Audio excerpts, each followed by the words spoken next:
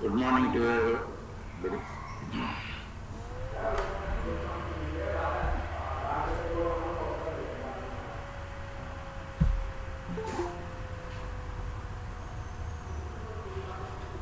So very good morning, sir.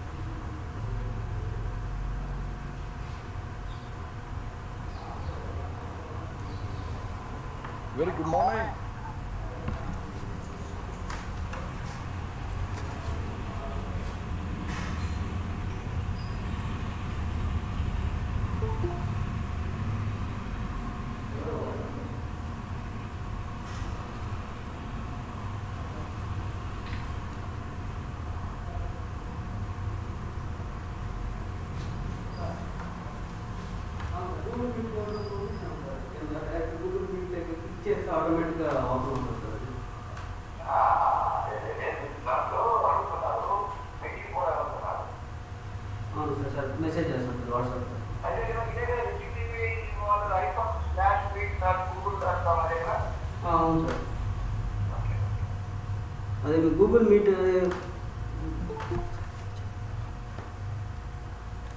hello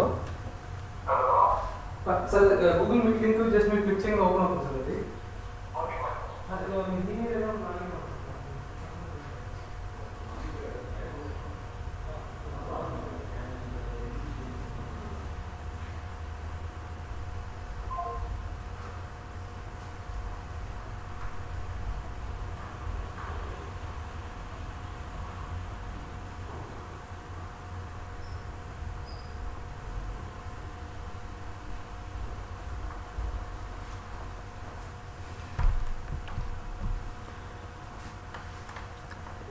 Chandrasekhar sir J Chandrasekhar sir. Sir మీరు screen present చేసినట్టున్నారు. కొంచెం stop presenting కొట్టండి sir kindly.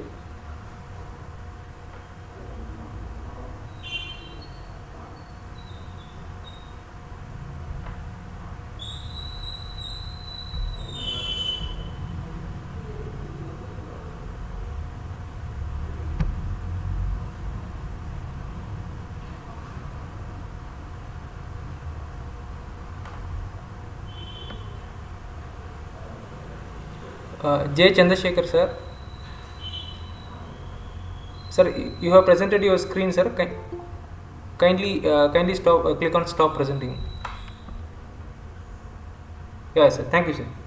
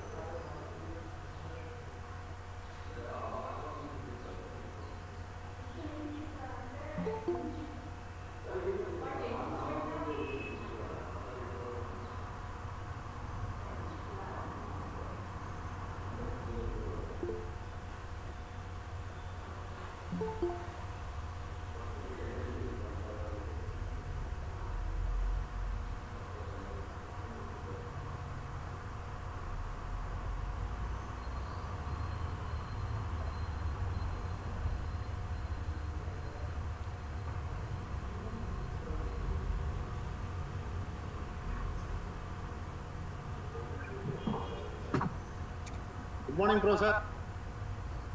ah good morning good morning sir good morning Good morning, madam. good morning yeah, yeah. good morning to all Yeah, good morning. Good morning. What, Yeah. Professor? yeah yeah ah good morning yeah Good morning, Professor. Yeah, good morning. Yeah, good morning. Ramana. Sir. good morning sir yeah Namaskar. Namaskar Good morning to everybody. This is Yeah, Srinivasa. yeah. yeah, good morning, sir. Good morning. This is not sir. Yeah.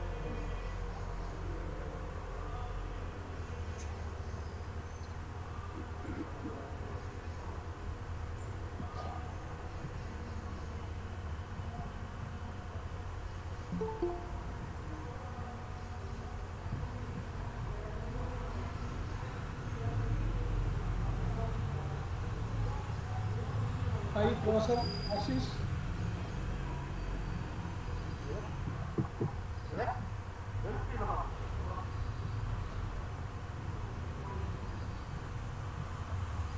Satish, I can hear you. Ah, hi, Professor. Hi, Professor. Good morning. Good morning, everybody. I can feel a lot of Srinivas there. Good morning, Srinivas. You know what? I'm looking so tense. So tense. Okay, Professor. anyway, we're waiting for the ceremony, I think, after that. Yeah, Professor. Yeah, Professor. That's right. Yeah. Good morning. Good morning.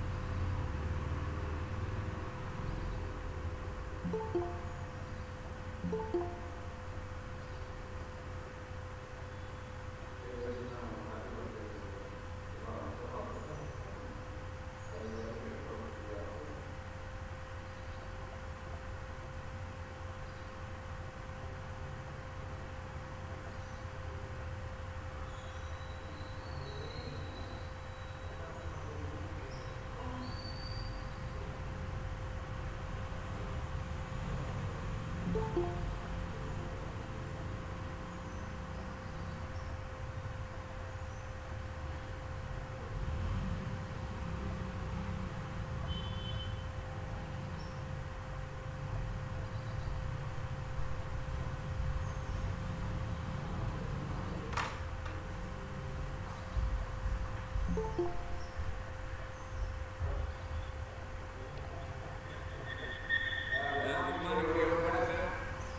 Good morning, Professor. Good morning. Good morning. Good morning, everybody. Very good morning to all. Yeah, yeah, good morning.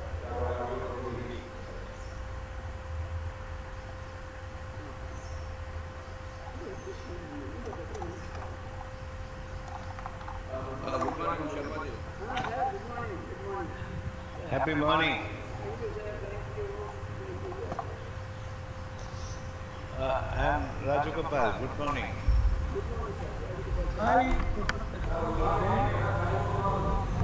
Namaskar, sir. I have sent a video yesterday night to your, email.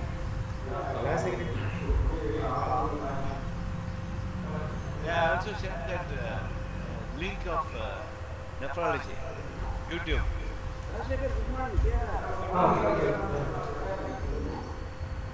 Risegar, good morning. Hey, good evening. Dharma Garu, good morning. Dharma Garu.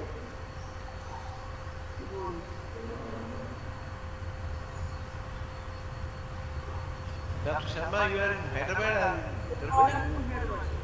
Oh, okay. Hyderabad. Dharma. Yes, sir. Hyderabad. Yes, sir. Yes, sir. Okay.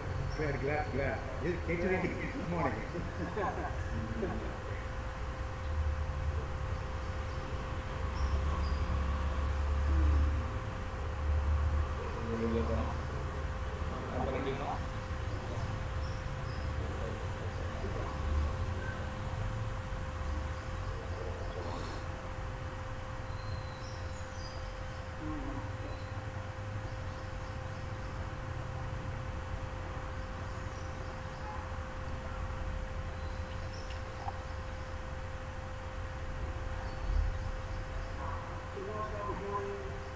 Good morning, sir.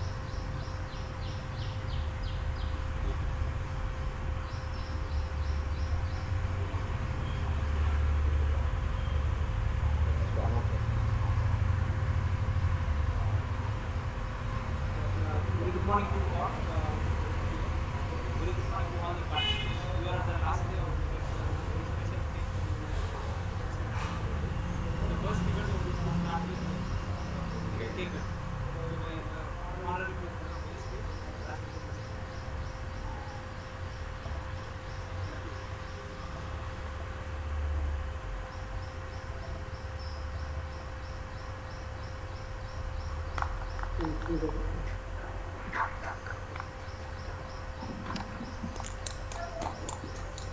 birthday to.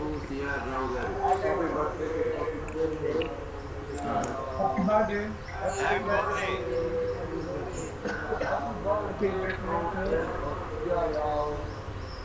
Dying of the Indian.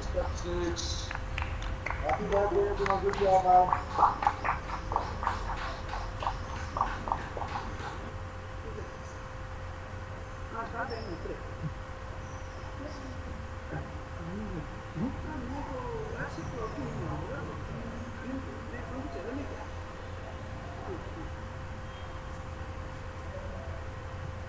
Now I request Dr. Durgama Madam, Durgama Madam,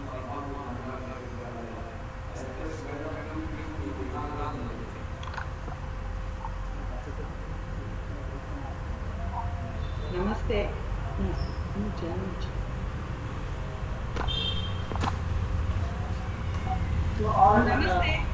Hope I hope I am audible. Yeah. yeah, audible, audible. Yeah. Namaste once again.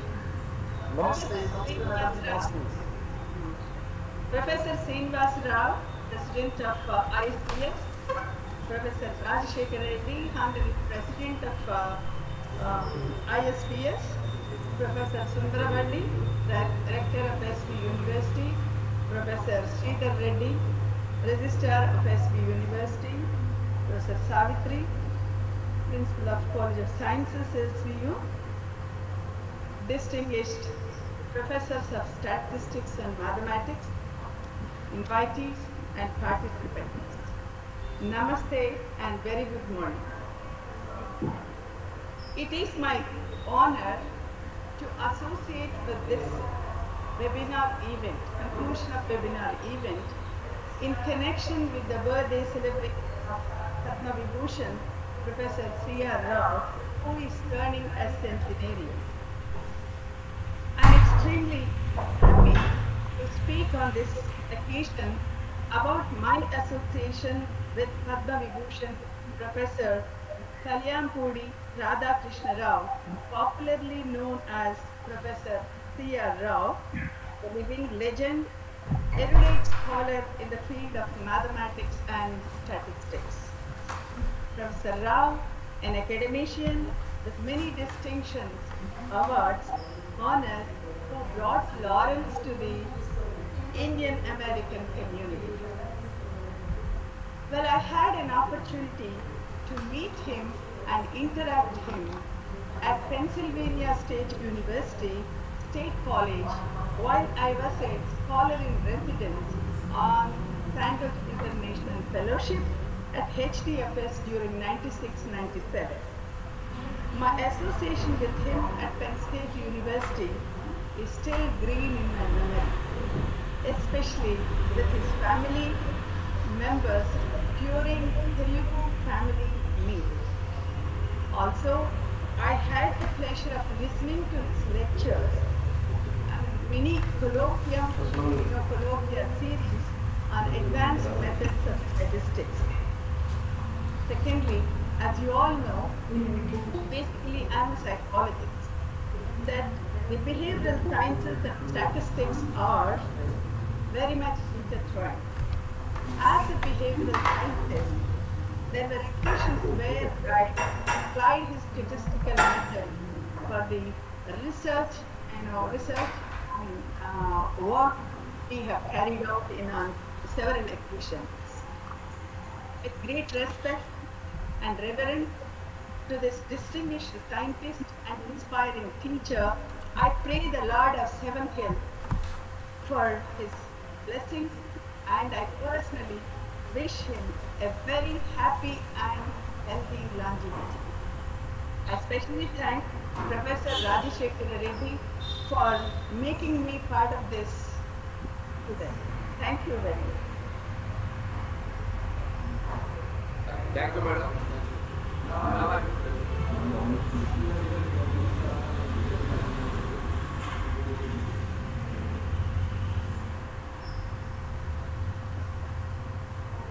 So good morning everyone. Sir, thank you for giving this opportunity. I am very happy to associate this webinar on organized by the Department of Statistics, especially Professor Rajasekhar Reddy garu, to follow in association with the birth centenary celebrations of the living legend, uh, Professor C.R. Rao. So I am very happy to associate with this webinar. Uh, C.R. Rao is a legend, living legend, he is a mathematician. So he is a mathematician turned into statistics, where his works are used in many fields, particularly in medicine, bioinformatics, biology, life science, and anything. Professor C.R. Is associated with the Department of Statistics of Venkateswara University many times. So the department feels that part and parcel of the statistics department. Many staff uh, developed the statistics department in the SV University. At present, we are in the bottom level. We want to bring the department to the, the old glory. So regarding Professor C.R. Rao, so he got the highest medals in India as well as in abroad.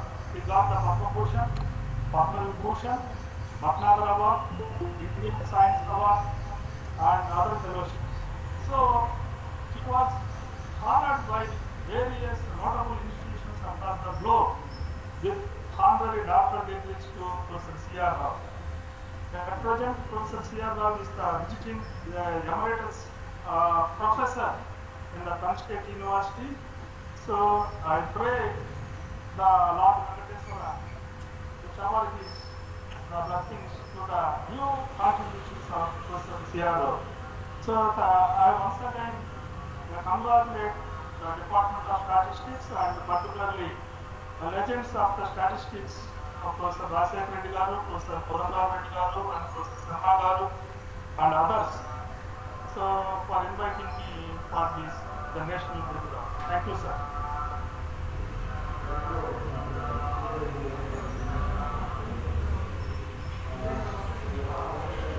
Sir, you are just you have muted your uh, voice.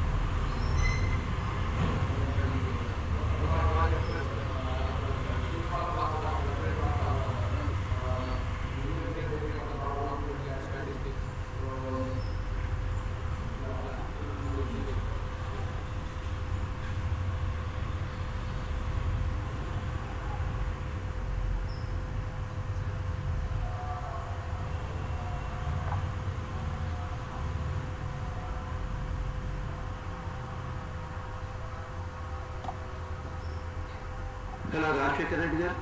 Yes. Are- I am audible? Yeah, yeah. Hello? Yeah, yeah, bro. Yeah. Hello?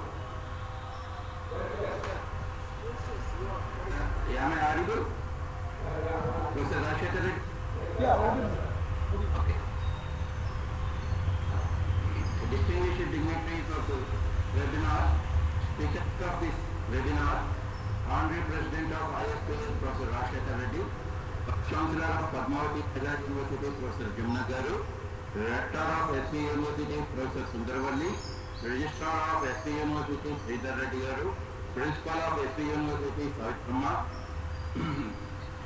Distinguished Professor and uh, CRO Lifetime Achievement Award, Professor Ashish SenGupta, who is going to give the endowment, endowment lecture. Professor Sheila Misra and other PC members of ISPS, members of ISPS, organizing committee members of this webinar, faculty of different universities, research scholars, intellectual forum, the invitees, ladies and gentlemen, a warm good morning to, and welcome to you all to this very, very special function of CRO Centennial celebrations. It gives me an immense pleasure and I am really delighted to be part of this very auspicious program.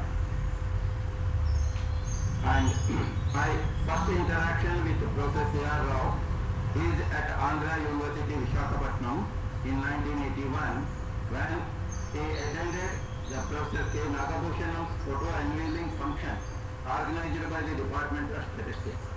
Professor Nagabhushanam was Professor C.R. Rao's teacher at his postgraduate college.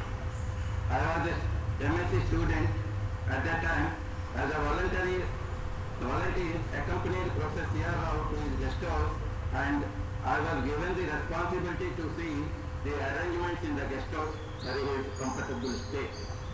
And I had a lot of interaction with him and later on from 1992 to 1986 every year he was visiting our university for 10 to 15 to deliver lectures in the month of December. I was attending all his lectures and interacting with him. In 2008, I organized a five-day international workshop in data mining and its applications. He delivered the inaugural address in the workshop and he was present all through five days and interacting with the participants and students in the workshop. Later in 2009 to 2014, every year he was visiting our Department of Statistics, Andhra University and delivering the lectures when I was the head of the Department of Statistics and later also. In 2010, the joint statistical meeting of IASA and ISPS was held at Visakhapatnam in which he was felicitated with Madam Bhargavi Rao. And his guidance for that conference made it a grand success. The Advanced Institute of Mathematics, Statistics and Computer Science was set up at University of Hyderabad in his honor. I was offered the professor position in the CRO AIMSCS in 2008 in the first batch of adjunct process. Due to the limitations of our university, I could not take up that assignment. But he has a lot of affection towards me and he was always interacting and mentoring in several academic achievements of mine. In 2012, Dr. N. Ravindran, the CEO of Lucas TVS Chennai, met Professor C. R. Rao in a conference at Chennai and asked him to suggest a statistician who can help him improving the quality of the products produced by his company and tracking the business strategies for the development. Then Professor. Rao suggested my name to Ravindran and asked him to take my help. Then Ravindran contacted me and I was a consultant for them for five years. And he has a lot of love and affection, not only to me, towards his alma mater, Andhra University, Visakhapatnam.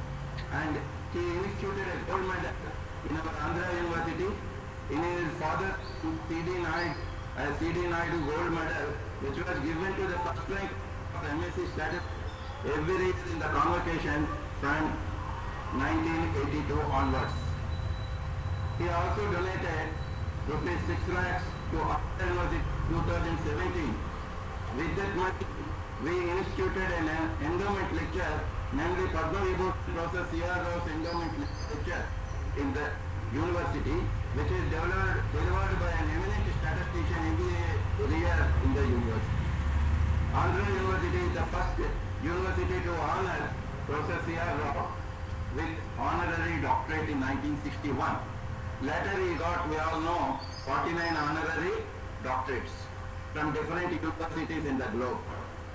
The Greater Visakhapatnam Municipal Corporation has named one kilometer road opposite to the Department of Statistics, Andhra University, as Professor C.R. Rao's road in honor of him. Not only in Visakhapatnam, the road in Vijayawada and Hyderabad are also named against his name. In 23rd November 2010, Professor C.R. Rao delivered a talk in Indian Parliament, in the Parliament Hall, namely the name of the is Tryst with Destiny, Progress in Life, Indian Masters since Independence. In this lecture, he emphasized the need for improvement of the living conditions of downtrodden, particularly the personal below the poverty line, that the country's GDP. This shows his towards humanity and societal development. In the same lecture, he also states that statistics is a way of thinking more than technology for interacting information from data. Data do not speak for themselves. Statistical science enable data to get voice to appropriate and correct inference drawn from them. This is the correct and more apt consideration for statistical and that's what he has propagated and preached and practiced in every part of his life. Stated that CR is a highly creative statistician but was attracted and loved with many data sets in health, biology, ecology, and social science. Social has done lot of contributions in economics. He was the first Indian Economic Society. Rangarajan recalled great contributions of Professor. Rao said that he had done Indians proud and shaped statistics as a separate discipline made fundamental contributions to statistical theory. Professor Rao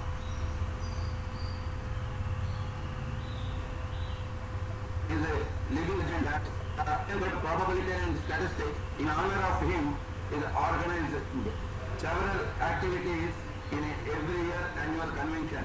We are presenting and we are having Professor C.R. Rao endowment lecture by an eminent person in statistics. Professor C.R. Rao Lifetime Achievement Award given to a distinguished statistician who made significant contributions for the advancement of knowledge in statistics and associated with ISPS. Professor C.R. Rao Gold Medal for the best research paper presented in the conference by an young statistician in every year. I wish Professor C.R. Rao a happy birthday and also wish him a very good health to inspire many more statisticians in the globe. I thank the organizers for the given opportunity, particularly Professor Rajshekar Reddy, Professor Venkat, Hemant Kumar, the organizing secretaries of this webinar, and all executive council members of ISPS and every member of the Indian Society of the Probability and Statistics for making this C.R. Rao centenary celebrations a grand success. I thank one and all for the given opportunity. Thank you. Uh, thank you, Dr. Rao. Now I request uh, Holy, the President of Indian Association of Statistics to give this message. Now, Malik.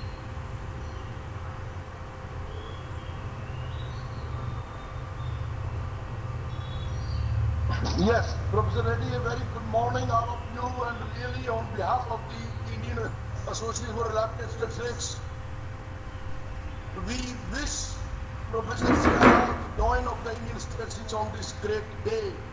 And on behalf of the IRS, we salute him and pray to God for his good health in the coming years. Thank you, sir.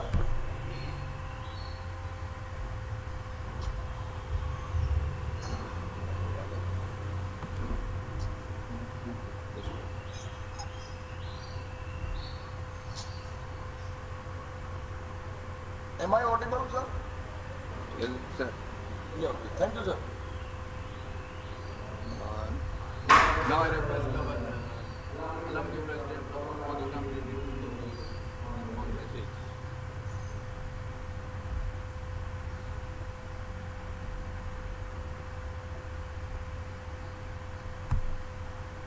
So please unmute your mic.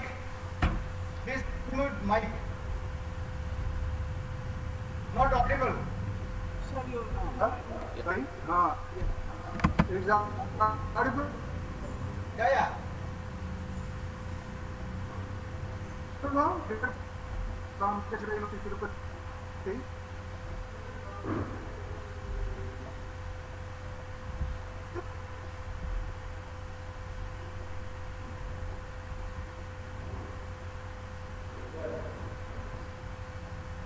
Hello? Now I request Professor Padan Ram Reddy. sir. Uh, yeah. Is it audible, Rajshekar? Yes, sir. Yes, yes. Uh, this is Professor D.K. Reddy from Department of Econometrics, retired professor, Sri University, Tirupati. I am very happy to associate myself with this webinar and uh, I am very happy to say that I am also associated with Professor C.R. Rao and I wish to inform you that C.R. Rao is one of my, uh, uh, is one of our, uh, what I can say is, uh, for my PhD thesis, one of the evaluators for my PhD thesis in 1982. So since then, I was associated with him several ways and we met him in several occasions in the Department of Statistics. Now on this occasion, on his 100th birthday, I wish him all good success and uh, pray Lord Venkateshwara to shower his choice blessings on him for a healthy and happy life in future. Thank you. Yes, sir. Thank you, sir. Now I request.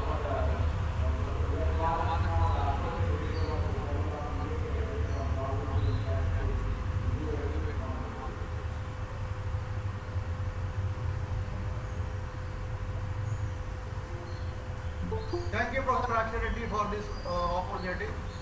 Uh, I really revere him as uh, our uh, beloved Professor, Professor Rao. I wish him very happy birthday and many happy returns of as well as very good and healthy life in the future. Thank you all.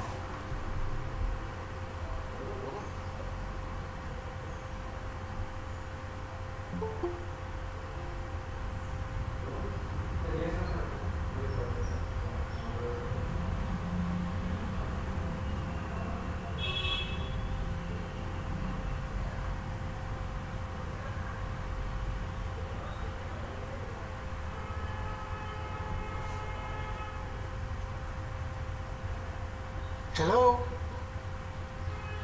Now I request Professor Rajagopal, former uh, director of Indian Science Coimbatore.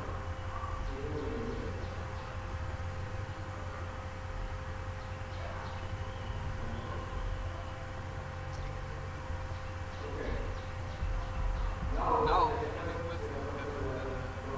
Okay, mine. Happy. I'm happy. Sorry, my mine was mute. Thanks for the opportunity given by Dr. uh, Reddy and Dr. Sharma and Dr. Srinivasa Garu. My association in the Indian Science Institute is about 44 years. The way he, the man, the institute is a multidisciplinary institute. The institute is multifaceted institute. If it is multidisciplinary and multifaceted, the one man is Dr. Siyar. My interaction with him is that uh, it was in Delhi, it was in Calcutta, and it was in Coimbatore. The great thing is that he spoke to Confederation of Indian Industries. He spoke to Coimbatore small scale industries. He, saw the six sigma projects. He evaluated the multivariate analysis. He saw the orthogonal.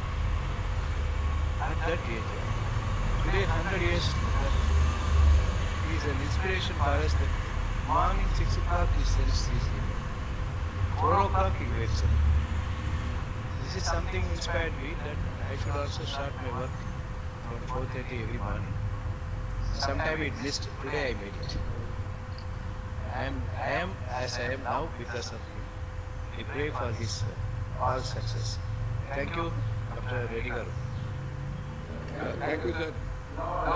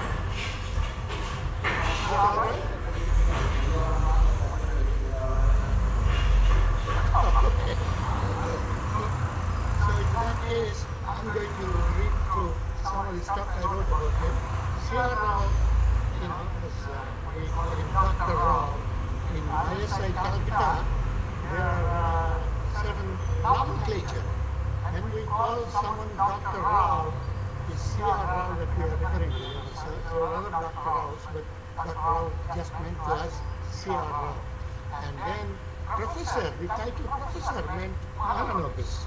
So this was the nomenclature there.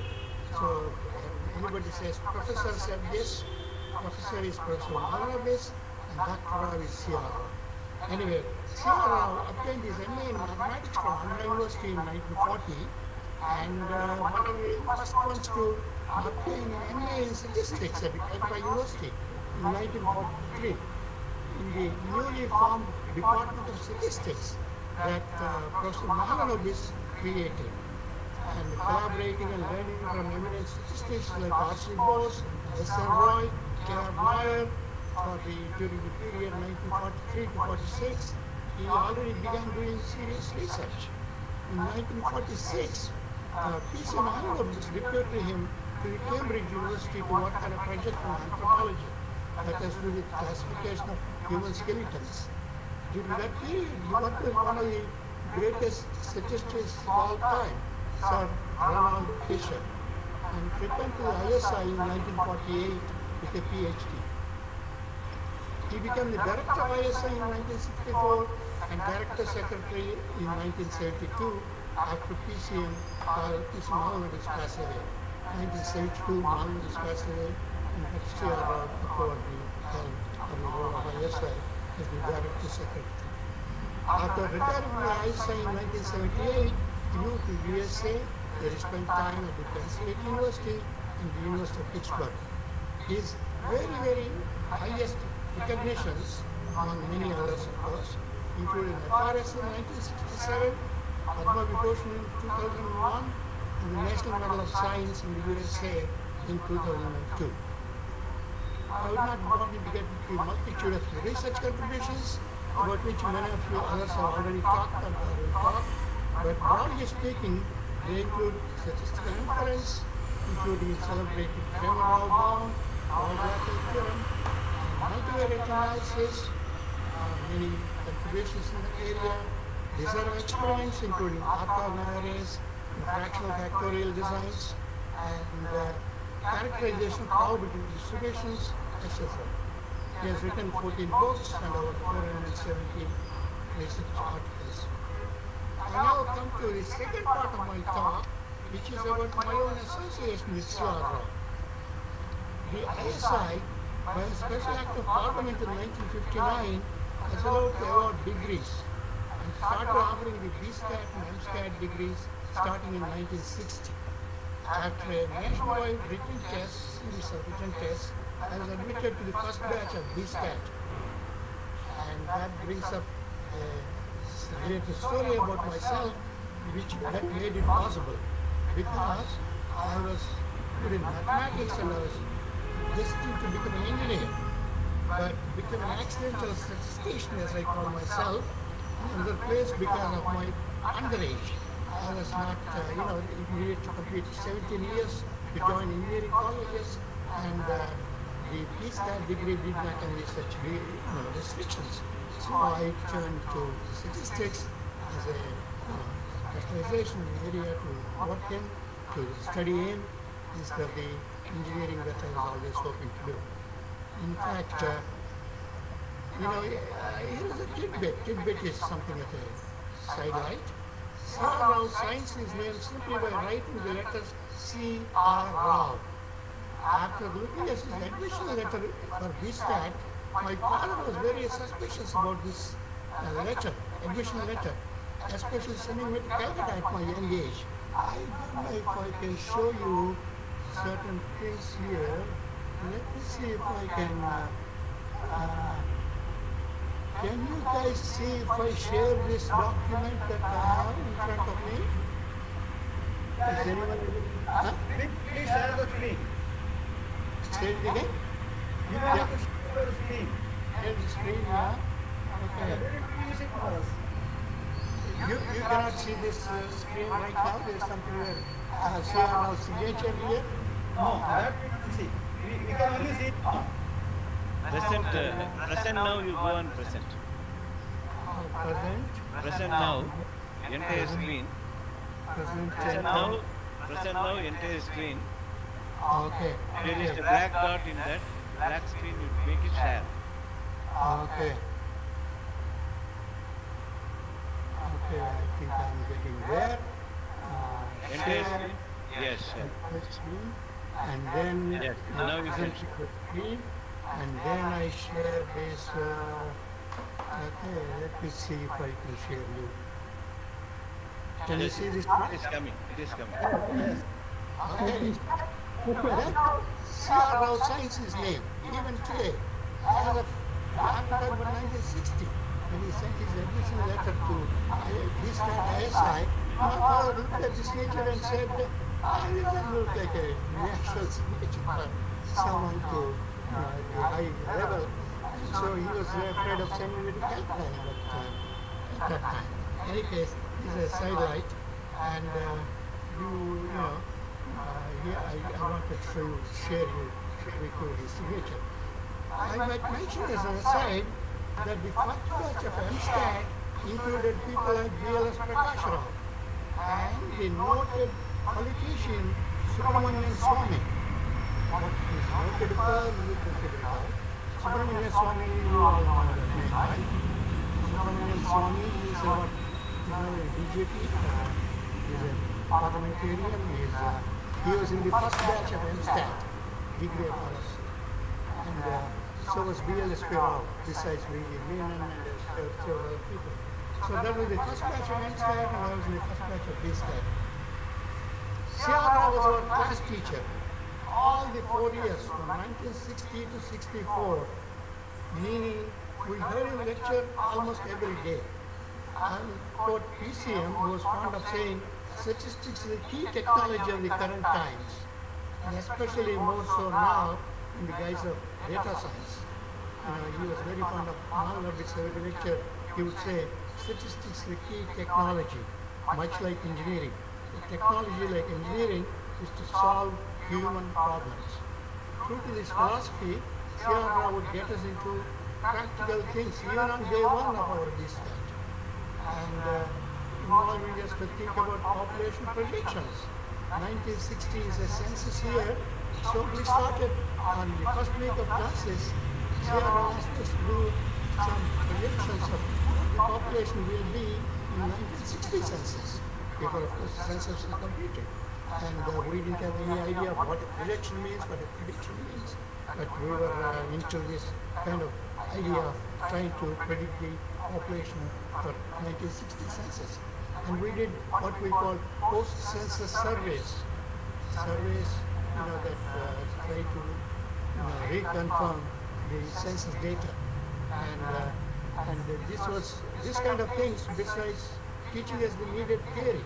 So the applications of statistics and uh, such as this uh, population predictions and things like this were taught to us from day one of uh, our uh, classes. Uh, I was going to show you, a, can you see this picture now? Yeah, yeah, yeah. You can, okay. So this is our first batch of BSTAT. This is Dr. C.R. Rao right there in the center. And uh, this is Professor B.P. Adhikari. And this is myself. Uh, this is what I'm talking about 1964. And uh, I don't think you have to give us many more people here. This is a guy named Jawahar Saha who became an IIM director in Ahmedabad. IIM Ahmedabad director. Uh, he was my classmate. And uh, this is a guy named Gopal Kadekodi. And I don't think you to take. Oh, this is a guy named Sundararajan who became an uh, IMF deputy director. So few of us made to the top ranks, this is myself next sitting next to CR as the first batch of this stat. And uh, so this is uh, uh, there's a little and one more tidbit. Tidbit is my sidelights but my this stat. I was supposed to be given a Fisher gold medal for this stat because I came sort of first in the uh, group. And uh, then that gold medal vanished because of Morarji Desai's gold control at that time. I don't think we are old enough to remember who Morarji Desai is, but Morarji Desai was the finance minister and gold was in great uh, you know, demand and scarcity, so there's a gold control. So the my gold medal sort of, I was told by several faculty who were in faculty meeting that I was going to be given a Fisher gold medal. It's called Fisher gold medal, named after Harry And uh, that gold medal never materialized because of this Morarji Desai uh, gold control in 1964-65 era. Then I finished my MSTAT in one more year in 1965 and then submitted the PhD uh, three years later. I'm looking for the PhD topics I specialized in what was called advanced mathematics and probability. Exploring all kinds of theoretical topics. There were certain specializations in MSTAT one of them was called Advanced Mathematics and Probability. And my teachers were people like Varadarajan, Parthasarathy. They were teaching us all nothing but math and probability. So I started to explore various topics and uh, research. Then, uh, and one day in 1966, C.R. Rao sends me a geologist named Supriya Sen Gupta with an interesting unsolved question on what is called paleo current analysis that involved the direction of flow of a river in times past. Let me repeat. This is a, this is a geologist talking, thinking about, current, you know, you know, working on what are called paleo current analysis. Paleo just means past. Current is the flow of the river. How was this river flowing a million years back? How was it flowing, say, in rough numbers, uh, two million years back, two million years ago? Is there a difference in the direction of the flow of the river? That was his question. How does a geologist know how the river was flowing a million years ago or two million years ago? This is what uh, we people call sedimentary rocks and riverbeds have this flow of the river, direction the flow of the river. Reserved for sedimentary rocks, so they can tell how old the rocks are and how the what direction of the river of river flow was at those times. So Sir uh, uh, even suggested to me that I visit these geologists at the site where they were doing the field work. Is at a place called Bhimaram uh, in Adilabad district in the current Telangana. Let me repeat. This is a town called Bhimaram. It still exists. Bhimaram, not Bhimaram. Bhimaram in Adilabad district in current Telangana state. And uh, I was sent there by Dr. Rao to work with the geologists to find out how they are actually collecting data, what kind of you know, field work there is. And uh, so this is the practical aspect of. Rao. Namely, he would not just be happy with someone doing theoretical work sitting at his desk or at desk, but also to see how the data is being collected and how it's being, you know, uh, actually is it being collected properly. And then I wrote several papers on this topic, on this topic of how much data should be collected, the sample sizes needed, and uh, things like that. Now here is an interesting sidelight to this. These geologists were mostly you know, from Bengal, and they were hoping my talent in Telugu will help communicate with the local people, including our guide there, and from Andhra Pradesh. So they thought I'll speak Telugu, and unfortunately, it turns out my the Telugu they were speaking, I was born and brought up for 15 years in Andhra, I could not uh, quite follow. You know, the Telugu has so many, you know, versions and variations in how people speak Telugu. So I was not helpful, but nevertheless, I visited this area and I spent uh, several days. In fact, we reached there, Hyderabad district. This is an interesting story by itself. And this was a very dense jungles, and this uh, of ours would take a machete and uh, you know, cut through the jungle to lead us through. And suddenly he would say, oh, you know, there was a tiger a few year hours ago.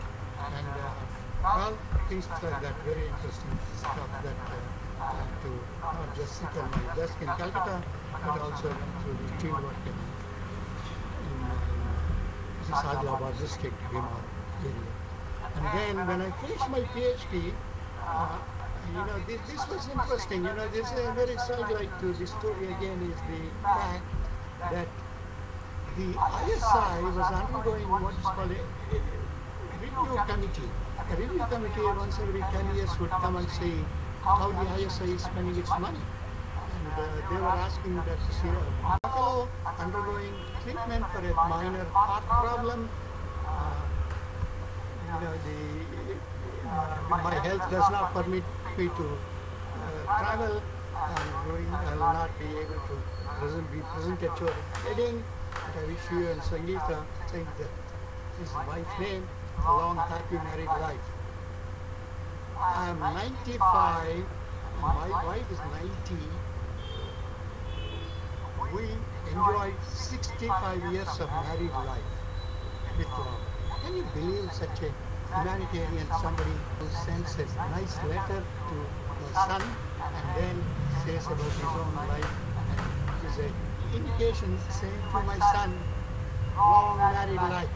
That's what you should be looking for. But he says I'm married for 65 years. Bhargavi passed away seven years ago and Bhargavi is his wife. And uh, so that that's how he's both a humanitarian and uh, he a very. C.R. Was perhaps my uncle. My name was J.S. Rao and he was C.R. Rao. So he said, oh, this must be someone's really friend. He's such a nice then I mentioned this to Dr. C.R. Rao at some other later time. Then in a future letter that he wrote to the department, same department, he wrote, he wrote, Years.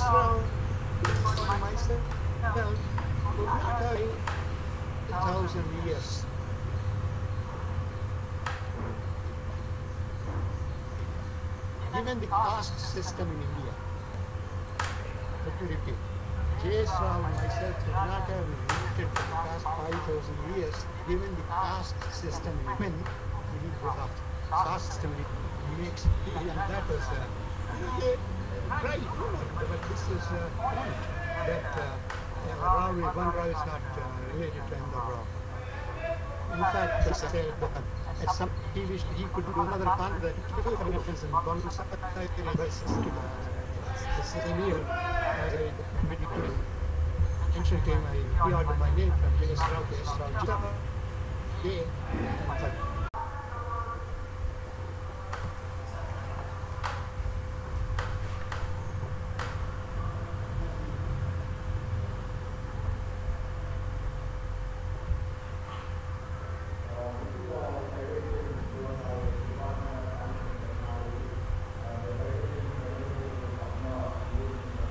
Uh, this is the citation given by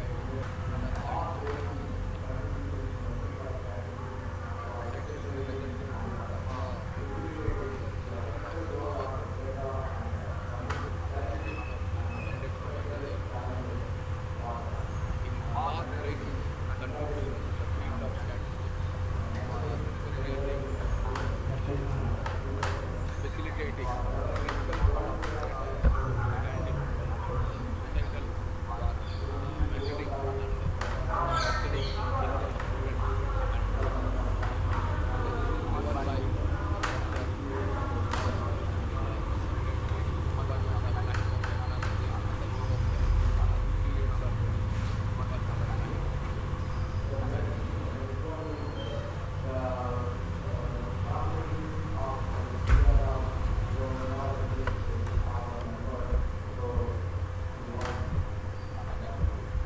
Next next one is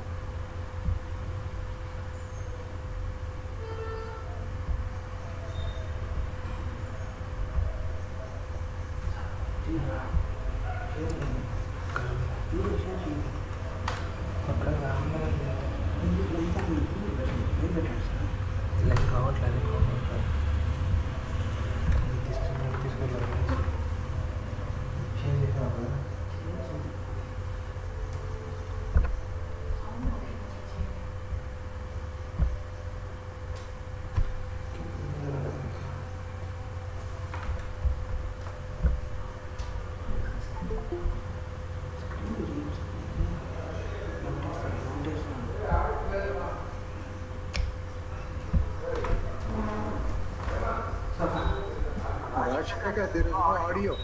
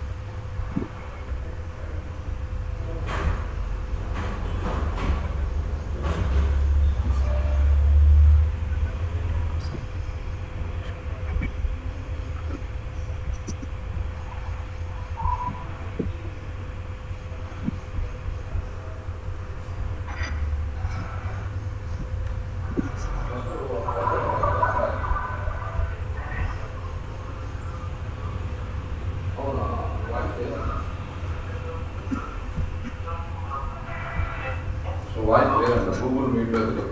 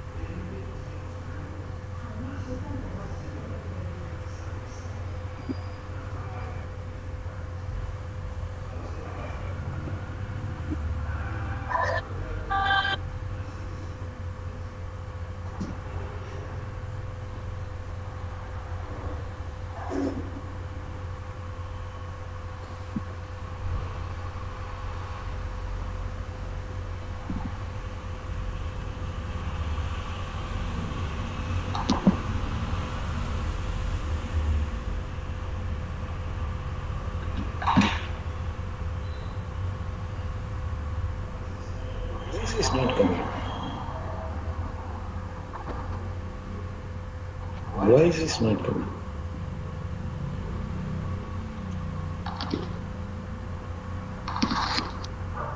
Sir, there is no voice. Absolutely, there is no voice. They are taking, sir, they are taking into the Google Drive. Just a minute, sir. It will be coming out. They first load in the Google Drive and then make the presentation.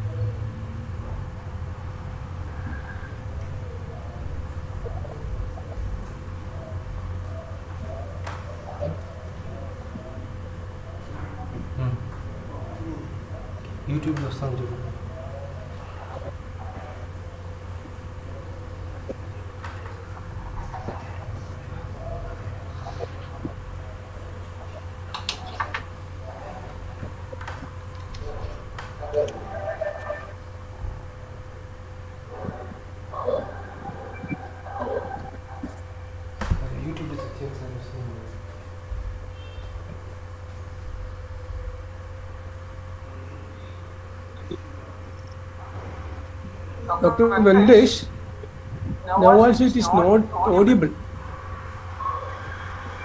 is not audible.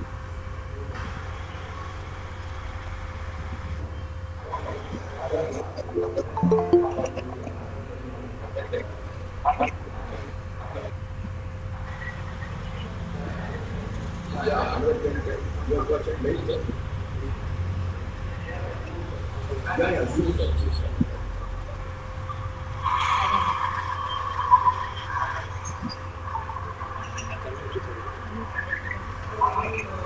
sir, able to uh, able to listen you uh, listen the voice, sir. No, no, Vendesh. No, Vendesh. No. Sir, uh, but in the YouTube it is getting the voice clearly, sir. But here in the Google Meet I'm getting the same problem again. Uh, What? what is it? The only whatever happened here only projected in the YouTube, in fact. Uh, in the YouTube we are getting the voice clearly, sir. There is no issue, sir. But in the Google Meet, So that may be due to your laptop problem, probably. Uh, sir. It's uh, audio whether it is in the uh, correct form Yeah, or do you have any extra audio system? No, uh, we are making it from the laptop only, sir. We are not. Yeah, yeah you can uh, use some other audio uh, speakers. Separate speakers. Some separate speakers can be utilized. Yeah, okay. So, uh, one second. Please try, please try it. Yeah, yes. Otherwise, it is not. Okay, okay. One minute,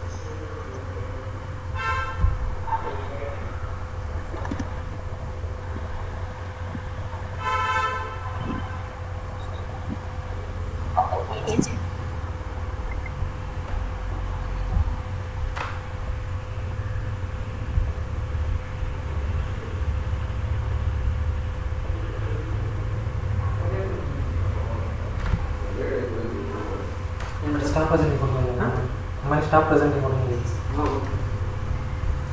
Perdão, perdão. Portanto, a prestar perdão.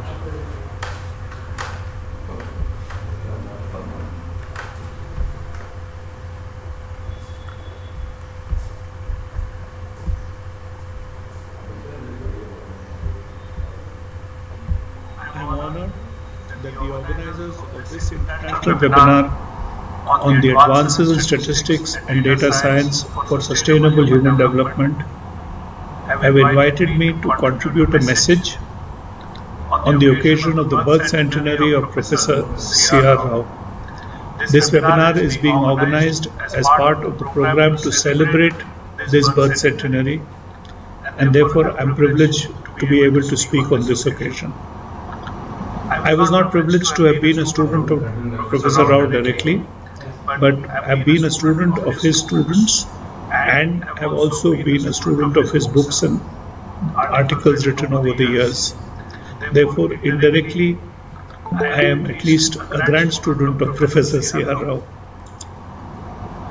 I think in this regard, I would be joined by many other statisticians across India and the world who have been benefited either directly or indirectly by the work of Professor C.R. Rao. C.R. Rao has not just been a great teacher and a researcher in the field of statistics, but has also been an institution builder.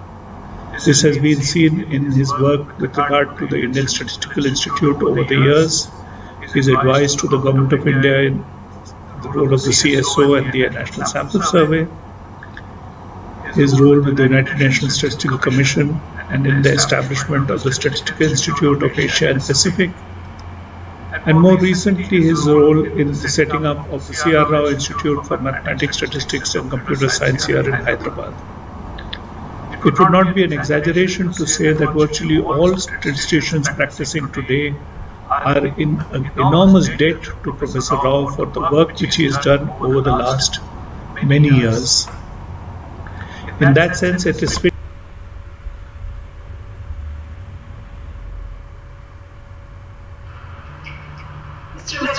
Sarveshwar? Yeah, yes, madam. Hello. Yeah, yeah yes, madam. See in uh, Google, na go to Google Cast.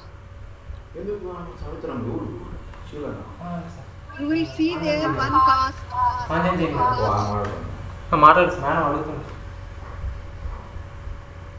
And you see there Google. And message you.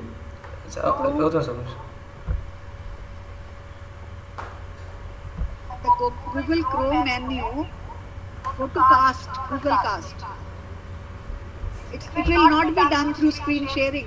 It is through screen cast. okay, okay. Once you click on cast, then uh, you will have enable cloud services.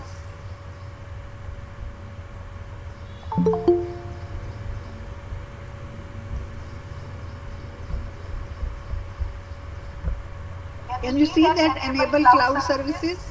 Yeah, I'm checking what I'm checking.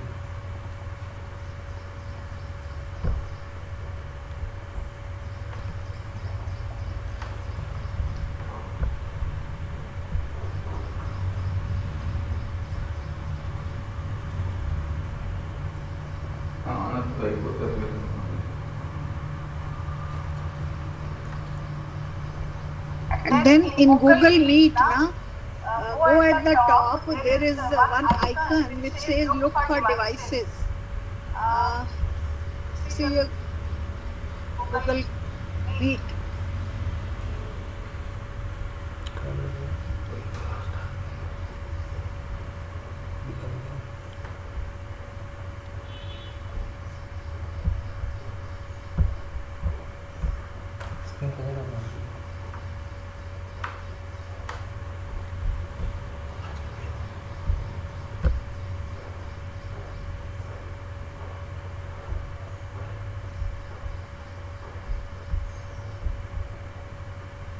That the theme of this seminar has been on the advances in statistics and data science for sustainable human development, an area in which Professor Rao has devoted his entire life. The circumstances of the seminar are also particularly appropriate because they illustrate a central characteristic of our time. It has been said that we live in exponential times.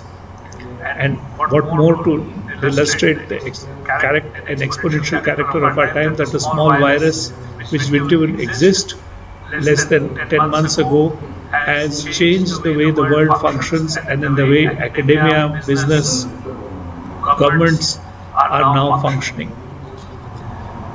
The exponential character of our lives is illustrated in many ways and have many examples to illustrate it. One example, which was cited some time back, and I'd be happy to take up, is the fact that it took radio almost 40 years to reach 50 million users.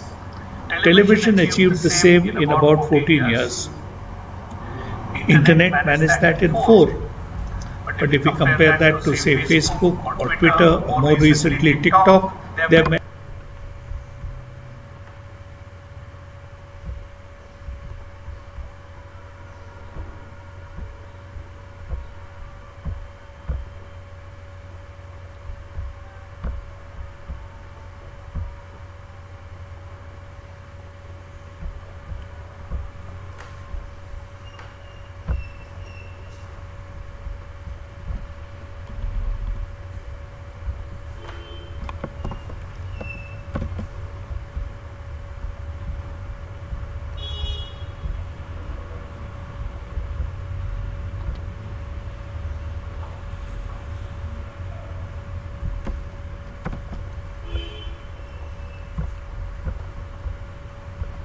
Uh, uh, excuse me, sir. Uh, sir, here uh, in this part, Google Meet, we are having some problem in uh, audio. So just I've been in the chat box. I've been shared the YouTube link. So kindly join uh, the YouTube link for the for seeing that video. Kindly. Half minute sir కొంచెం five minutes మన మధ్యలో మనకి మాట దానికి disturbance కదా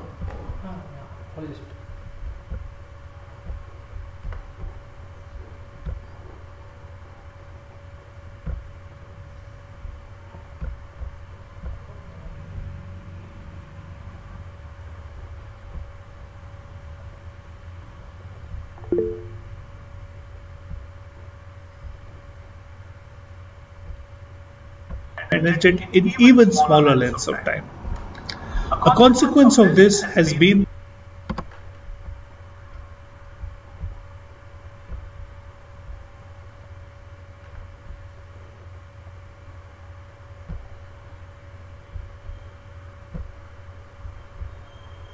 that we seem to be living in a world of data. We are awash with information and the range and scope of data and data use now seems to be unlimited. It has been therefore said sometimes that there is enough, enough data to solve virtually all our problems. But is this true? And to illustrate the challenge we face, I would like to turn to a problem which I encountered when I was chief statistician uh, in my work with the United Nations Statistical Commission. In 2015, the United Nations uh, laid out what is the most ambitious development program for us, which is the 2030 Sustainable Development Agenda. This agenda represents a culmination of almost 50 years of development thinking and has encapsulated all our current understanding of what is required to complete sustainable development. The agenda is described in 17 goals and 169 targets. In some sense, this agenda is a very complete description of the challenge of development and is described in its aspiration by a phrase that leave no one behind. We should aim that the benefits of this sustainable development should be available to all groups and all people living anywhere in the planet. This required us to have an enormous amount of information and data to actually measure and document the achievements made for this program. In fact, the United Nations resolution specifically had some directions for statistics. Quality, accessible, timely, and reliable disaggregated data will be needed to help with the measurement of progress and to ensure that no one is left behind. Such data is key to decision making. Data and information from existing reporting mechanisms should be used wherever possible. They go on to say we agree to intensify our efforts to strengthen statistical capacities in developing countries. We are committing to developing broader measures of progress to complement gross domestic product. Go on to say we recognize that baseline data for several of the targets remain unavailable. We call for increased support for strengthening data collection and capacity building in member states to develop national and global baselines where do not, do not yet exist. we commit to addressing these gaps in data collection to do better, inform the measurement of progress, in particular for those targets for which we do not have clear numerical targets as well as of now. In other words, no, the program was not merely about achievement of goals in human development, it also specifically set out that we need to have an expansion in statistical capacity to make sure that we can better report the progress which has been made. With this objective, the United Nations Statistical Commission embarked on a task to document and laid out what indicators are possible to report on this progress and what is the character of data and technology available to measure our progress on these targets and goals. The combined assessment of the best statisticians of the world was that we simply do not have adequate data and adequate methodologies as yet to measure all the goals and targets. In fact, it would not be an exaggeration to say that more than half the goals and targets are still not adequately measured or do not have data requisite to measure and report on the progress. Therefore, if we were to define the challenge for statisticians in India and all over, is that we need to work on developing techniques for measuring and reporting progress in all these goals and targets which have been laid out in the Sustainable Development Agenda. Therefore, a substantial research agenda exists for the academic community on how best to report on this. It's a task which has been engaging official statisticians and researchers for years, but it needs to be expedited in view of the tight timelines which this agenda has set before us. In that sense, it is appropriate that the seminar has been focused on looking at the current advances because I am sure the discussions in this seminar and elsewhere will play a major role in furthering our understanding of the development challenge we face and developing new methods and technologies and making better use of the big data which is available to document human progress. That is the best way we can pay tribute to Professor C.R. Rao in recognition of the enormous amount of work which he has done over the last 70 odd years, 80 odd years as a statistician contributing to the frontiers of statistics research and an, an institution builder. Thank you for having asked me to deliver this message. I wish all of you the best and I certainly look forward to the outcome of the deliberations and discussions in this seminar. Thank you.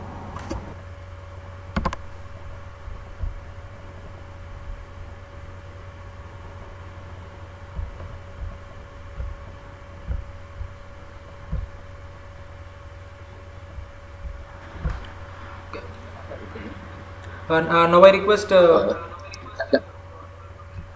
Thank you, sir. Thank you for your nice message. Now I request uh, Professor Bimal Roy, the former ISF director, and now the chairman for National Statistics Commission of India. So now I request you, sir, please give your brief message.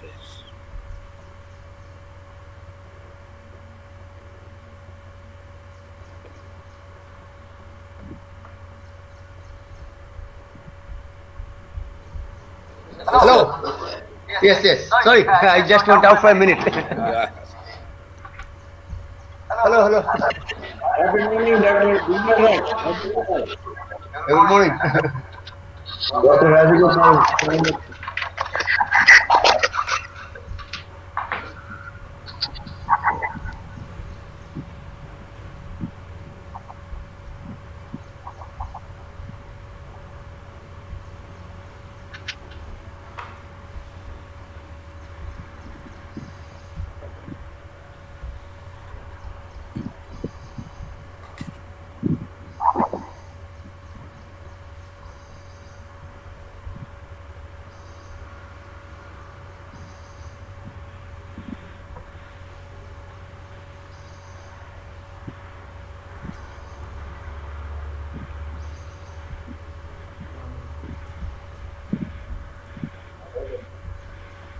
Hello.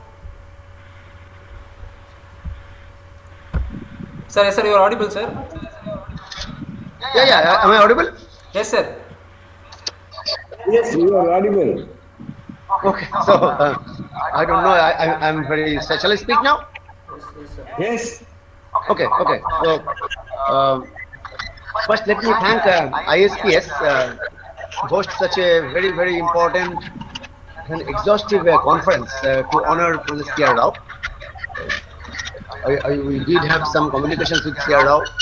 I think there have been uh, quite a few functions uh, to celebrate his birthday.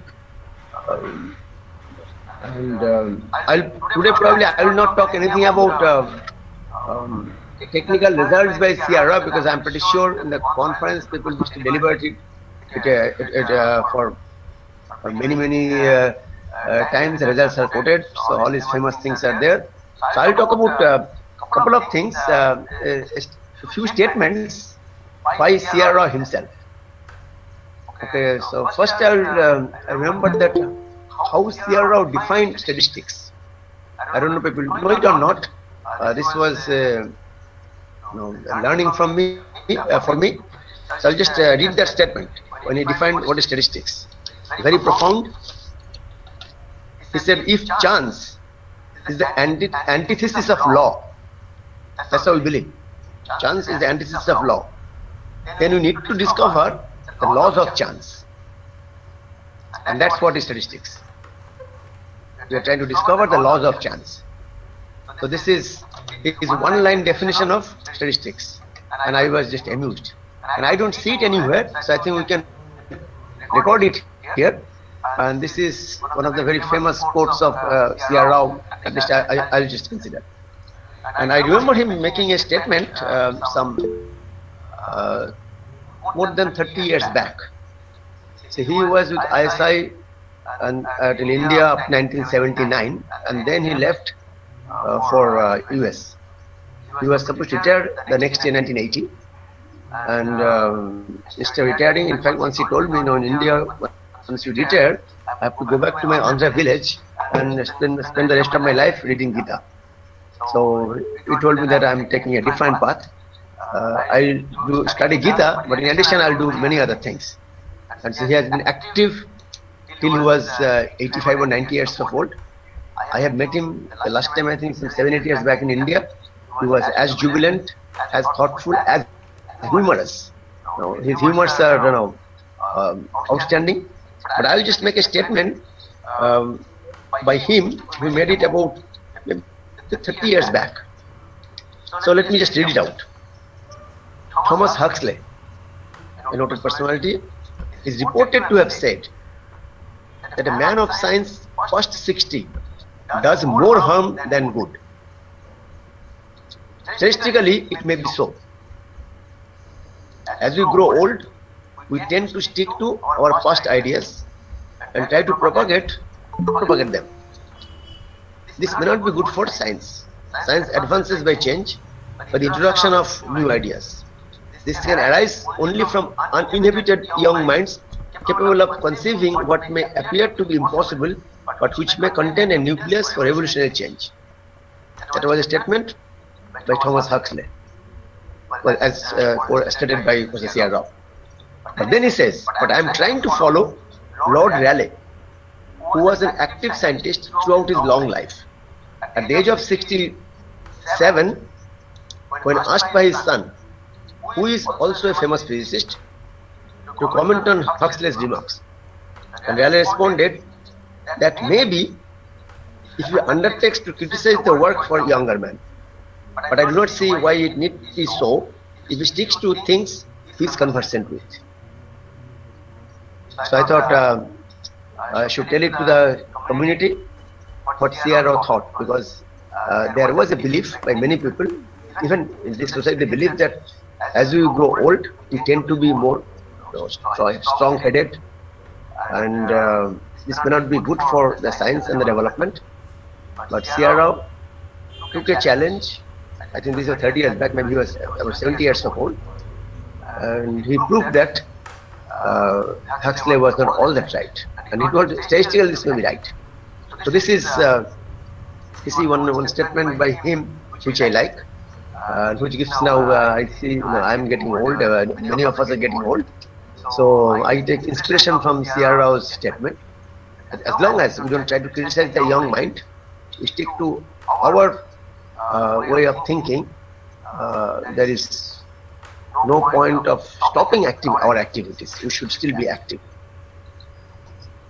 Okay, the other thing which uh, attracted me uh, from CR Rao, because I've been doing cryptology uh, for quite some time, um, and in cryptology, random numbers play a very, very important role. so I remember CR Rao used to do one thing.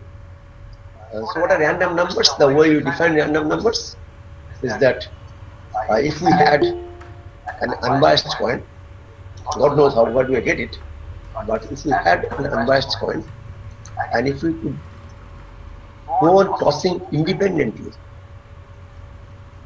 I don't know how to make independent tossing either, uh, but if I could, it's like you know the notion of abstract God. I don't know how to achieve this, but um, but if you could actually toss uh, that unbiased coin independently, and the outcome of that sequence of tosses is a, a random sequence, or an, uh, I can put a head, uh, one for head and zero for tail, and I'll get a sequence, and that is what is understood to be a random sequence. So what did CR Rao do when he was teaching? Well, I, I had the opportunity um, to attend one or two classes because uh, he didn't teach us a, a, regular course, but as a director, you know, he used to move around, and if you find uh, some class, some teacher is absent, and people are mingling around on the, on the corridor, he will just push all of them in the class and in the class. Such versatile was he. So he will just ask, what was, what is the paper that you are in this class was supposed to consider? Oh, okay, this is the same problem it's going to. So how much did you do? So much, and then he'll start from that end itself. And we are amazed to find out the director of the institute is so versatile, so learned. He can get into any class or any subject and then start teaching from where the teacher left. That was, um, you didn't know how famous he was uh, uh, internationally. At that time, the communications were poor in mid 70s when I was a student. But this was amazing to us. And as again, as I as I learned from my seniors, I think maybe Parthuda, Parthu or somebody else, that uh, how the uh, teach the notion of randomness to the students. So he would send students there is a hospital, Bonhooghly Hospital, just very close to ISI. But now these government hospitals are you know, very in, in, in very bad shape. Uh, but that time the Bonhooghly Hospital, as a teacher can tell me better, the Bonhooghly Hospital was probably much better, much more active. So the students would go and record the birth of any child. The birth is, the name is unimportant, just the sex of the child. It's M or F. So the students will go to the hospital and find out if there was a childbirth today, and then what is the sex, M or F. Okay, and then we make a sequence of this um, new, newly born uh, babies, only their, their sex for the whole semester, and then we will try to see whether this sequence of AMF, AMF, MMF, and so on and so forth um, does look like a, a, a, random sequence. Now, today, if you go to the US government site, nist.gov, they talk about 18 tests of randomness. Okay, but uh, when CR was teaching, well, this is late 60s, uh, there was no such tests. So what he was trying to uh, tell the students, on this sequence of this MF sequence, does it behave like independent process of an unbiased coin? And that's how you know, he, was very practical. Uh, so he was uh, introducing the notion of randomness to the students. And I was amazed to learn that. I wish he, he taught me also the same thing in the class. That's what I heard. And I'll finish off with, the, with this astounding comment about randomness. This still, you know, bothers me. You know, uh, it, it, really, uh, it really bothers me. So I'll just uh, read, read out the statement. I just uh, accumulated all these things. Um, it is an interesting property of random numbers that they makes like the Hindu concept of God. It is patternless, and yet has all the patterns in it. Now, this is something very very interesting, and Um, that is, if you go on generating strictly random numbers, you are sure to encounter any given pattern sometime. Something like if you go on tossing a coin, you should not be surprised if thousand heads appear in successive tosses at some stage. So when you define randomness, you talk of patternless uh, string, patternless sequence, but yet it will have all the patterns in, in it. So this is something you know um, was, was, was very uh, confusing to me that time, but it took time for me to understand this. And in my research later on in cryptology, we use this uh, notion of randomness uh, very heavily, and this statement has become very, very, very important to me. And also, I try to propagate to my students when you talk about randomness, and this CRO statement is phenomenal. That uh, it is it's supposed to be patternless, and yet has all the patterns in it. Okay, CRO is very famous of making such uh, such statements with very intrinsic meanings, and I was amused. So this is my attribute to CRO, and recollect some of the statements he made. And in doing so, I got help from um, one of my senior in ISI, Tapan Sinha. He was also a student at ISI, he was my one year senior, he is now settled in Australia. So me and Tapan were communicating that uh, what are the things that CRO, CRO used to make many, many, many statements and recollect few of his statements. And I thought I should present it to this community, so you should know.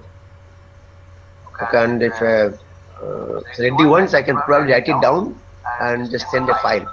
And I think everybody must know that these are the, you know, we, we read quotes from all the famous philosophers and writers like Rousseau, Voltaire, Marx, um, and so on and so forth, and Gandhiji and so on and so forth. But I think we could make a list of quotes by C.R. Rao. So I, am pretty sure T.J. Rao could help us. Um, I don't know, B.L.S. Prakash Rao could help us. They know C.R. Rao much better. My exposure to C.R. Rao is much, much less. But still, I could get into uh, such wonderful, very in-depth statements he made, which is good for statistics, which is good for the community. Thank you.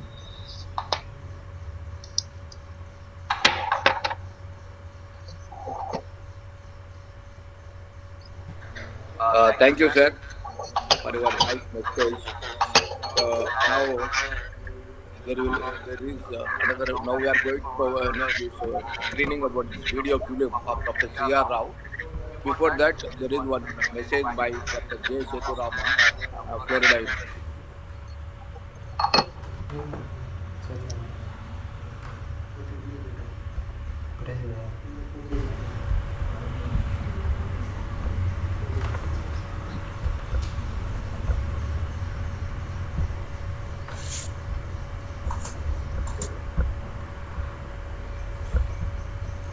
So uh, here I am next going to play the uh, uh, Professor J. J. Sethuraman sir's message, then documentary film. So kindly, if, if you are able to get the voice in the Google Meet, it is well and good. Suppose if there is any issues, kindly join in the YouTube. YouTube link has been shared in the chat box here, so you can verify. So for the time being, I am uh, going for that one. So kindly uh, accept this one.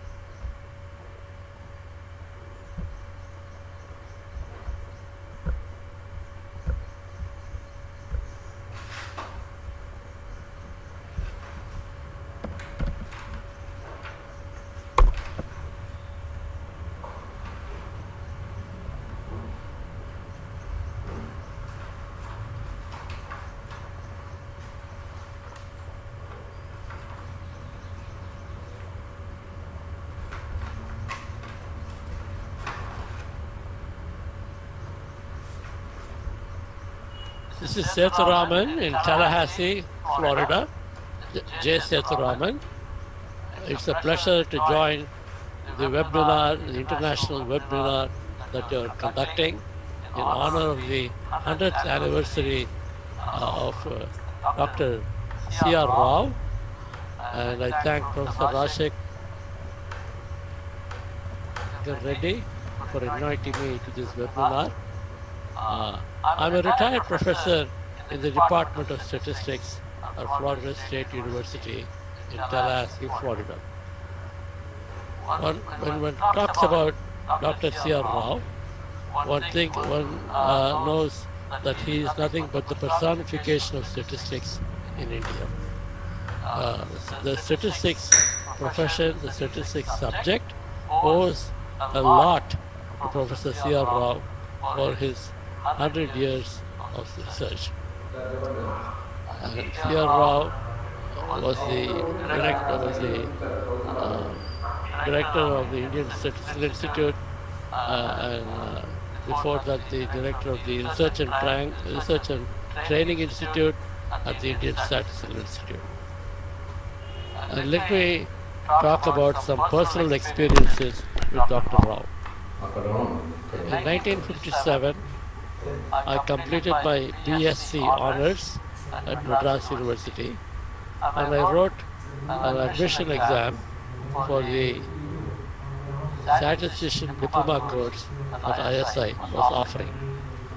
And I got back an admission letter afterwards and asking me to come and join the statistician's diploma course at a stipend of 80 rupees a month. And my father was expecting me to take a job and support the family immediately. And he said, this money is not enough, and that too you are getting it in Calcutta, not in Madras. So you better stay here and find a job. So I wrote to Dr. C.R. Rao saying that I cannot come.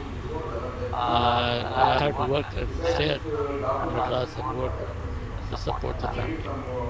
Then he wrote back a letter and said, we looked at your performance in the admission test and we I can now offer you a research scholarship as a research scholar and come to Calcutta and it will be at 200, 200 rupees a month. And I was very happy and I was jumping up and down. But my father said 200 rupees in Calcutta is not worth the same here in Madras. We better stay in Madras and find a good job again. And then I looked for a job and finally got a job for 80 rupees a month, which was less than half of the 200 rupees. They say dollars is all rupees. And um, so I wrote back to Dr. Rao saying, I still cannot come to Calcutta. I'll come next year. I have to take a job and support the family. And do you know what Dr. Rao did? Only a kind and wonderful person wants to take care of his students would have done that. He sent a telegram asking me to reject the job in Madras and come to Calcutta. Here is the telegram.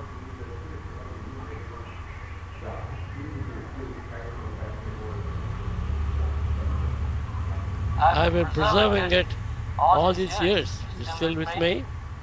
It is. It says, suggests rejecting the job and coming to Calcutta. Rao Statistical. You can say raw Statistics of India now if you want. And it reached me on July 30, 1957.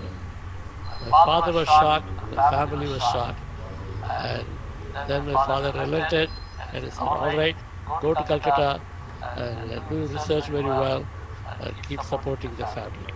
That is how I came to ISI in 1957 and what a glorious place the Indian Statistical Institute was. Academically, it was superb.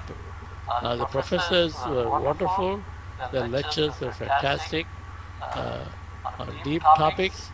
The people who got admitted to Calcutta from all over India were the top caliber people. Uh, I got to make friends with all of them, and uh, I stayed there, finally got my PhD, and then Dr. Rao again helped us, helped me to go as a postdoc in America, and uh, which I did. And I came back to ISI to work for ISI, and uh, Dr. Rao appreciated that, and I uh, taught courses with Dr. Rao, and the students of those courses still remember that, and they talk to me about that. Now, if I want to go back, go and start talking about Dr. Rao's accomplishments and contributions the statistics, that's a very big topic. And there are many uh, papers written on that and, uh, and the technical stuff and all the stuff he has done. And let me not do that, but let me just uh, tell you that he was the kindest man, generous man. He mentored the students. All the students appreciate him. And in fact, only yesterday, we had a Zoom conference with Dr. C.R. Rao uh, of all some previous students, and we all uh, gave our namaskaram to him and uh, uh, congratulated him on his 100 years. And in the end, he blessed all of us and said, uh, happy be good and so on. And it was so nice to get a darshan of Dr. C.R. Rao yesterday. I hope he also appears at the webinar and you all get to see Dr. C.R. Rao and get a darshan of Dr. C.R. Rao. Uh, I will end my webinar at this point and uh, uh, I wish this conference a great success and we'll see later on uh, the, the future if we can meet in person and have a real one conference. Thank you. Bye.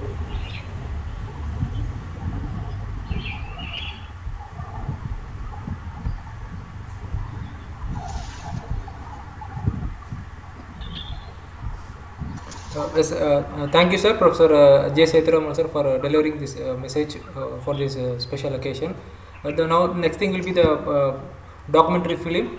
So uh, kindly check the audio here in the Google Meet. So otherwise you can join in the uh, YouTube. Thank you. Thank you. Venkat, there is a lot of problem in audio. We are not able to listen. Uh, sir, uh, I have sir, I have shared the YouTube link in the chat box, sir. In the Google Meet, the audio is somewhat uh, pro- technical. Some problem is there, sir. So I have to leave Google Meet and go to the YouTube. Sir, you can uh, here, sir. You can uh, move it in another device, sir. I have given the uh, uh, YouTube uh, link in the chat box, sir. I can display again. Sir. YouTube. No, but okay, it is in the chat box. Yeah, Okay, yes, fine. yes, Thank you. Yeah. Venkatesh, this is Ashish SenGupta. Yeah, yes, sir.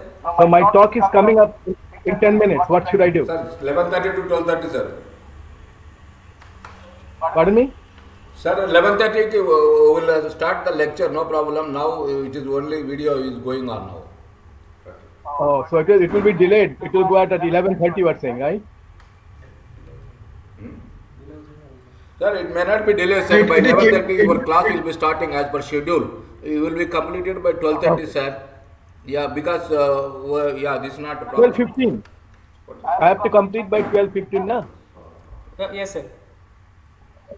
Yeah, schedule is at 11.15, right, Venkat? Yeah, Yes, right, sir. right, 11.15, sir. 11:15. Uh, we'll start it by 11.20 maximum, sir.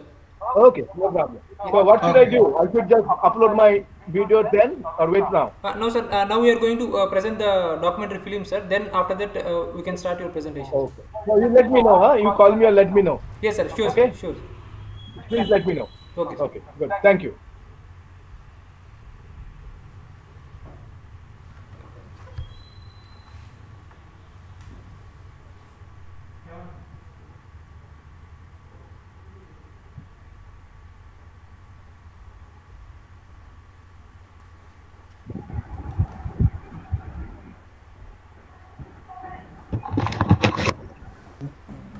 Very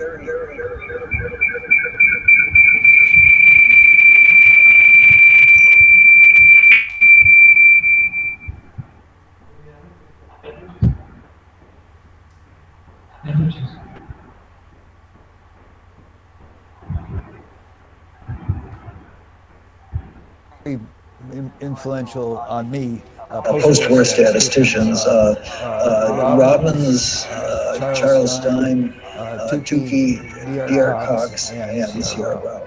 And they all had uh, influence on me, but at different, in different ways. And um, Rao was my Fisherian uh, guidance. And I've always appreciated his point of view.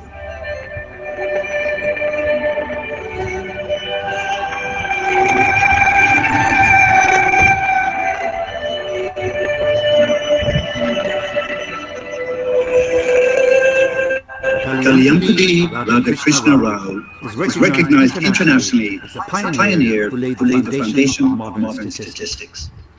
His His research, scholarship, and professional services over the last eight decades have had a profound influence on theory and applications of statistics, enriching physical, biological, mathematical, and engineering sciences, economics, and econometrics.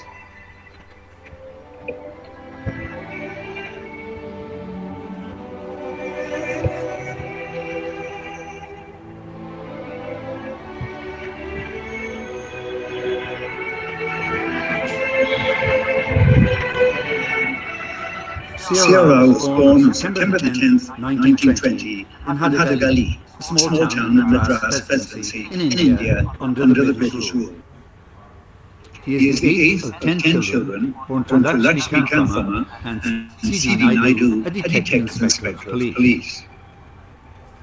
Rao was drawn to mathematics from a very early age, when he would solve problems without a pen and paper. His father father encouraged encouraged and supported supported his his aptitude, sowing the seeds of Rao's Rao's future career. Rao's Rao's interest deepened and at the age of 17, he joined the master's degree program at Andhra University in Visakhapatnam. There, his professor, V. Ramaswamy, a Cambridge-trained mathematician, became an inspiration, inculcating in in Rao Rao spirit of inquiry, which enabled him to pursue research for the next next 80 80 years. After After completing his master's degree at Andhra University at the age of 19, Rao Rao wanted wanted to pursue a research career in mathematics. A series of events led him to enroll in a one-year training program at the Indian Statistical Institute, the ISI in Calcutta, which became his became his home home for the next for the next 40 40 years. The ISI was founded by the visionary P.C. Mahalanobis, or Professor, as he was universally known.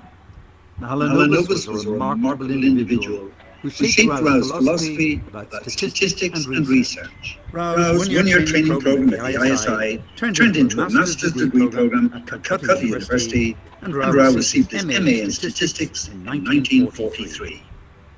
The The results of Rao's master thesis were published later as several research papers. They They reflect his early interest in four areas of statistics.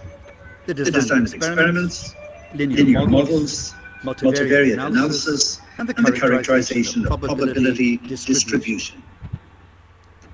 After, completing his MA, Rao continued to work at the ISI as a technical apprentice, continuing his research interests and teaching. ISI was an intellectually vibrant institution. Mahalanobis had attracted some of the best scientists of the time. Many Many international scientists frequently visited, including some of the most celebrated statisticians of the 20th century. Ronald A. Fisher from the UK and H. Hotelling from the United States. Well, first met Fisher in Calcutta. Later, in Cambridge, Fisher, became his mentor and thesis advisor. In In 1943, 1943, Rao was was teaching class about the error in an estimate of an unknown quantity from the observed data. Fisher had shown us the lower limit to this error if the sample size is very large. A A student, M. M. Dan Dandekar, who later became became distinguished economist, asked if there was a a similar limit when the sample sample is small, as as ah, ah, it it would very likely be in practice. Rao said he would try to find out. That That night, night, he he worked, worked out the result and and answered the student the next morning. morning. The work, The work he he did did that night became three of his most recognized theorems. Cramér Cramér Rao Rao boundary boundary inequality, inequality, Rao Rao Blackwell Blackwell theorem, or its or application known as as Rao Rao Blackwellization, Blackwellization, and Fisher-Rao metric, or or Rao distance based on differential geometry. These results were published in the Bulletin of the Calcutta Mathematical Society two years after their completion due to the war. Rao was of 25 years old.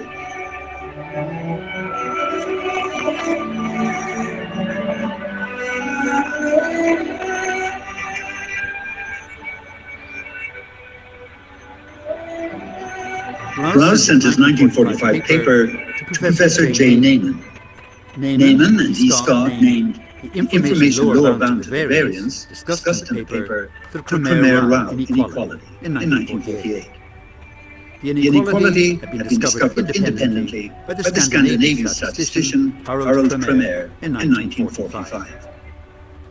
While working on the information inequality in this 1945 paper, Rao derived a number of other results relating to the use of sufficient statistics in the place of the entire sample in statistical inference for the first time. The Same result appeared in a paper by David H. Blackwell in 1947, two years later. The The theorem was named Rao-Blackwell theorem theorem or Rao-Blackwellization in 1950. Rao Rao also also introduced the concept of differential geometry in statistics for the first time in this paper. The The result, known as Rao distance, was renamed in 2001 as the Rao-Fisher metric.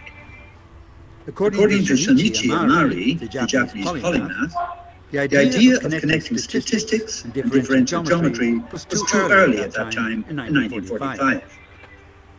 However, nearly half a century later, Rao's idea had been developed, to become one of the most active and important topics in information sciences, connecting statistics, information theory, and statistical physics.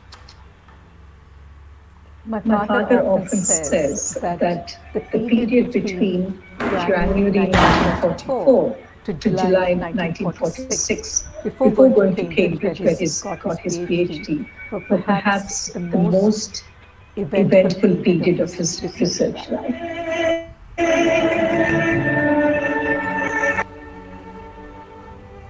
In 1946, the Museum of Archaeology and Ethnology at Cambridge University requested help from ISI. They wanted to identify the origin of the people of Jebel Moya in North Africa based on measurements taken on skeletons excavated in that region. Rao was sent to Cambridge for this assignment. We are invited to come to Cambridge to find out, using the bones, where the people have come from.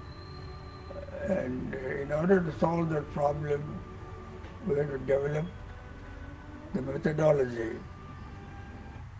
So, my thesis was on the methodology, uh, how the measurements and bones can be used to find out where the people have come from. The work at the museum resulted in the book Ancient Inhabitants of Jebel Moya, with Rao and two anthropologists as joint authors. Rao also received his PhD under Fisher based on this work. I knew R.A. Fisher because he had come to India before I went there. So, but I had uh, Uh, able to contact him from time to time. And I wrote my thesis, and I chose him as the advisor. So my thesis was approved by him. And then the Cambridge University gave me the degree. So I have the degree as PhD from Cambridge. Rao published four more landmark papers of his career based on his work at Cambridge. Some significant concepts that arose from these papers include a general class of tests of hypothesis known as Rao's score tests provide an alternative to the Wilks likelihood ratio test and the Wald test, a class of arrangements that were christened as orthogonal arrays, multivariate methodology and tests of significance and analysis of dispersion, now known as MANOVA, discrimination and clustering. Taguchi, the Japanese engineer who learnt about orthogonal arrays from Rao during his visit to ISI, popularized it as Taguchi methods, used in quality control. Rao returned from Cambridge to ISI, as he wanted to continue his focus on research and to develop the field of statistics in India. Rao became a full professor and head of the research and training section at the ISI. Rao found himself shouldering a great deal of responsibility at the young age of 28, but also realized that he'd been provided with a great opportunity to make a real difference. Rao developed a four-year bachelor's program, the curriculum for a two-year master's degree, and an advanced postgraduate three-year training program. He began a PhD program in probability and statistical methods, the first such attempt made in India. Being the only professor, Rao was the mentor for five to six research scholars at a time. To date, Rao has supervised over 50 doctoral students. Another significant event in his life at this point was his marriage to Bhargavi in 1948. Bhargavi, unlike many women at that period in India, was highly educated, with a master's degree in history and a bachelor's degree in teaching. She was his friend, confidant, and constant companion for 69 years. She was his most ardent supporter and, of course, the love of his life.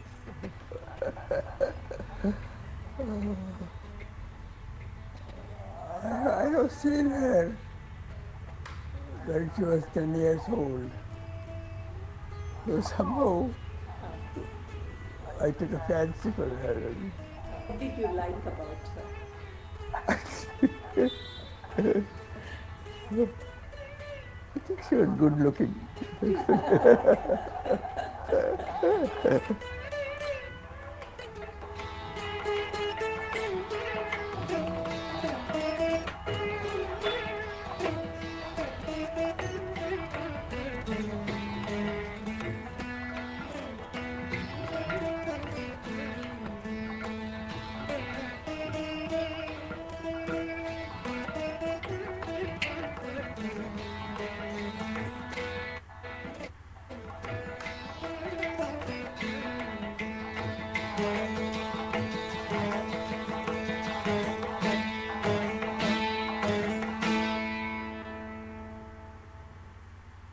In 1953, Rao spent a year at the University of Illinois in Urbana as visiting research professor of mathematical statistics.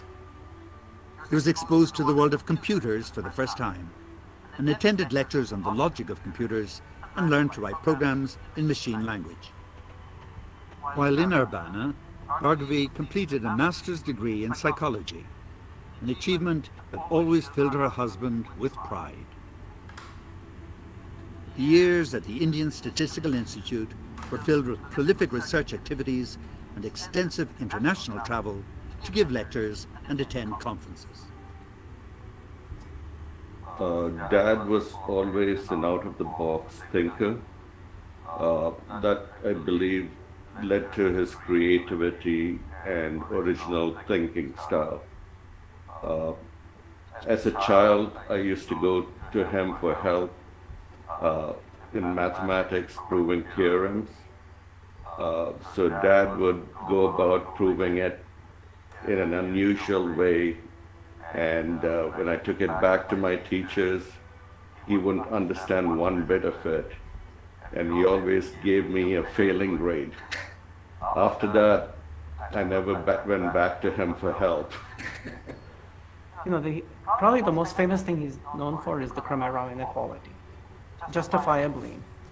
If you look at it from one point of view, it's a simple calculation. Um, it's the consequence of something called the Cauchy-Schwarz inequality, and it's a very basic calculation. But I think of it as the right exercise at the right time, because what it did was it introduced some sense of some sense of optimality. What does it mean to have a goal reaching the, the lower bound of that inequality? And, and it so- sort of sets, it, it was the beginning of setting standards on comparing procedures, uh, one procedure versus another. And I think that it played a very important role in making statistics into a field unto itself.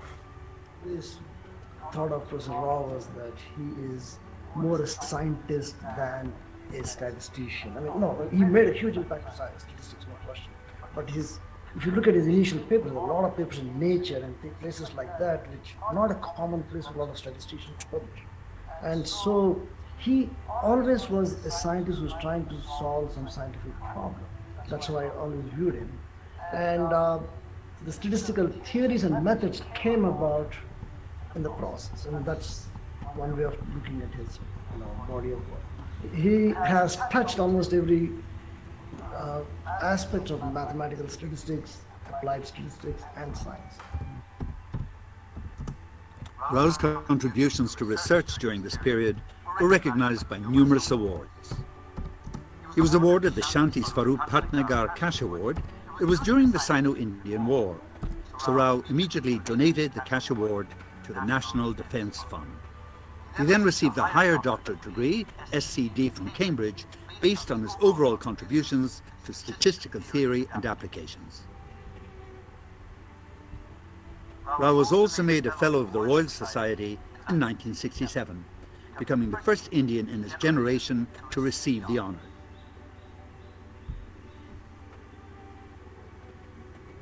Uh, I'm still fellow of King's College and uh, I am living for a long time.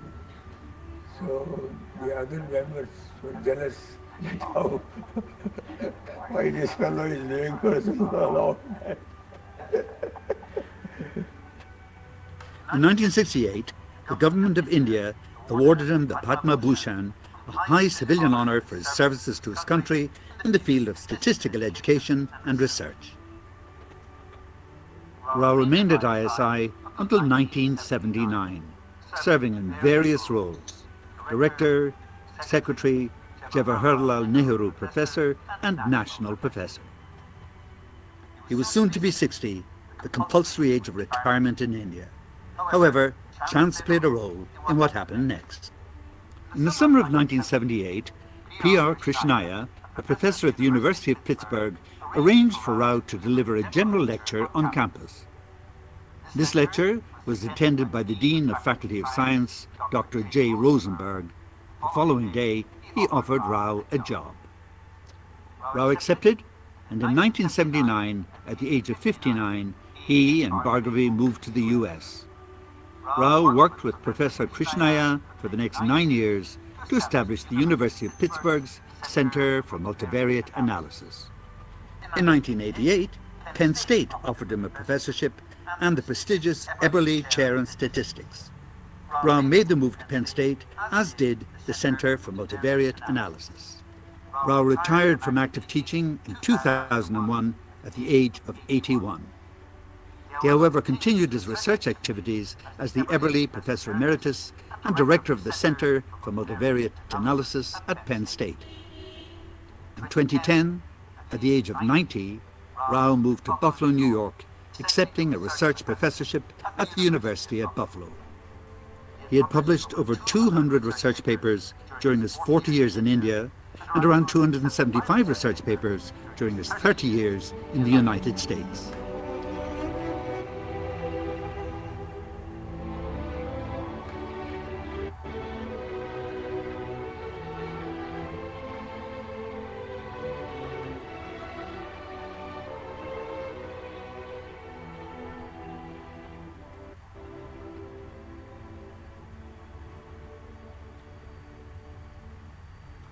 Has authored or co-authored 16 books, some of which have been translated into several languages.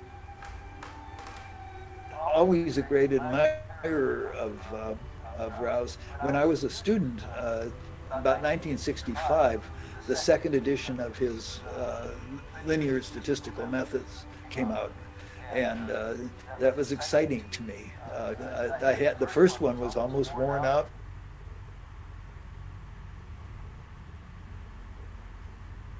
from usage. And uh, it, it's, it's a book that still takes a honored place in my bookshelf. It's, you know, the LSI book is not the first book you should read in this area. You read something else and then to learn the finer points, the more subtle issues, that's where, that's where you go for, uh, to, to, to get that kind of in, uh, insight into those things. Yeah, it's a very elegant. Yeah, yeah, it's a really elegant book in, in ways that still surprise you. You know, even what 70 years after um, it was written. While Rao is recognized for his research work, his students have fond memories of him as a teacher. Because the only reasonable book we had in statistics to learn anything from was uh, Dr. Rao's book, uh, Biometric Advanced Methods in Biometric Research. But it's really an excellent textbook in statistics. So we learned from that book. and it was always sort of a, figure far in the distance because we had no contact. And then when he came to Calcutta, as I came as a research scholar, and uh, so we met him, and he was very encouraging. Although I was not really working in statistics, uh, moved on to probability pretty quickly, but still he kept in touch with us. I would tell him what I was doing on, and he was always very encouraging. He was a very good lecturer. I attended some of his lectures, and has a great sense of humor when he lectures. Rao had always felt that there was a need for an institute in India that focuses on high-level research in the areas of statistics, mathematics, and computer science.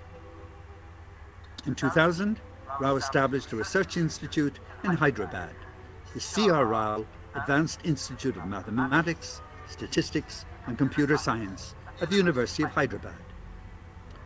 The initial funds were from the government of Andhra Pradesh and a personal donation of $100,000 by his wife, Bhargavi. Few years later, the Prime Minister of India, Dr. Manmohan Singh, sanctioned 80 million rupees to expand the institute. The institute now has qualified staff to do research in cryptology, statistics, and biometry. The institute also conducts courses and organizes conferences on various aspects of statistics. The institute also houses the C.R. Rao Gallery, designed by his daughter Tejaswini. The gallery showcases Rao's life and career. C.R. Rao has been honored with numerous degrees and awards over his long career.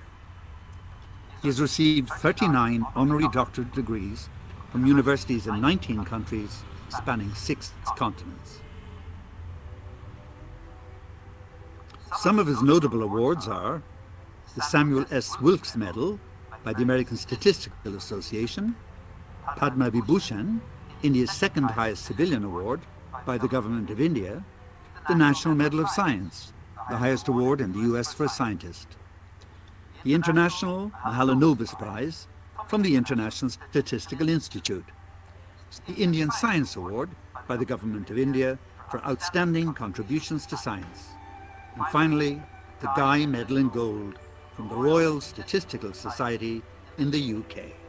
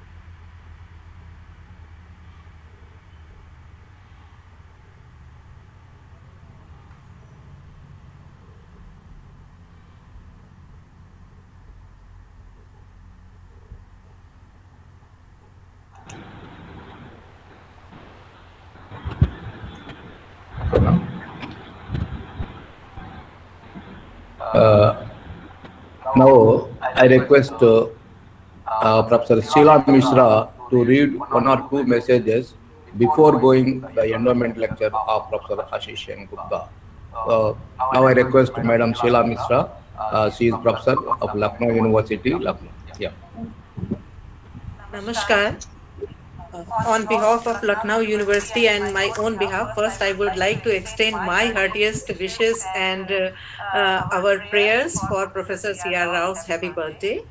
And uh, uh, I'm thankful to organizing committee Professor uh, Rajashekara Reddy, Dr. M. Venkateshwaran, Dr. M. Hemantu Kumarji, and uh, Professor K. Srinivasa Rao, President ISPS, for giving me the opportunity to extend the best wishes from across the globe many renowned persons. Uh, I would like to first read the birthday message from Professor A. M. Mathai, who is Executive Trustee from Mathematical and Statistical Science Trust. So here is the birthday message from him. I'm happy to hear that the 40th annual conference of the Indian Society for Probability and Statistics is going to be held on 7th to 10th September 2020 to coincide with the birth centenary celebration of Padma Vibhushan Professor and in conjunction with the uh, International Conference on Statistics and Data Science, Theory and Practice for Progress and Prosperity, ICSDS 2020. Professor C.R. Rao is one of the fathers of the development of the subject statistics, with significant fundamental contribution to the development of the theory and applications of statistics. I have a long association with him he stayed with us when he was visiting Montreal. If I had taken my basic degrees in statistics from ISI Kolkata, then I would have been his student. He has set several records in research, in collecting laurels, honorary doctorates, etc., and let him set record in longevity among scientists also. I am happy to see that all the academic institutions in Tirupati area are together in his birth centenary celebration and conferences. ISPS is lucky to be a part in such a celebration. I'm sure that under the efficient administration and able guidance of Professor Raja Sekara Reddy, the birth centenary celebration and the conferences will be grand successes. I send all my best wishes for grand success days 7 to 10 September 2020. With all best wishes, A.M. Mathai, Emeritus Professor of Mathematics and Statistics, McGill Hill University, Canada, former President of the Indian Mathematical Society, former Chairman of the Kerala State Statistical Commission, member of Lok Kerala Sabha, President of the Society for the Special Functions and Their Applications, Fellow of the Institute of Mathematical Statistics, National Academy of Science, India ISPS. And because I think, sir, uh, we are lack of time for Professor Ashish Sen Gupta's lecture. So next message I may read after his uh, lecture, Professor Ashish Sen Gupta, because we are getting late and uh, the message is long. Thank you so much. Thank you, madam. Okay. Okay, uh, uh, now the next uh, session is uh, uh, Professor C.R. Rao uh, sir's endowment uh, lecture here. So which is going to be delivered by Professor Ashish Sen Gupta sir. So this will be chaired by uh, Professor Balakrishna sir. I am happy to introduce uh, Professor Balakrishna sir. He is a professor of uh, statistics in Cochin University of Science and Technology uh, since 2006. Sir had his uh, MPhil and PhD from University of Pune. Currently, he is also the director of uh, inter uh, international relations at the Cochin University. His main area of research is time series analysis. He has published more than uh, 54 research papers in uh, referred journals and successfully guided 10 scholars for their PhD. He is a he is a winner of the Commonwealth Postdoctoral Fellowship in 99 to 2000 to do research at University of uh, Birmingham at, and the UK India Education Research Initiative uh, Fellowship uh, in 2007 to continue the research collaboration at University of Warwick. He, uh, he was awarded the Distinguished Statistician Award by the uh, Indian, uh, Indian Society for Probability and Statistics in 2018. Professor Balakrishna sir made several visits to University of Waterloo, Canada, to continue his ongoing research collaboration. In in time series. He was a visiting scientist at Technical University, Germany, and a visiting professor, uh, Michigan State University, USA. He has attended several national and international conferences in India as well as abroad. Currently, he is an associate editor of the international journals Communication in Statistics, Theory and Method Simulation. Uh, similarly, for uh, uh, editor in chief for a Journal of uh, Statistical Association. He is elected uh, elected member of International Statistical Institute uh, since 2005. I'm happy to uh, welcome you, sir, Balakrishna sir. So kindly take over the session and uh, chair for this session, sir. Thank you, sir. Thank you, Dr. Uh, Venkatesh, for your introduction. Now, uh, this is a special session as endowment lecture in the name of Professor C.R. Rao's parents, Sri C.D. Naidu and Srimati Lakshmi Kantamma. So I'm happy that we have two eminent speakers in this session. Uh, both are uh, close associates of Professor C.R. Rao. Our first speaker is Professor Ashish Sen Gupta from ISI Kolkata. So I request both the speakers to speak for about 45 minutes so that we'll get some time for discussion as well. So let me introduce Professor Ashish Sen Gupta. Uh, it's Professor Sen Gupta who is presently a consultant at Applied Statistics Unit ISI Kolkata.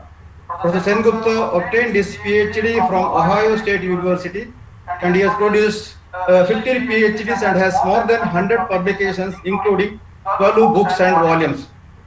He is the ex-editor-in-chief of the Environmental and Ecological Statistics, ex-advisor in Scientific Advisory Board of uh, Institute of Statistical Mathematics, Tokyo.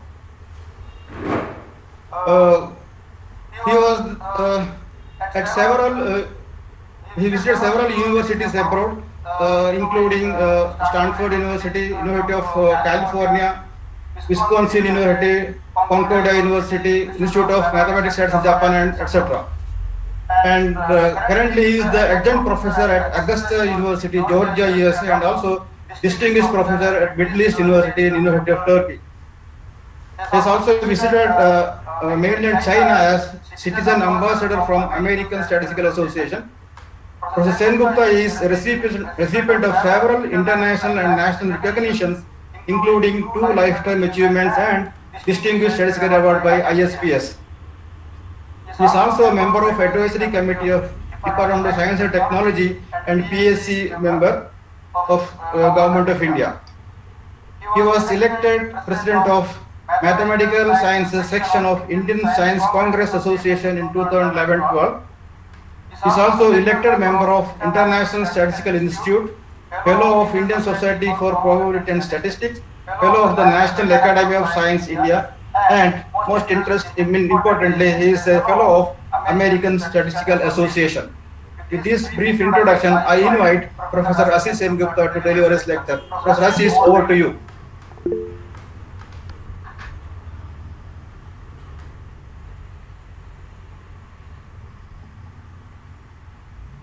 Ashish, please unmute your mic.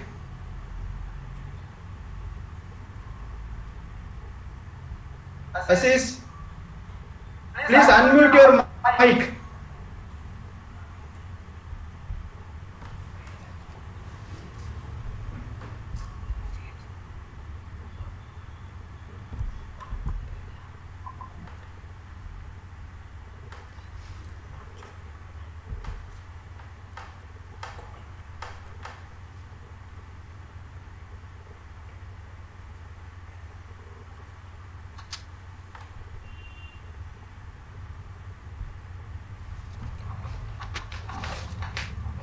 Uh, sir, uh,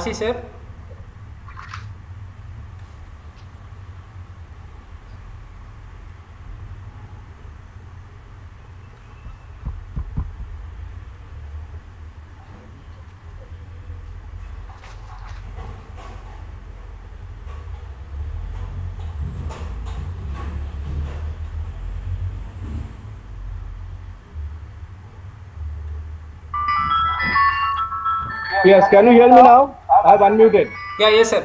Yes, sir. I've unmuted. Can you hear me? Yeah, I have, we, we can hear, but we can't see you. I mean, you can't see your presentation. Uh, but we can, can you see my presentation? Not yet. Let me see. I put my presentation there. Sir, uh, you can open your PPT, sir, now. Yep. Yeah, that's what I'm trying to do. I've already opened it. It is showing sharing the screen. Sir, your We are presenting to everyone. Sir, your Just to screen, share screen is visible, sir. Just to open your PPT, Yeah. sir. Okay. Can you see the PPT now? Yes, sir. Yes. Yes. Yeah, now it's okay. Now it's okay? Okay. It's okay. You can make it, full screen. please. Uh, full screen. Sir, F5. Yeah, I, I, I can make it full screen. The problem is whether I can change it. Let me see whether I can, if I make it full screen, I can change it or not, okay? So, if I make it full screen. Uh, I may not be able to- Yeah. If I make it full screen, I may not be able to change the slides. I can change the slides now. Okay, I think please go ahead. Yeah, I think I should go ahead because otherwise I may not be able to change. Let, let me see if I can change this. Can you see now? Yes, sir. Yeah, yeah. Full screen? Yeah. Yes. Yeah. It's okay? okay. Okay, good. Thank you all for sharing with this technical hurdle. Anyway, uh, again, let me thank first, start by thanking ISPS, our very, very dynamic and influential and also inspiring person, Professor Reddy, and also our current president, Srinivas Rao, is uh, managing our ISPS so nicely. I'm thankful to all of you for giving me this opportunity to make a presentation on this auspicious occasion. I am honored and humbled and delighted to make this presentation. Now, I prepared this talk for about one hour, but I'll probably have to cut it down. I have another talk right after this one at the Sierra Institute. So please, if I rush, please bear with it and uh, forgive me. And you may ask me questions later on. So let me uh, briefly uh, take the liberty of doing some reminiscences. Uh, this is our nostalgic time. Being with Professor Rao has been a blessing. So let me just give you a little roundup. So how do we feel when we come to the feet of a mountain and try to look at the peak? We gaze and wonder at the majestic grandeur, vastness, immensity, the towering height. And this, when thinking of Professor Calyampudi Radhakrishna Rao, uh, this is what I feel like. Uh, I've been blessed by his physical presence in the major events of my life. Uh, he was in my doctoral committee. My first paper was presented as a student in his seminar, or rather in his conference at Ohio State on gene verse. And then in my professional career, when I moved to Stanford University, he was the one who gave me the recommendation letter. He also wrote my letters when I took my job in ISI. In my social arena, he was present during my marriage. He was present when my at the first birth anniversary of my daughter. So I've been blessed all throughout uh, by the presence of him and his inspiring words. And also socially, we have been quite in touch with him and Mrs. Bhargavi Rao.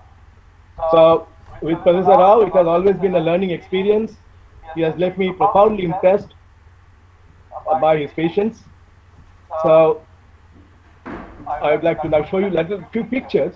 Let me go ahead with a few pictures that I have. This is the 90th birth anniversary conference. This is a nostalgic one that I held at ISI in 2010.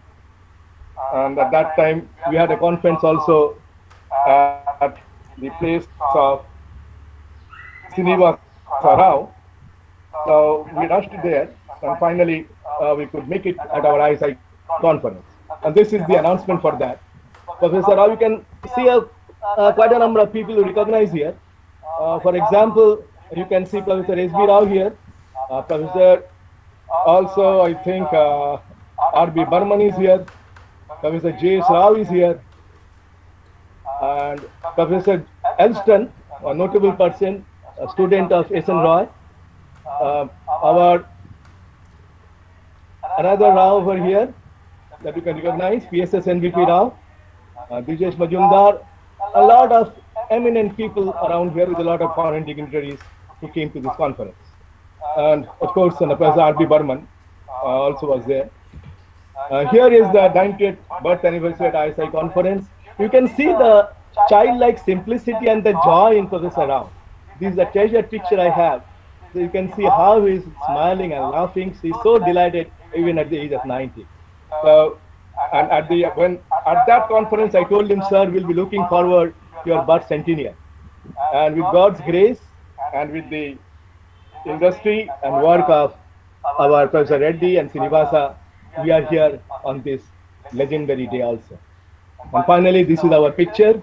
You can see over here R.B. Burman, uh, PSS NVP Rao, and myself, and Professor C.R. Rao at the age of 90. So, uh, again, let me wish him on this day a very uh, good health and also peaceful and happy life. So, while coming to my talk, uh, I'll be brief. I'll try to take out the technicalities as much as possible. And I'll see all of these or most of these have been covered in the earlier talks, uh, descriptions, and narrations. So Mahalanobis was sent for analyzing anthropometric data by Trevor, and he worked with Trevor in 1946. And then this is the output outcome of that, Ancient Inhabitants of Jebel Maya from the Cambridge University Press. And this is an anthropometric data where we introduced the classification problem. That's one of the pioneering works, I think probably the most cited work. And then comes his perimeter test also, which was his MSc thesis, where he talked about comparing mean vectors of several multivariate populations, which nowadays we talk about MANOVA. This laid the foundations of this MANOVA. And this he did later on simultaneously with PhD under Professor Rao are, are efficient.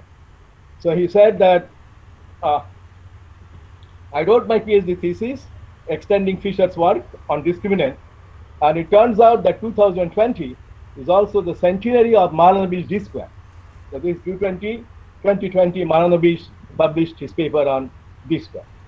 And the discussion paper based on his PhD research was presented at the Royal Statistical Society, uh, the utilization of multiple measurements in the 1948. Now, these two are the seminal papers, and I'm going to talk about uh, some of the aspects that these have, generalizations of these papers, and then how they relate to the Rao's work on circular distribution. This is the first ever book in India where we could get the circular distribution written by an Indian author. There was nothing of that sort in India before.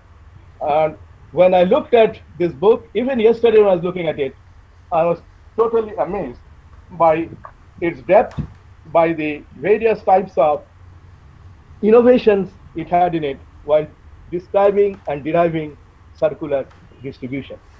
So this is what I will start my talk with. So above two papers, the circular distributions motivated the present presentation. And I'll talk about the classification of anthropometric data, uh, which is again uh, coming out because of the influence that Professor Rao had on my research work. And then the second one, I'll talk about analysis of mean directions, which is a generalization of the ANOVA and MANOVA that CR had laid foundations to.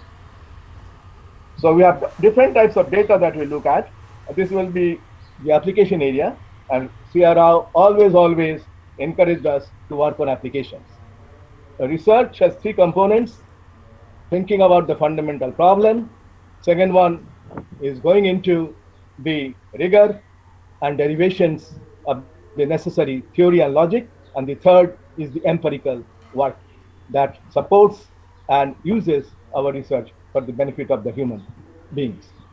So the cyber security, the directional uh, security that we're talking about, directional data, will come in here. And nowadays you have heard a lot about the cyber security. So the second one is of course the functional data, then the survey data, data fusion, circadian data. These are all areas where manifold data come in.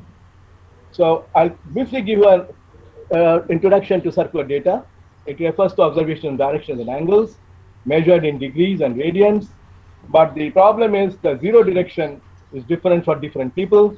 Uh, we mathematicians take east as the zero, the north will be taken by the physics people, south by the people in geology, and so the zero direction has to be fixed for meaningful analysis of data. And the difficulty also arises because of the difference in the topologies between the line and the circle. We have the closed circle, so 360 degrees and 0 degrees, they are same in terms of mathematical operations, uh, which is, of course, not the same in the linear case. And this invalidates the usual statistical inference. So the directional data in general consists of multivariate observations, with the components being linear, circular, axial, etc.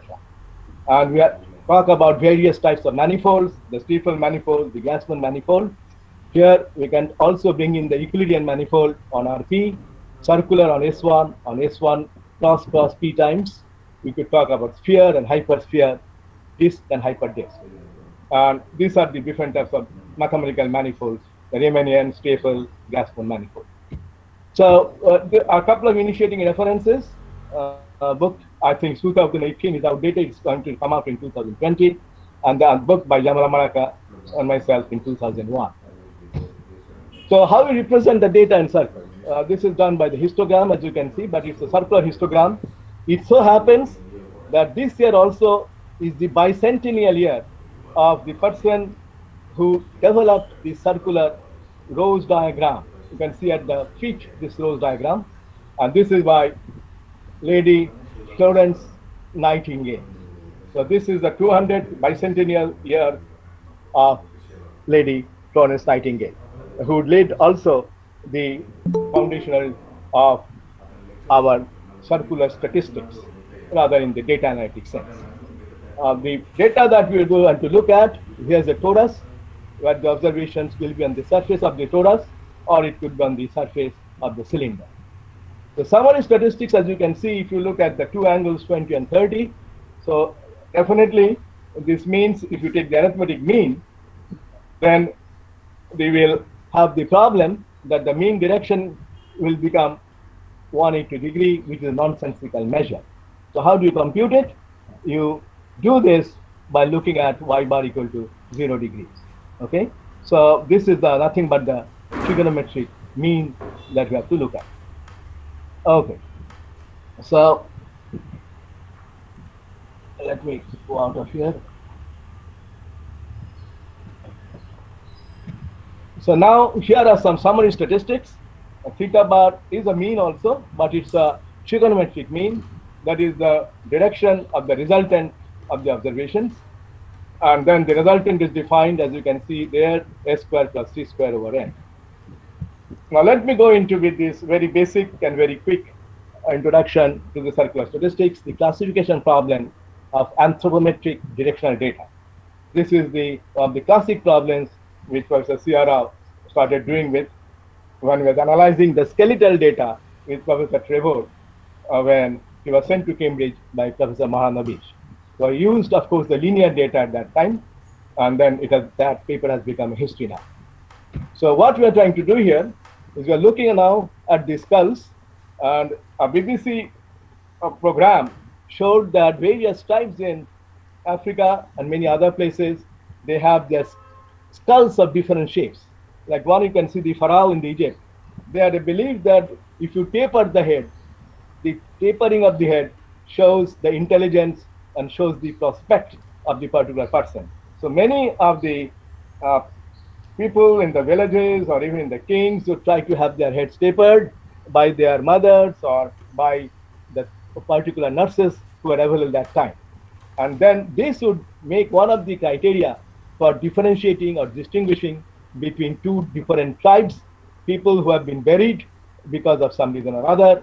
And when we have obtained their skulls, the problem is how can we classify from which particular tribe they are coming. On the right hand side over here, you can see the particular gadget we try to devise. This is the angle over here, and this angle is made out of wood. And you can see this angle will become smaller or larger depending on the tapering, that is the sides, how the sides become larger in diameter or smaller. So here is an example of a student, now of course is the dean of um, university in Nigeria. Uh, we constructed this, he took this to his library, I mean rather to the museum, Uh, it was very difficult, but we collected the data. But all this data is angular now. So we have to look at the skull. The diameter is linear, but if you look at the angle, the angle is now no longer linear. It's an angular data. So here we deal with classification involving data on torus and cylinder. We'll be evolving a new method, a generalized likelihood ratio test for classifying in the two populations using directional data. The problem we'll see is how to get to the distribution, definitely then how to get to the statistic, and we'll be deviating from the usual Anderson type or linear discriminant function because LDF does not make sense here. The data, of course, are on the cylinder. Some elements, some components of the data linear, as I said, the diameter. Some component is angular, like the angle measured on the skull. So we are combining these. We are in a manifold. This manifold will be across R cross S1, and we need a distribution on that. So we cannot use the usual uh, method of using linear discriminant function. So what we trying to evolve here, we use a generalized likelihood ratio test. So our classification will be based on statistical inference. This is where we differ from our current machine learning techniques to what I call statistical machine learning. The procedure is constructed by applying Gibbs sampler. So we'll be using the MCMC methods and the Gibbs sampler, and then the bootstrap method of Professor Bradley Efron, whom you heard a few minutes back. So parametric bootstrap will be presented, an application to the linear involving linear circle on human skull that we are fortunate to get from the museum in Nigeria for two tribal populations. So the approach, as I said, is different from the usual classification approach, and the we want to allocate it using a generalized likelihood ratio test. How do we bring in the testing aspect in the classification? Here, what we do, we take one of the misclassification probabilities to be fixed. That will be our alpha, the type 1 error. And then we maximize the other misclassification probability, which will give me the power. So this becomes now the classification problem now reduces to a testing of hypothesis problem. So we review the proposed bootstrap likelihood ratio, generalized likelihood ratio test, including the construction and cutoff point, how we determine, and then apply to it. So the GR ratio is given on the top, as you can see. So please excuse this typo, there should be zero and zero. So we have training samples from the first population. These are two populations. You can easily generalize it to A populations. And I'm giving you, for the sake of simplicity and for the sake of time, the illustration is two populations. So here we have a training sample, N0 observations from the first population, N1 observation from the second population, uh, depicted by 0 and 1 on the superfix. And then the estimates of the parameters will be obtained as k hat 0 and k hat 1, with there should be a suffix 0 here. And this is a new observation. So we are looking at the likelihood multiplied by the one likelihood of the single observation, which we are postulating as coming from the population 1, okay, here, which is under H naught, and then H1 is the population coming under 1, population 1. So now we have over here the likelihood, generalized likelihood ratio comprises of the ratio of the particular likelihood under H naught of all the joint observations, including the new observation we want to classify under H naught to that of the likelihood under H1. That's the under one. And let's call this, uh, we take this GLR, if you take the log GLR, this will this is not equal to, this log GLR is equal to lambda. So what we do, we take the probability of lam probability lambda less than lambda hat, lambda alpha, let's say, under H naught, denote that as the size of the type 1 error. We keep this fixed, and then under H1, we try to maximize it. This is the type 2 error. And depending on whether you reject or fail to reject, the observation X will be uh, classified as belonging to population 1 or population 0. Okay, so in what happens is there are two hurdles how to get to the just distribution on this manifold. Second one, how do you compute the test statistic distribution? And these are the things we'll now discuss very briefly. Okay, so the cylindrical model, as I mentioned, this is used for the circular and linear measurements. And this is particularly needed by anthropologists and archaeologists who want to identify some skulls excavated from mass graves. There have been uh, quite a few genocides in the recent past, and this advent of genocide in different parts of the world has necessitated the use of scientific means in classifying the skulls of individuals who were buried many, many years back, and to give them befitting burials by their kith and kin. So here is what we do. We look into the area of now, usually this would be in the area of functional analysis, and we want to find out the distribution for joint distribution where one this is a very simple example to motivate you because all of you are familiar with exponential distributions.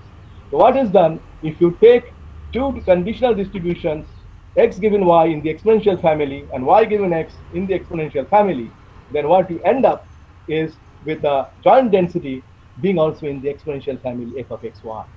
Okay, so this is a classic uh, derivation use analysis from Suto and Levy, and based on that, that by Arnold and his group of students and colleagues. So this is one area, and as you can see, the exponential distribution at the end is a very simple example where x given y is exponential, y given x is exponential.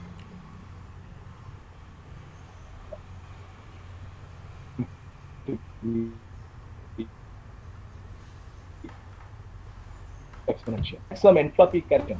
Okay. So we I developed this, we developed this model. This is a joint work with my student Ugo, as I said.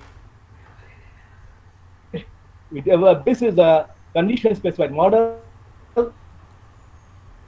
where x is linear, this xi is linear, so the xi over here is linear and the theta is a circular. And if you look at that, the xi given theta is going to be normal, theta given xi is going to be a circular normal distribution. And this is a joint distribution, the whole family that we get over here. You can change two different types of uh, values for the parameters, and we have taken a very particular choice to make a single specified distribution from the family. You can have, of course, infinite number of members in the family. Next comes the toroidal model. The toroidal model, of course, is another example of the conditionally specified and maximum entropy distribution. This is the second one, where you have two types of observations, both are circular. Now, the data for this application is collected through the measurements on the skull of people from two tribes in Nigeria. I showed you the V mask that we did. The museum was kind enough. It was very secret to them. They would not let people touch the skulls for obvious reasons. Uh, but my student was uh, very, I think, uh, quite influential, was able to get in. And we could get the front angle and side angle measured by the mask that we created. And then we could also get the diameter. So now we used our test statistic as you saw, uh, computed the lambda, and then we used the Gibbs sampler because these distributions, the conditional distributions are, as I said, are well known. One is normal, the other is circular. So with uh, enough runs after the burnout point, with the MCMC and the Gibbs sampler already now specified by the conditional distributions, we could obtain the distribution of our test statistic and the lambda by this bootstrap method, parametric bootstrap. And from there, as you can see from the table below, we could have p hat 1 0. This means the probability of the classifying the observation into the tribe 1 when it actually comes from 0. That is our one that we have over here. The alpha is going to be the level of the test. And as you see, 0.062, 0.58, and 0.56, the larger the sample, the closer it is to the level that we are targeting. And finally, the power is very good. As you can see, 0.81 up to 0.992 if you had a sample of size 100. This is for the classification with the cylindrical model.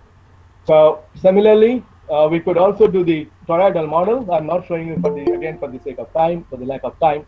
And so what we have done over here, we use the bootstrap for the GLR method and use our MCMs and Gibbs sampler for getting the distribution of the test statistic and getting the cutoff point lambda alpha. And the probabilities of misclassification derived for both the torus and cylindrical models is observed that the precision of the test and the sample uh, size and the result shows the probability test increases with the increase in sample size. So I believe uh, this was our modest way of looking at a generalization of the CRO's classical classification rules in multivariate analysis when applied to different manifolds on the circle, on the cylinder, and the torus. Let me move on to the second example which is a generalization of again CRO's the test for mean vectors, uh, which we started earlier one is MSc thesis as I mentioned to you, and then went on to work with it in his analysis of d square Mahalanobis d square and also the Hotelling t square test in multivariate analysis for observations and RP. What I'm going to do now is to talk about the uh, generalization of it in the case of nanomed multivariate analysis of mean directions. And we'll move into multivariate analysis of mean spherical directions later on if time permits. So here we do. So we have already saw the applications. They are in biology, geology, astrophysics, meteorology, oceanography, medicine. I'll give you a couple of examples at the end where this kind of uh, multivariate MANOVA, or, or in our case, MANOMET, will be useful uh, for application in the real life scenario. And these are all emerging examples with the advent of new technologies, new types of scientific ventures, we are getting new types of data, necessitating, enhancing and advocating the application of the new methods for the use in our various types of manifolds compared to the RP earlier. So here is the setup. We have the circular normal distribution. These are P groups and the theta ij is from 0 to 2 pi. Observe the closed bracket on 2 pi over here because naturally 0 and 2 pi are the same. So this is closed while this is open. So now here is the circular normal distribution. This can be well approximated for the small difference uh, by a standard, by normal distribution where kappa is like 1 over sigma square. Sigma square is the variance of a normal distribution. So this has a close connection with the normal distribution. Sometimes people call it circular normal, though it is, I would say, a misnomer. Anyway, we call it a von Mises distribution. Um, this is how it looks like. So the normalizing constant uh, is I zero kappa is the Bessel function, modified Bessel function of order zero, and of the first kind, modified Bessel function, and we'll need to go into the other uh, analysis of this modified Bessel function as you'll see later on. So now A kappa is going defined as I1 kappa by I0 kappa. Again, this is IP kappa being the kth order uh, Bessel modified Bessel function of the first as of the first kind, and we are using that uh, in a definition of the kappa. And we have over here the estimate of kappa is the solution of this quantity a kappa is summation ri, ri being the i, ri being the ith resultant vector, ith resultant for the observations from the population. So the problem is to test that the mean direction, these are mean direction vectors, you can say, if you want to put it in terms of the cosine theta, sine theta, or in terms of theta, uh, this is the angle, or in terms of the uh, projection on the complex plane, you can represent it as an e to the i theta. We have taken it as the simplest one. We have represented it as an angle. So mu1, mu2, mu3 are in angular terms. They are measured in terms of angles. So we want to test this equality uh, versus, of course, at least one inequality. There are a few tests like the Watson-Williams test and then the Harrison-Kanji test. And they try to imitate the uh, F ratio test like in our ANOVA, but uh, there is a decomposition available, as you can see over here, this SSW and SSB, and we can write in our ANOVA table. If you look, uh, for example, in our book by Jammalamadaka and myself, you will see a brief derivation of that and also the tables. But there are some severe restrictions. For these to really, really be applicable, you need quite large kappa and large group sizes, which is quite luxury in many, many applications nowadays, where you may not have large group sizes, number one. And the large kappa basically means that the kappa is a concentration parameter. We need very, very highly concentrated or very highly precise observations, which again may be a luxury in many practical situations. So Harrison-Kanji is another one. And this test is Anderson and Wu, Jeffu. They tried to do another test using the generalized likelihood ratio test, but their test was in error and it had to be corrected. So uh, with these emulations, as I said, they're under, you need something, the high concentration observed to have very large type on it and two small powers under small concentration. So they are way off both in alpha and both in power. And when the, we have small groups and small concentrations. So we wanted to fill in this gap using our concept of analysis of mean direction, as I mentioned earlier, from the analysis of variance and from the concepts of C.R. Rao using the type of statistics using inferential procedures. Again, uh, we are not uh, looking at the computational uh, over here, uh, not the data analytic ones. We'd like to do some rigorous inferential test, but of course with a large samples. So here's the power, as you can see, the powers of the C tests go down as you go away, it goes down. And the hypothesis, uh, of course, uh, as we mentioned, with the small sample size and small concentration, they do not work quite well. So there are a few approaches. Are bootstrap approach by Fisher and Hall. And then uh, me and my student, we did one by using the analysis of but they were also restricted in some sense, which led us to think about this particular test. So these tests we are trying to derive is based on the integrated likelihood approach. But again, we'll deviate from the integrated likelihood approach as you'll see. There's uh, quite some literature on integrated likelihood, uh, starting with Professor D.R. Cox seminal work, then Venini, um, then of course a series of papers that resulted by Wolpert and Venini and so on, so Venini. So here is what we do, we look at the size is a real valued parameter and lambda is the nuisance parameter and what is most important to us is psi and lambda should be orthogonal. And then we look at a likelihood function and consider a non-Bayesian inference, but we'll use some sort of weight function and we look at the pseudo likelihood function and which will include the marginal likelihoods and the conditional likelihood, profile likelihood. What we'll do, we'll use an integrated likelihood in this scenario. So what is this integrated likelihood? The integrated like the main problem with this testing is the nuisance parameter, which is our phi. So if, uh, I mean uh, the lambda. The lambda over here being a nuisance parameter in our case is kappa is a non-location scale parameter. So we cannot get rid of it by either sufficiency or by using invariance principles. So we are stuck there and we have to do some sort of approximation otherwise. So what we tried to do, we brought in the concept of this integrated likelihood, as you can see, by using a weight function. Uh, this is the, developed like a pi, which looks like a Bayesian prior, but it's not a prior. We're looking at it from the classical scenario, from the non-Bayesian aspect. So this lambda is basically a parameter that we're looking for, which is the nuisance parameter, which cannot be reduced or gotten rid of through any principles of invariance or sufficiency. So we now look at how to get rid of this, but at the back of our mind is Vereni's method and Cox's method earlier that we used for the parameter of interest, which was a scalar quantity, not a vector.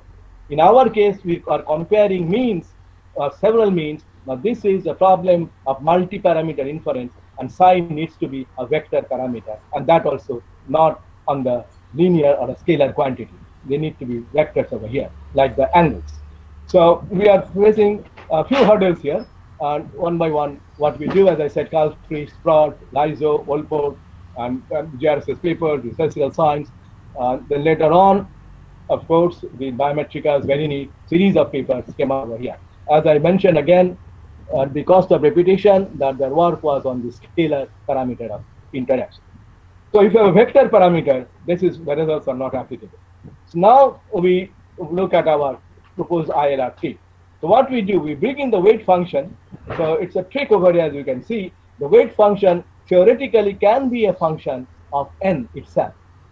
So that uh, sort of brings us to the choice of this kappa n, and the a should be bracket n over here. A is a function of n, and this is a function that we bring in purposefully so that we can increase the power of our test by modulating the tuning factor an. So the in the product L pi results in the integrated likelihood. And look at the integrated likelihood. The integrated likelihood becomes quite a simple form in nature. Takes quite simple form. Now we have to, of course, talk about how to define the n.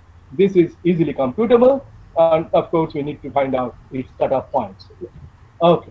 So now we have the lambda, the supremum under the theta naught, and the statistics, as you can see, becomes uh, similar to that of the Watson test, but except for the tuning factor A, n over here. And this is what we have our I, I, in, I have our integrated likelihood ratio test statistic. Okay. So now the asymptotic distribution of the test statistics is going to be chi square p minus 1. This is a very interesting derivation of this uh, chi square p minus 1 because now we are, most of us are statisticians here. Uh, I am tempted to just give a very brief route of the, proof, but of course not the details uh, that involved here. So in this case, uh, let's see, we'll move later on to that uh, proof, but let me go on to the generalization. The same testing approach we are going to use for data on the sphere or hypersphere. Those of you who want on work on statistical machine learning or in just on machine learning, you are familiar with a lot of data sets on the hypersphere. For example, in text mining, in one ex uh, there's a lot of in the text mining, in signal detection, okay, there's a lot of applications of this spherical data. Also, there are applications in astrostatistics and astrophysics, where we talk about our celestial hemisphere and look at the ascension and descension angles, theta and phi. So now, uh, in the same footsteps of what we did earlier, we derive our likelihood uh, ratio statistic, I mean the integrated likelihood ratio statistic, and here is the particular distribution under consideration. This is the von Mises Fisher distribution. One can try to generalize this by other distribution, but this is one of the uh, most standard distributions used in practice. However, there are a few more like the Kent, Bingham, and others. Uh, but obviously, the problems become much more complicated with the nuisance parameters being more and more in number there. So following the same technique, we have seen that there are a few couple of tests which are like a high concentration test, embedding approach, and there's a large sample test, and finally a recent test by Ley, by the we have given the uniformly land following the results of Lehmann's uh, theorem and Lehmann's results that they used, uh, sorry, Le Cam's results they used for deriving this test. It's a complicated uh, test, as you can see the construction, there are a lot of definitions that involved over here. And we need, in order to construct this test, we cannot have summary statistics. We have to have the statistic individual access to compute these particular statistics as you can see above. This is one big drawback, as we'll see, that most of the data uh, that's available, they come in the form of summary statistics and not raw statistics. Uh, so where is the MANOVA analog? We did not see the, unit, the union intersection test, neither did you see the d-square test. So there is time now, maybe later on so in the future, people will think about how to construct our d-square type test or the union intersection test over here. So for the timing, let me move on to the integrated likelihood ratio test. So here is the integrated likelihood ratio test, and this is the one with the AN now in the suffix n as you saw. And the AN we have to find the tuning factor, and this was done by using first the Satterthwaite-Welch, uh, this used our one, and then this the D is the dimension uh, of the parameter that we're looking at. The mu i's, they are equal of the same dimension. And our test statistics again is of the form minus twice n minus the log n of this quantity. Okay, as you can see, it's a very simple form and it is easily implementable in practice. So this again, the distribution is chi-square. So that again, we don't need to do bootstrapping. We have large samples. We have very nice uh, distribution over here. Uh, the proof is quite involved. Uh, we need several types of results. Of course, the orthogonality of the parameters of psi and kappa is necessary in the multi-parameter case. We also need, as you can see, AD kappa is the generalization of A1 kappa that we saw before. And this AD kappa has to be approximated. And we have to have this CD plus BD, this is a linear approximation. This approximation will differ from the range, depending on the range of kappa. And it comes from the, uh, let's see, I'll talk about the, yeah. So this is, we need the derivatives also of the jth order. And these come into the construction of proof. So uh, we have an expansion of our statistics with the exponential function like L kappa multiplied by the phi kappa with the prior. And if you go through this, we use our orthogonality properties a non-trivial expansion. And we use the Cox and Little method of the adjusted profile likelihood, results from there. So we show that this is equivalent to the Cox and likelihood adjusted profile likelihood under some very simple condition. Uh, so here taking again the difference of both the sides under the alternative and the null, noting the MLE under the alternative, exploiting the consistency. This is where it's needed for getting the distribution uh, of our statistic with the parameter orthogonality between the mean vectors, the right hand side, which involved a lot of very cumbersome factors over there, they cancel out. Okay, fortunately, they cancel out. And using this trick, we are able to get a quite a simple form over here. And the difference, as you can see, that gives me the distribution twice log a mu1 minus log a of mu naught, L bar psi minus L bar psi, that is under h naught under h1. You use it for both the cases, and then you are of order P of n minus 1. This TLRT follows asymptotically the chi-square distribution I mentioned earlier. So these are the plots of how they do for the, all, all these three tests, the competing tests earlier. And here is the continued fraction approximation of AD kappa that we have to use to get finer and finer refinements which are given here in this table. Depending on the range of kappa, we use an piecewise linear approximation of this which entered into our proof. And when we adjusted these, using these, we went back to a likelihood ratio statistic. This is the correcting factor, and this is what we obtained of the adjustment factor to give us improved. Please conclude in five minutes, please. Yeah, yeah, I'm going to conclude in two minutes because I have to rush for the other conference also. okay, no, no. okay, thank you. Yeah. So uh, let me go to the example now. Here are three examples. One is the locomotory behavior among the mammals. This is a PhD thesis by Whitcomb.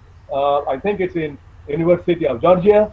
And then the Schaefer studied this, and then we are going to look at this locomotor behavior depending on the for the primates, on the Homo sapiens, gorilla gorilla, and Pan troglodytes to investigate the connection of the last lumbar vertebra posterior element morphology with the locomotion, how they move depending on the morphology. The second one is a classic example on the glacial kilns, and this was given by Stephen, the data from the Department of Geography, uh, Stephen in the, from the, and collected from Dr. King, but here Ley's problem cannot be the test cases cannot be worked out, but the data is available only in the form of summary statistics. And now the third one is the one that I'm going to talk about, the remnant magnetism. It is very useful and people in physics, for example, are interested in the remnant magnetism. A uh, lot of work on this has been uh, done and not data, several data sets are available. Fisher et al. also gives that one. So we collected our ANOVATE test for this on for the four sites. So we are having uh, the P number of sites is four and we consider the the test for the four mean direction. So let us go into the fourth one over here. As you can see, the ILRT, ULA over here. These are the types of test over the situation that we look at. And um, as you can see that for our examples, we don't need the raw data, but for we can do it with this, this one we cannot do with the LAN data of Ley.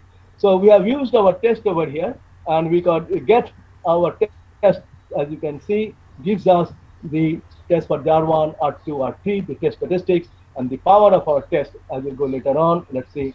Okay, so is uh, exhibits uniformly good performance under the von Mises Fisher distribution. And it succeeds in filling the gap in the existing literature. As we saw, the, all the existing tests are very, very small power or may not be applicable when the sample size is small and the kappa is also not, I mean, has to be very large. Okay, so here are a few references, and here's uh, happy birthday wish to Professor C.R. Rao. May he live long and healthy and happy. Okay, thank you very much. Okay, over to you, Bala. Okay, thank you, Professor Ashish, for uh, keeping up your time. I now I have uh, time for some questions. If anybody has any questions or comments, few questions.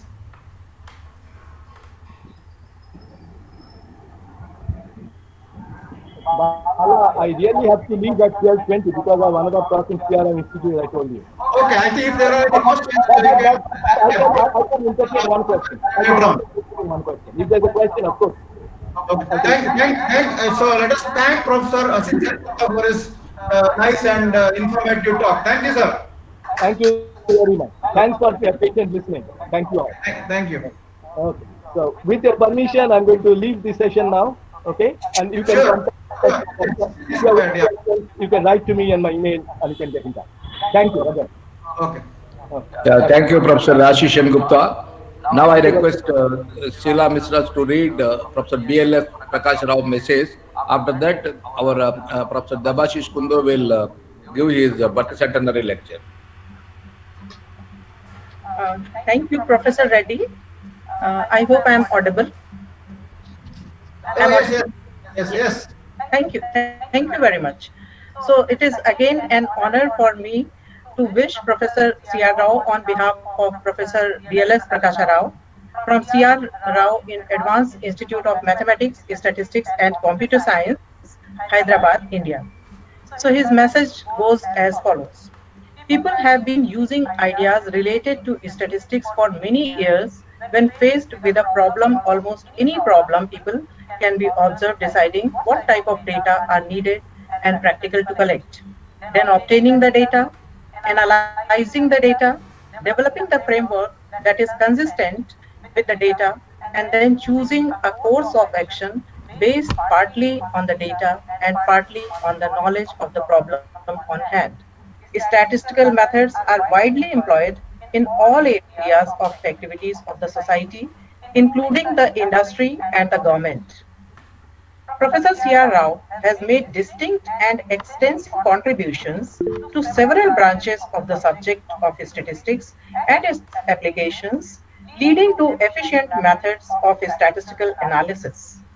These include the theory of estimation, multivariate analysis, characterization problem, combinatorics, and the matrix algebra. In the area of estimation, Rao established that the variance of an unbiased estimator of a parameter is not less than the reciprocal of the Fisher's information contained in the sample under some conditions. This result is known as the Cramér-Rao inequality in the literature.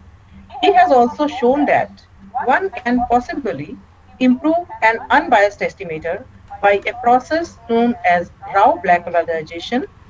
Rao developed tests known as the score and Lagrangian multiplier test based on large samples for testing simple and composite hypotheses under general conditions.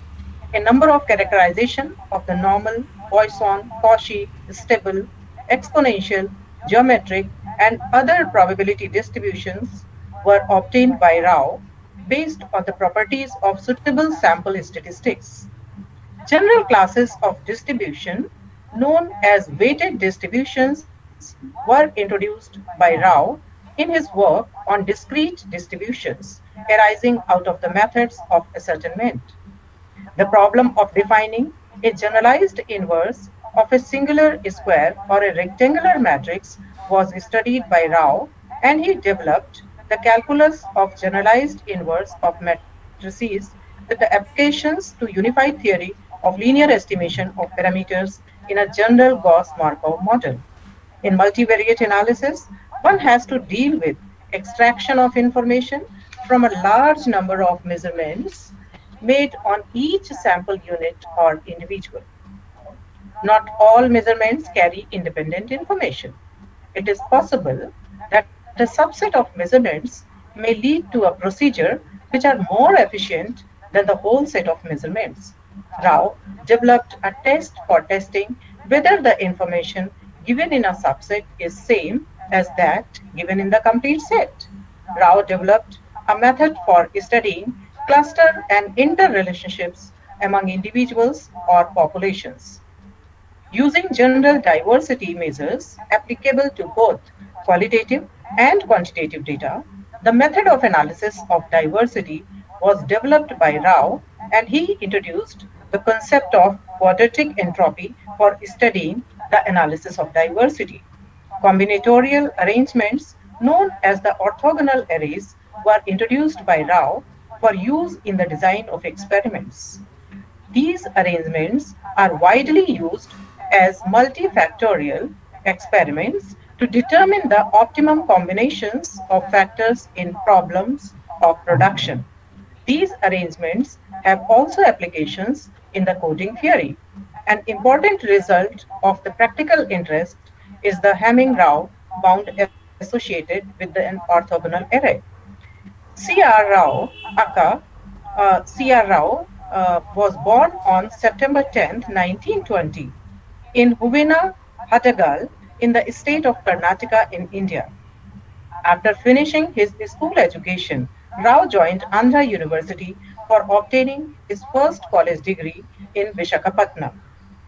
Rao joined the BA Honours degree course in mathematics at the Andhra University in Vishakhapatnam.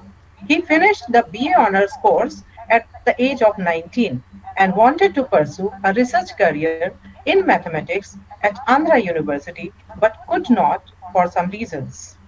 He went to Calcutta and joined the Indian Statistical Institute, ISI, for training in the subject of statistics.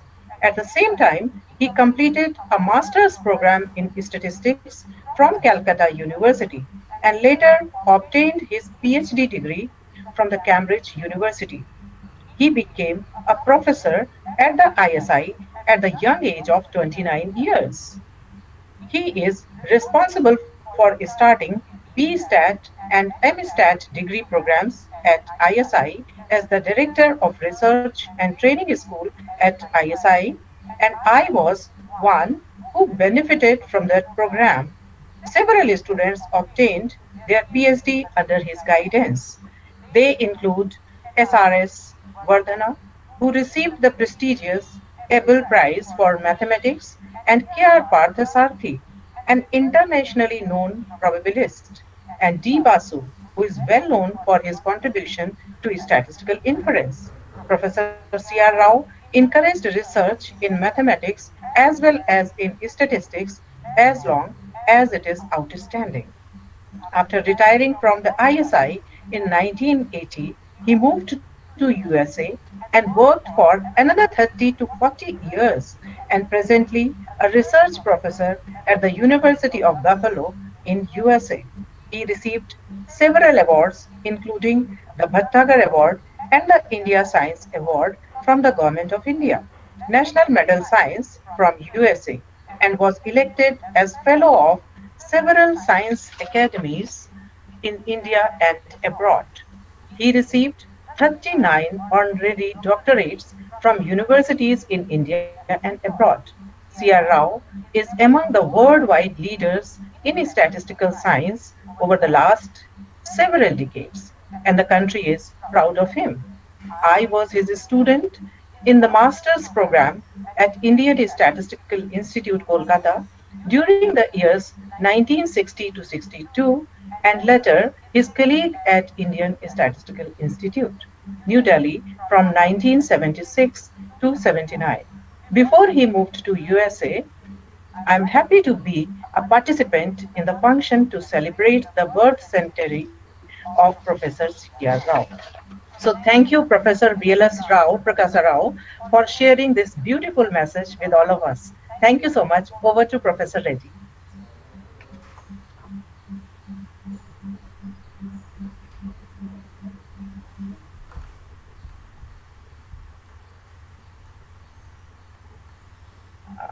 Over to you, Professor Reddy.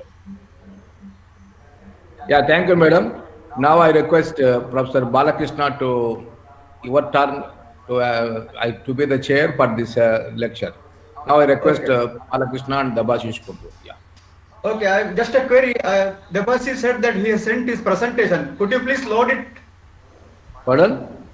Debashish Kundu has sent his presentation slides to your email ID. Could you please load them? I think he Yeah, has yes, some sir. problem in loading them. Yes, sir, I can load now, sir. Oh, please do Very that. good. Okay. Okay. Yeah, okay. yeah. Very nice, very nice. Yeah, good. Okay, so let us, we are back to the endowment uh, lecture now. Uh, now our second speaker in this session is Professor Debashish Kundu from IIT Kanpur. He is presently uh, the Professor uh, Rahul and Namita uh, Gautam Chair Professor, the Department of Mathematics and Statistics at IIT Kanpur. Uh, Professor Debashish Kundu had his BStat and MStat from Indian Statistical Institute and MA from University of Pittsburgh and PhD from Pennsylvania State University under uh, Professor C.R. Rao.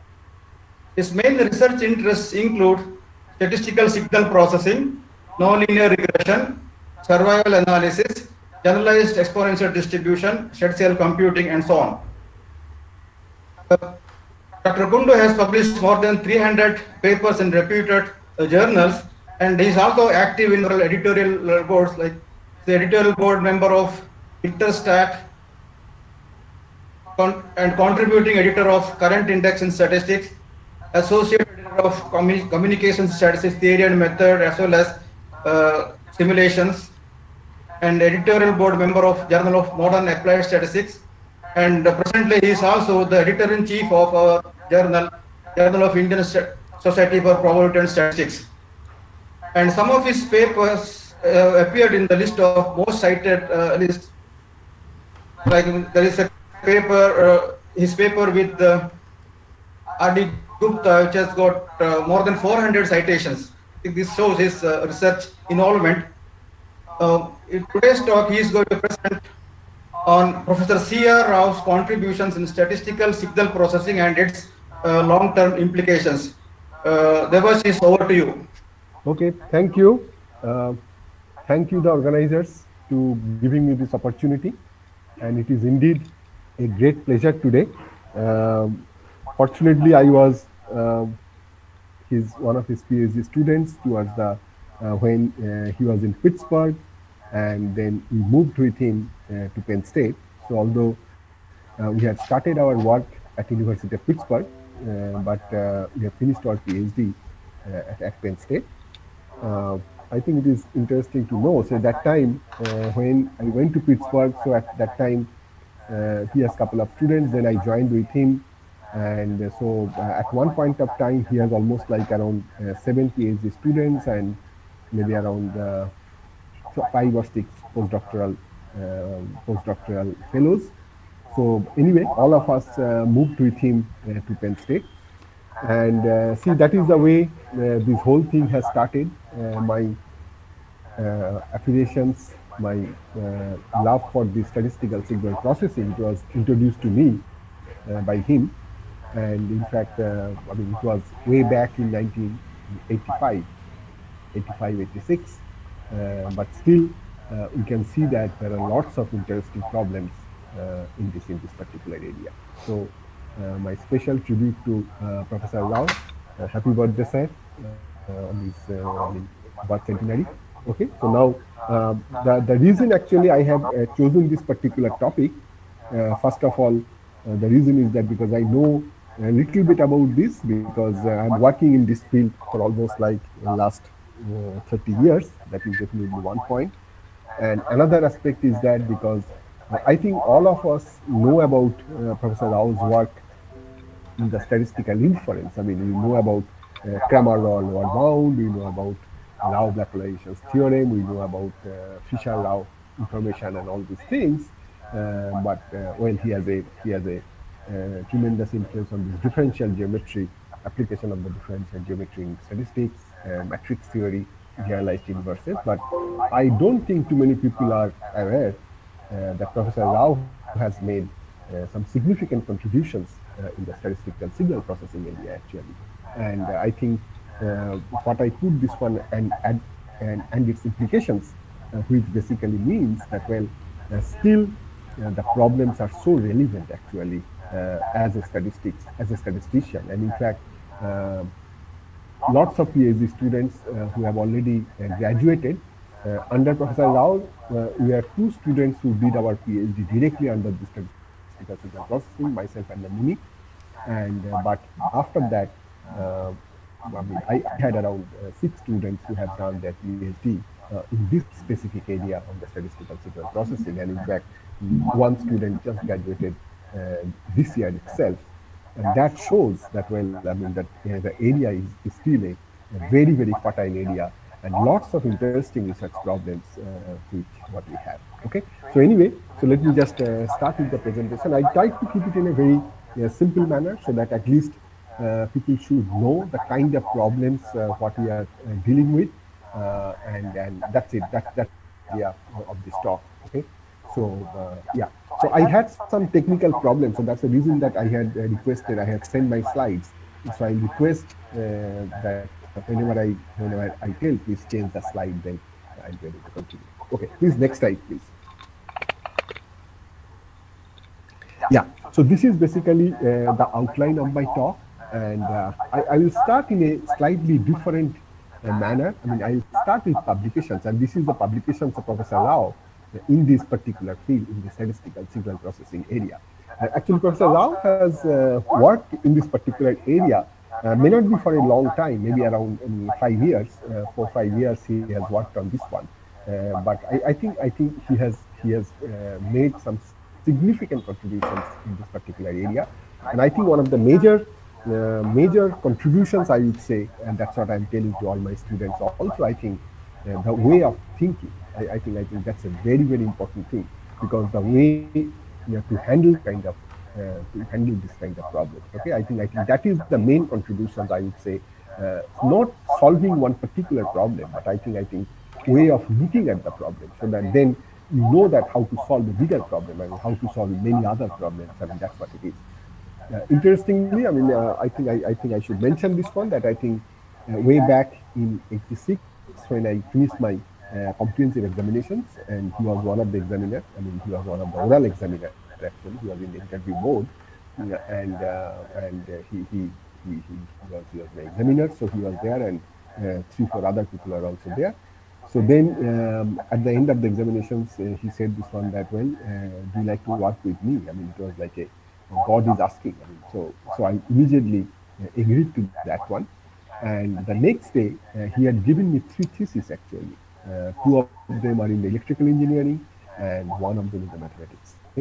And his the, the comment he makes is that, well, look look at this problem. I mean uh, they are trying to solve this problem but i think uh, they are not doing a good job.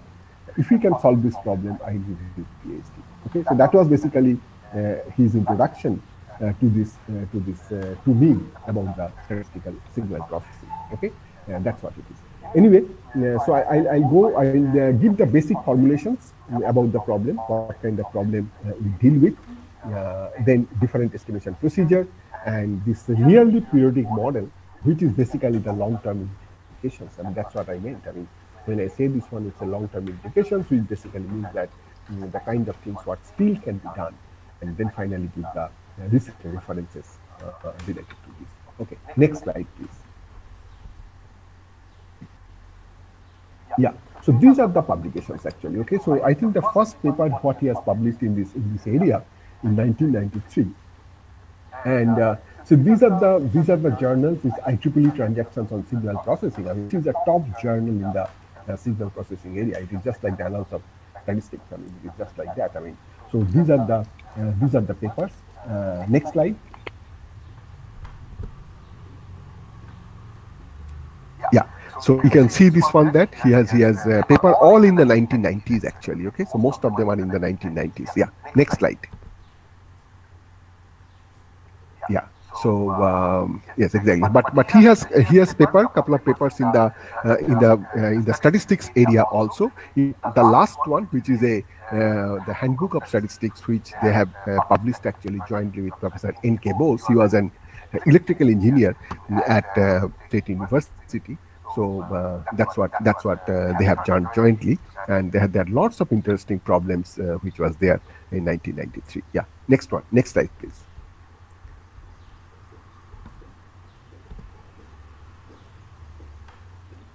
Yeah, so this is the first one, the first 1999 paper. You can see this one that it came out in the Proceedings of the National Academy of Sciences. I mean, uh, as all of you know, uh, this is actually the third most important journal uh, in all fields. I mean, this is just after the uh, science and nature. I mean, and he had a paper uh, on this particular area, on this uh, statistical signal processing in 1999 on this Proceedings of National Academy of Sciences. Okay, and yeah, and next slide, please.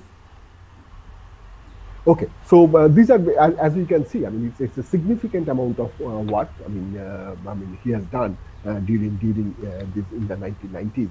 Okay, and uh, see, I, I, I remember this one that in 2000, I think the mid 2000, I was visiting Professor Rao. I actually was visiting Penn State University. I had gone for a sabbatical, and I was still working on that, and I was still working on the two-dimensional problem. So I, I presented that one and he was very happy. And he said that one, uh, look, I mean, I had left that particular area. I mean, I'm not working in the signal processing, but my student is still working. I mean, that was his comment. And interestingly, still I am working, okay? And still I can find uh, lots of interesting problems in that one.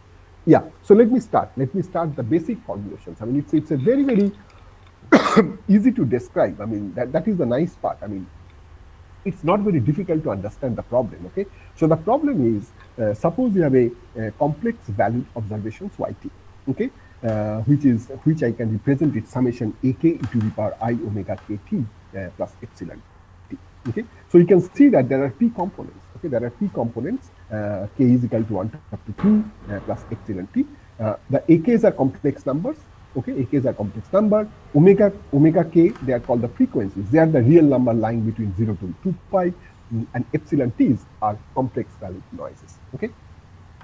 So natural question is why we are dealing with the complex valued one? Okay, why? What is the what is the reason that we are dealing with complex valued one, and what is the what is the point uh, that we are dealing with the complex valued one? Because in real life, everything is. Um, I mean, you do not observe a complex signal. You always observe a, a real signal. I mean, what is what is the need for that? I'll come back to this one. Okay, I'll come back to this one. We have questions. We have we have answers for that. I'll come back to this one. So there are two important questions. One question is that why this model is important? Uh, okay that is one important question. And why the, it is complex value? Why it is not the real valued one you are dealing with why it's a complex value? Uh, I, i'll answer both the questions. But before that let's see. Go to the next slide. Yeah. So these are the problem basically okay? So you can uh, as we have seen in the previous one we had mentioned that there are t components okay?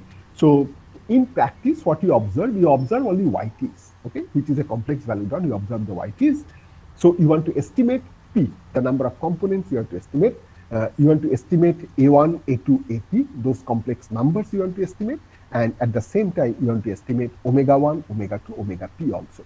Okay. And of course, uh, you have to have certain error assumptions. Uh, whatever it is, I mean, it can be a simple assumption, say, a standard simple one is that with the mean zero and uh, independent identically distributed, IID, that can be one, or uh, it can be stationary and things like that. Okay, all these things uh, you can put it, but I'm not going into those details. I mean, what kind of error assumptions you, can put it, uh, but what is important is that uh, you can you can uh, what is important is that you, you have these uh, some error assumptions. Okay, okay. Next slide, please. Yeah. So as I mentioned, that a natural question is why is a complex model? Okay, the reason actually is very simple. So this model, this this complex model, which comes which is basically a generalizations or, or rather a transformations uh, from a uh, simple periodic model. Okay, so what kind of transformation? What we call the Hilbert transformation. Okay, so what does it mean by that? It simply means uh, suppose you have a real valued signal, which is a periodic signal. If you make a Hilbert transformation of this one, you can get this complex signal. And if you make an inverse Hilbert transformation, so this complex one, you can go to the real one. That means whatever you do in the real one, you can work on the complex one also. And whatever you do in the complex one you can get back in the real one also.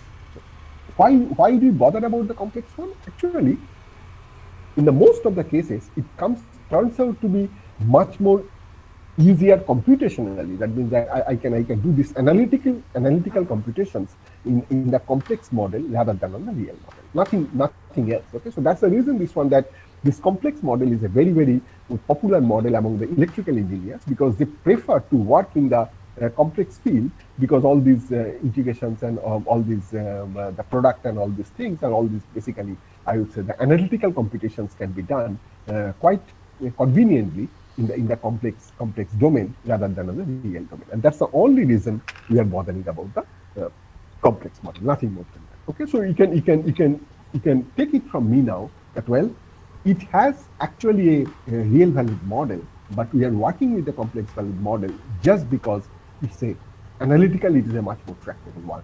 And whatever you do in the complex one, you can put it back into the real one so that whatever results you got in the complex one, uh, you, can, you can use it in the uh, real model also.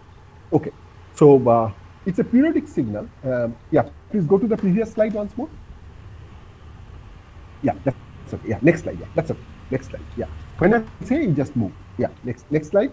Yeah, exactly. So as I said that the periodic signal, okay, so this periodic signal, which is a real valued signal, and we observe this periodic phenomena every day in your life. Okay, uh, for example, I mean, you're looking at the, the number of tourists who are visiting Taj Mahal, or you're looking at the daily temperature in Delhi, or you're looking at the, the ECG data of the normal human being, uh, they are all uh, periodic patterns. Okay, uh, sometimes the data may not be exactly periodic, but it is a nearly periodic one. Okay, so we observe either the periodic data or the nearly periodic data, and our main aim is to analyze such periodic data. So that is basically the whole idea of this particular problem. That means I am trying to analyze a basic periodic uh, data. Okay, go to the next slide, please. Yeah.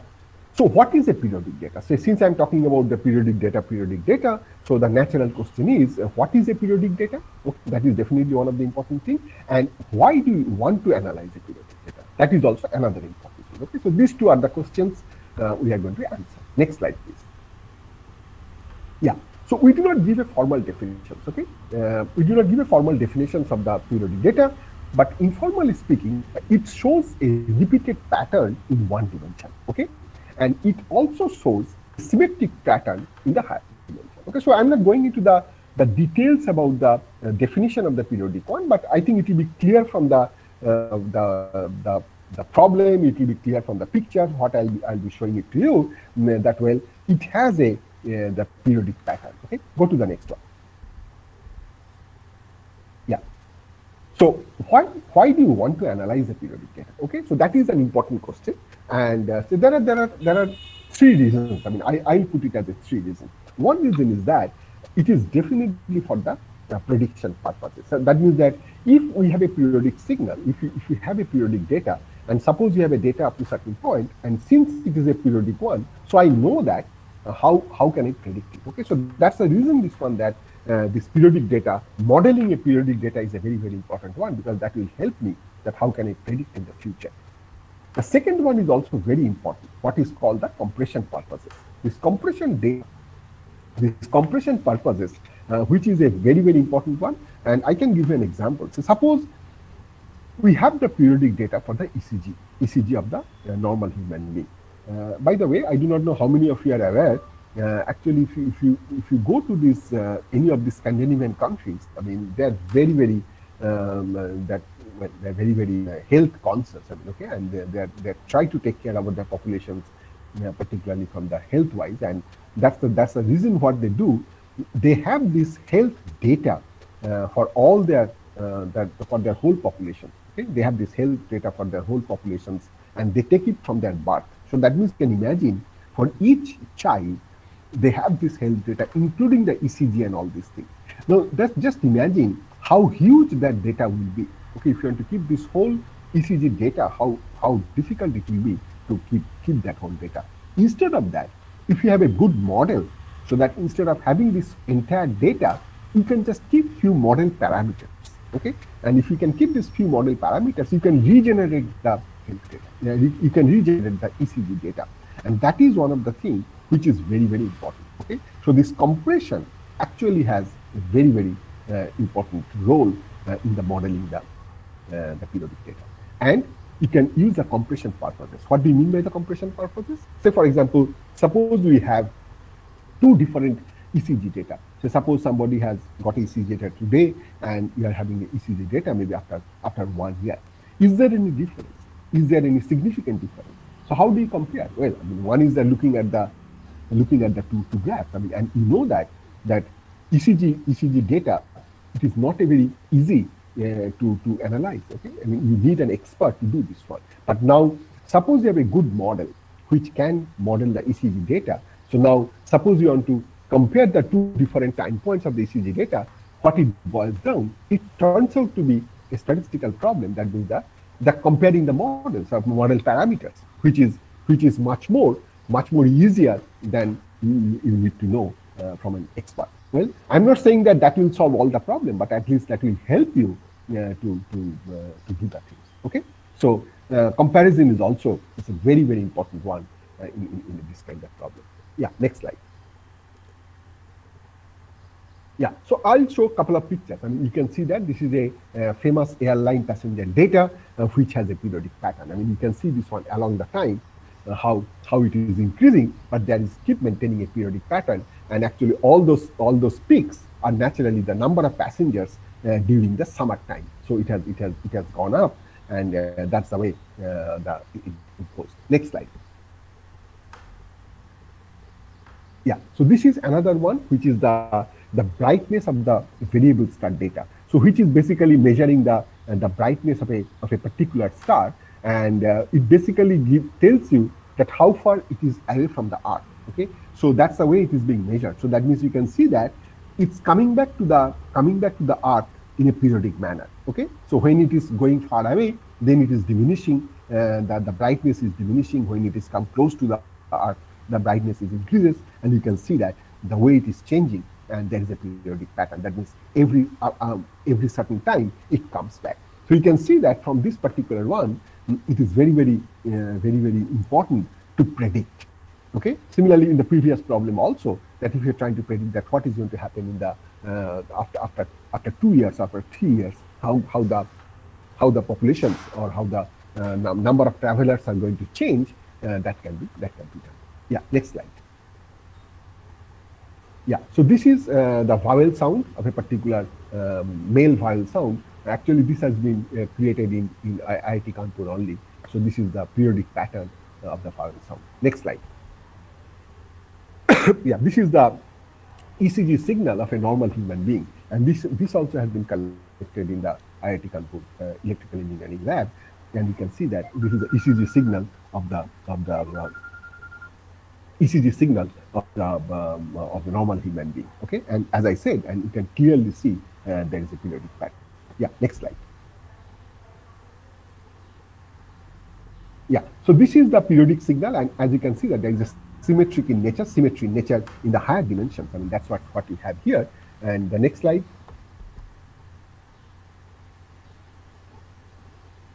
Yeah, same thing. I mean, I'm just uh, saying that. Yeah, And in fact, it is the uh, it's, it's a colored data. So it's a higher, instead of two, I have a three dimensional data now. Okay. So you can see that there is a symmetric nature in the three dimensional data also. Yeah. Next slide. Yeah, same thing. Uh, you have a, you have a three-dimensional uh, periodic data that means which is symmetric in nature. Okay, so that's what I was trying to say that it is not only in one dimension, it can be in the higher dimensions also. Yeah, next slide.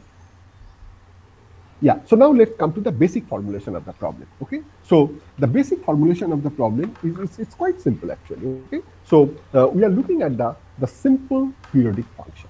Okay, the simple periodic function, I'll, all of us know. I mean, it is a basically class 9, 10. We have done this trigonometry, and we know this one that any periodic function, uh, a basic periodic function, I write it in the form of uh, the simple basic periodic function is a cosine omega t plus b sine omega t, which repeats in the period is which is 2 pi i omega. That, that you always know. Yeah, next slide. Yeah, and uh, the more more general one, more general one, which is a what we call that's a smooth periodic functions, uh, which has a much more general formulations and which is coming from this Fourier expansion of any uh, general periodic function, which is nothing but the infinite sum of ak cosine k omega t plus uh, bk sine k omega t k equal to 1 to infinity. Okay, yeah, next slide. Next slide. Yeah, so this is the this is a simple formulation. So this is a simple way we, we can we can get back my AKs, BKs, and the omega. Okay, I mean it is a very simple formula. So that means that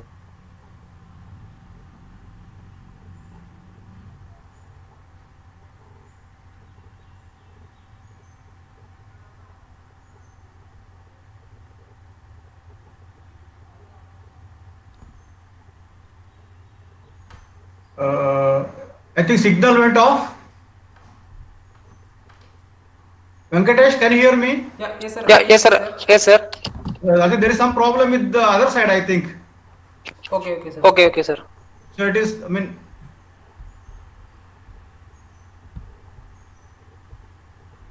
Debashish? Uh, Uh, I hope SAR, uh, SAR signal left, sir. Yeah, yeah. I think he, he, SAR is there, sir. SAR is there, sir, here, but uh, uh, um, Okay, oh, okay. I'll I'll call I'll call him and find out. Yeah, okay, sir. yeah, okay, sir, okay.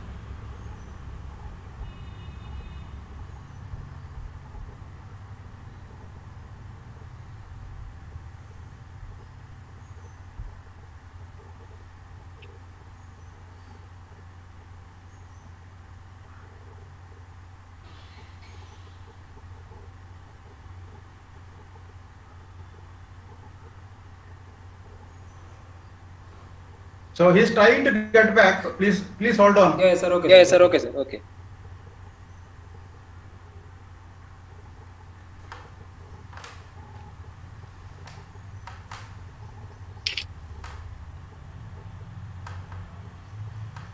Sir, sir, join. Sir, sir, joined, sir. Yeah, please continue, Debashish. Uh, sir has Uh, sir has to unmute, sir. Sure, yeah. Okay, is that okay? Can you hear me? Yeah, sir. Okay. Yeah, sir. Okay, sir. We can hear. Okay, sir. yeah, yeah, yeah. Next slide, please.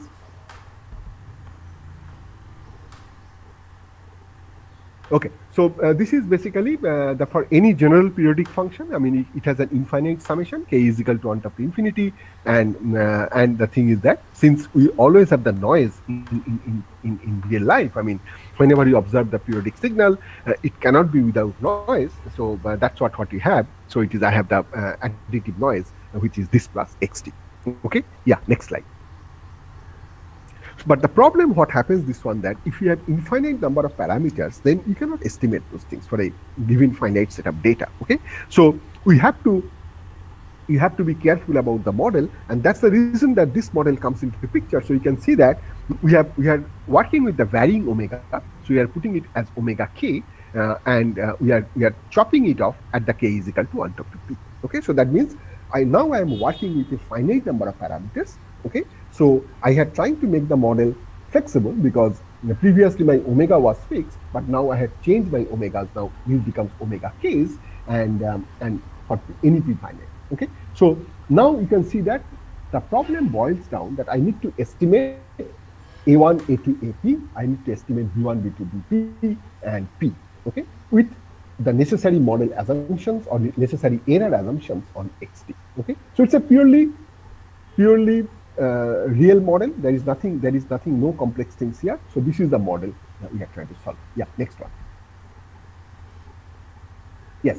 So what is the problem? As I mentioned it here, because I want to extract the deterministic part, which is nothing but that uh, summation ak cosine omega kt plus bk sine omega kt, k is equal to 1 to p. Okay, that is the one uh, I am trying to extract based on the sample yt, which is t is equal to 1 to n, as I said, uh, for, a, for a given uh, finite data point, t is equal to 1 to Yeah, next slide, please. Yeah, so let's look at the different estimation procedure. Yeah, yeah. So this is the most popular one. I mean, I'll, I'll, I'll come back and I'll give you the, the reason behind this one. So you can see this one that it's a, I'm looking at as a function of theta, okay? So I'm just simply looking at this yt. So I, I, I, I look at this function i theta as a function of theta from 0 to 2 pi and I'm looking at this particular function okay yeah. And uh, now I'll give you the reason why I'm looking at this particular one and this is popularly known as the periodogram function. Yeah please next slide. Yeah so this I have taken a very very particular case okay? A particular model I'm taking it uh, you can see that I have taken p is equal to 2 so there are two components. Uh, my a my a and b both are 3 actually. A1 b1 uh, a1 b1 both are 3 in fact a2 b2 is also 3 and we have omega 1 which is uh, 0.2 pi and my omega 2 which is 0.5 pi so i have two components uh, a1 a1 b1 and a2 b2 i have two components p is equal to 2 and i have a1 b1 and a2 b2 that's what i have. Next slide please. So I plot this function i theta. Okay, I plot this function i theta, and you can see that such a nice picture.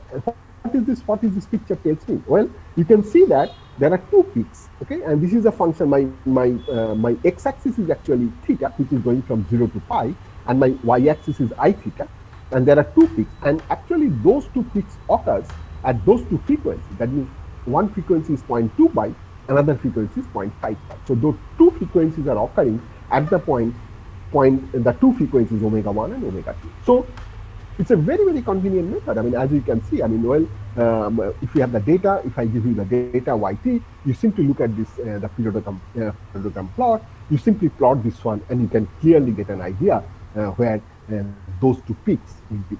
Next one next slide please.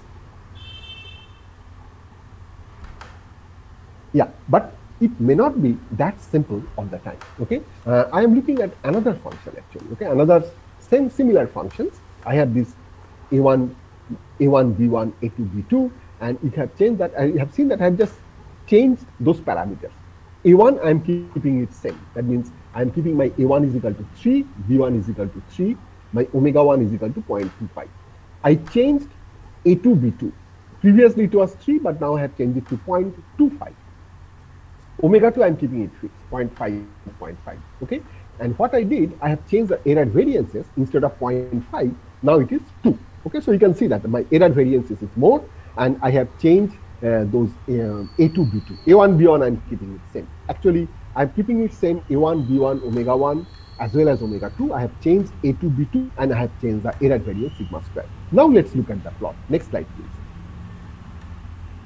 Yeah, so now if you look at the plot I theta, you can see this one that I cannot see the two components. I can see only one component, okay? And even that one component also, it is not clear that which one it is, okay? That means whether it's omega 1 or omega 2, okay? So that is the problem what we face. And that is actually a crucial problem. That means because nobody told you beforehand that, well, how many parameters are there, how many P are there, okay? And nobody can tell you that what is your omega 1, omega 2. So you can see that if I give you the data, if you try to plot it, I mean, it completely depends on the parameter of the model. That means it depends on the signal that what kind of plot you are expecting. it. Sometimes it can be very good, sometimes you can get it clearly, but sometimes it may not be. So that is the whole problem about, about this one. Next slide, please. Yeah, so the standard one, that means we go back, our our usual method where, where we believe, because we know this one that it has a, uh, mean, it, it, can, it has a lots of these good properties, we go back to the least square estimators. Okay, the standard least square estimators we can think of because this is the this is the one which is a well tested. Uh, I mean, people have used it in the different different setup. So uh, what we do the standard way that let's assume my p is known. Okay, uh, whatever it is, then I try to minimize this quantity, the least square functions with respect to, to a1, b1, a2, b2, ap, ap, dp, as well as omega 1, omega 2, omega 2. Okay, uh, if p is not known, I mean the standard way, we, we try with 1, 2, 3, 4 like this, and we look at the error variances, and when it becomes stabilized, uh, then we, we, we take that. So this is a very, very, uh, I think, a very, very reasonable approach uh, to estimate the parameter. Next slide, please. Yeah, next slide. Yeah. So, but there are lots of these numerical issues. One of the one of the main numerical issues is that it's a highly nonlinear problem. Okay, and the least square surface has several local minima. So therefore, we really do not know that where we are uh, stopping. Okay, and most of the times, if you look at any standard algorithm like the Newton-Raphson or Gauss-Newton, whatever method, it may not even converge. Or even if it converges, it can converge to the local minima rather than the global minima. So those are the problems uh, what, we, what we face. And not only that, if P is large, and it becomes a highly, uh, highly nonlinear problem, high dimensional problem, and that makes the life much more complicated. Okay, fine. Go to the next one. Next slide. Yeah, but these are the numerical issues, but at the same time, we have the theoretical issues also. But uh, particularly, uh, let's look at this one. So we, we can we can uh, put this one, as I said, as a as a simple uh, nonlinear regression and problem. That means yt is equal to ft theta plus xt. Uh, but unfortunately, this particular nonlinear regression model uh, does not satisfy the standard sufficient conditions which are available Uh, in, in, the literature uh, by Wu and Jennrich uh, for the consistency of the least square estimator. Therefore, even if we're looking at the, the most reasonable estimators, which is the least square estimators, uh, it may not be consistent. We don't know because uh, the, the, the, the, sufficient conditions what we have, uh, which would be, I mean, the sufficient condition does not satisfy. And therefore, it is not very clear that whether, whether it will produce a, consistent estimator or not. Fortunately, it's sufficient conditions, but it is not a necessary sufficient condition. Therefore, if it can be it can be con consistent, but in that case you need to prove it separately because the existing results uh, will not hold. But yeah, next slide. Uh, sorry, sorry. So, but in this particular case, at least we will be able to show that it can be shown as the least square estimators are consistent. But I cannot use the result as whatever whatever is there, so you have to prove it uh, prove it separately. Okay, uh, and and not only that, the interesting part is that the most interesting part is that that if you look at the the linear parameters ak and bk, uh, they have the convergence rate as n to the power minus half. Whereas if you look at the the frequencies, and they have the convergence rate as n to the power minus 3 by 2. Okay, so these are the striking differences in this particular model. Yeah, next slide, please. Yeah. So one of the way to handle this one, uh, that particularly the computational issues, what we call this one as the uh, the sequential procedure. Sequential procedure in the sense, and actually we try to use orthogonality, orthogonality of the uh, different components. And so what you do, you do one at a time. Okay. So you first take out the first component, yt minus a cosine omega t minus b sine omega t square, and and then once you estimate this a and b and omega, then you do it sequentially. So that means you first take out that component, and then you, you go to the second one, you take out the second component, and you repeat things, and you go up to the uh, component. Okay. Next slide.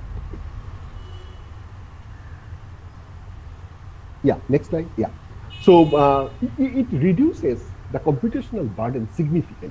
Okay. Uh, say for example, suppose we're looking at p is equal to say 25. Okay, which is not very surprising actually. Okay, because uh, we have seen this one that particularly if you look at this ECG data, uh, this p can be quite high actually. Okay, p can be quite high because you have lots of data points. So in that sense, even if the number of components are high, it is not a problem. I mean, at least uh, you, you, know you know this one that how to uh, well I mean, you have efficiency okay but the but the problem is that it's a highly uh, nonlinear problem as I mentioned and so therefore you can see that if I have p is equal to 25 so I have basically 75 parameters okay because uh, 25 frequencies and 15 linear so I have 75 parameters so it becomes a 25 dimensional optimization problem. It's, it's, a, it's a fairly uh, nonlinear uh, higher dimensional problem. But on the other hand, if you use the sequential procedures, what we have to do, we have to just solve one dimensional problem 25 times, which is a much easier uh, to do this one. Okay, so therefore, uh, so therefore, it is definitely a convenient one. But the most important part is that, the most important part is that that it produces the same efficiency as the square estimator. Okay, so this this, uh, this uh, sequential estimator also produces the same efficiency as the square estimator. Next slide, please. Yeah, so this is another one which is I think is a quite quite um, uh, counterintuitive. I would say uh, we have this super efficient estimator because we know about this uh, lower bound, and uh, so therefore uh, we always expect that one that well once you reach the Cramér-Rao lower bound, you cannot have better than that. But if you sacrifice the biases, okay, slightly, then actually you can have a uh, lower than that, and that is precisely what has been observed if you're looking at the super efficient estimator, and um, that's what it is. So uh, you can see that the first first what it gives, which is the the Newton-Raphson state, what it calls, okay, uh, but what it tells you that well, you do not need to go the full state. I mean, you can you can go what we call as a what we call the step factor. So if you go a 1 by 4, uh, then actually uh, it works very well. Uh, by the way, I should try to mention that this 1 by 4 uh, does not come from the uh, come from blue. I mean, it, it comes from after the uh, proper mathematical analysis, and it can be shown that the way if you use this 1 by 4 and, and and if you if you get the corresponding estimators, which has actually lower variances than the least square estimate. Yeah, next slide. Yeah, uh, some of the main theoretical results, as I said, uh, the least square estimators are consistent under mild assumptions on the errors. Uh, least square estimators have the convergence rate as n to the power minus 3 by 2, all the uh, linear parameters. Uh, the sequential estimators have the same rate of convergence as the least square estimators. Uh, asymptotic variance of the super efficient estimators are smaller uh, than the least square estimators. These are the major findings. And the periodogram estimators are consistent, uh, but it has the convergence rate as a minus half. Yeah, please. Okay, so now let's look at uh, some of the recent things on this, what we call as a nearly periodic one. And uh, so this nearly periodic signal, uh, what we call this one as a chirp, and it becomes a very, very popular in recent time. And as you can see this one, that there is a t-squared component, okay? Uh, what is, this is the chirp model, what is a very, very important one. And uh, we have a simple chirp model, and as well as we have a general chirp model. Instead of one component, I have a p component also, okay? So the problem remains the same. That means I'm trying to estimate uh, those those parameters, a k's, b k's, alpha k's, and the beta k's uh, for a given uh, the data yt uh, and uh, for a given p. And of course, you have to make a uh, reasonable assumptions on xt. Yeah, next slide, please. So these chirp signals are natural encountered in many audio signals, ranging from the bird songs, that's the name this came, uh, music to the animal vocalizations and the speech. And actually it has been used uh, quite extensively in the radar and the sonar system, okay? And the chirp signals are also commonly observed in the natural sonar system, and it has been used actually modeling the EEG uh, signal also. Next slide, please. Yeah. So some of the theoretical uh, theoretical results, I think that those are the very interesting one. Uh, least square estimators are consistent. Again, uh, of course, they also do not satisfy those sufficient conditions, so you have to prove these things separately. So the least square estimators are consistent. Uh, the least square estimators of the linear parameters have the convergence rate as n to the power minus half. Uh, least square estimator of the frequencies are the same as the previous one, n to the power minus 3 by 2. But if you look at the second component, which is beta, which has the convergence rate as n to the power minus 5 by 2, which is again different than the uh, frequencies, okay? And uh, the least square estimators are asymptotically normally distributed, okay? That's what it is. Yeah, next slide, please. Yeah, but see, this is why I think one of the one of the uh, quite uh, quite um, I mean I would say quite significant result in the sense that well, in case of the sinusoidal model, it is very easy to prove uh, that those components are are orthonormal, okay? But which is not true in case of the uh, chirp model actually. But uh, because of these number theoretic results, which you did not know, of which you came to know quite quite recently using this particularly these number theoretic results uh, what we have uh, that well it, it, can be shown that the, the chirp models are also uh, the orthonormal okay and because of this orthonormality we should be able to use the, the sequential estimation procedure. okay and that's what that's what it is next slide please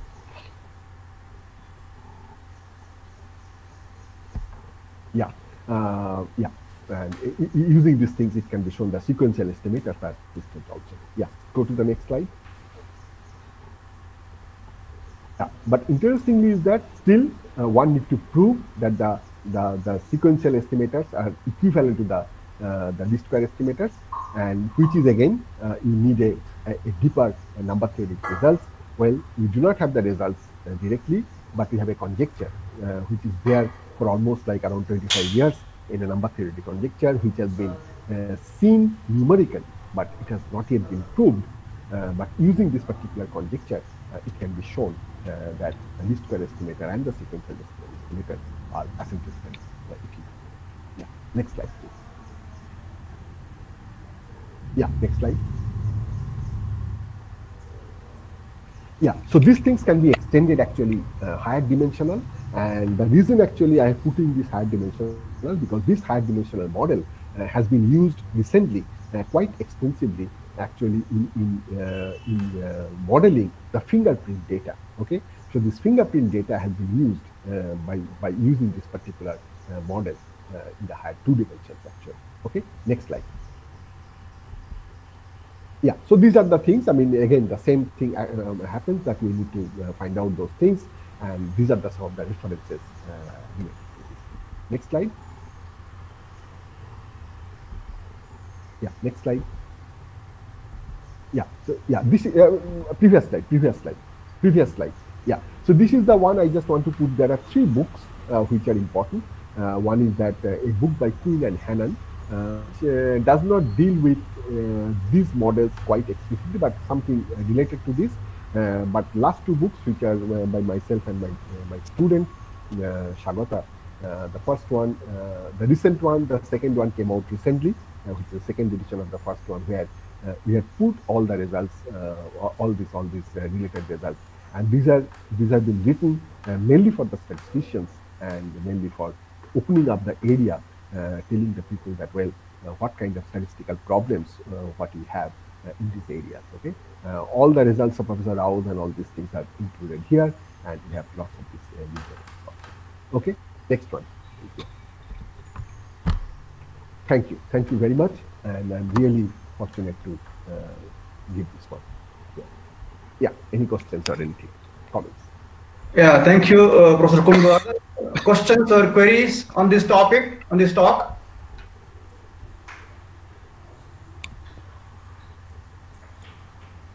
Okay, I have small uh, query, Devashish.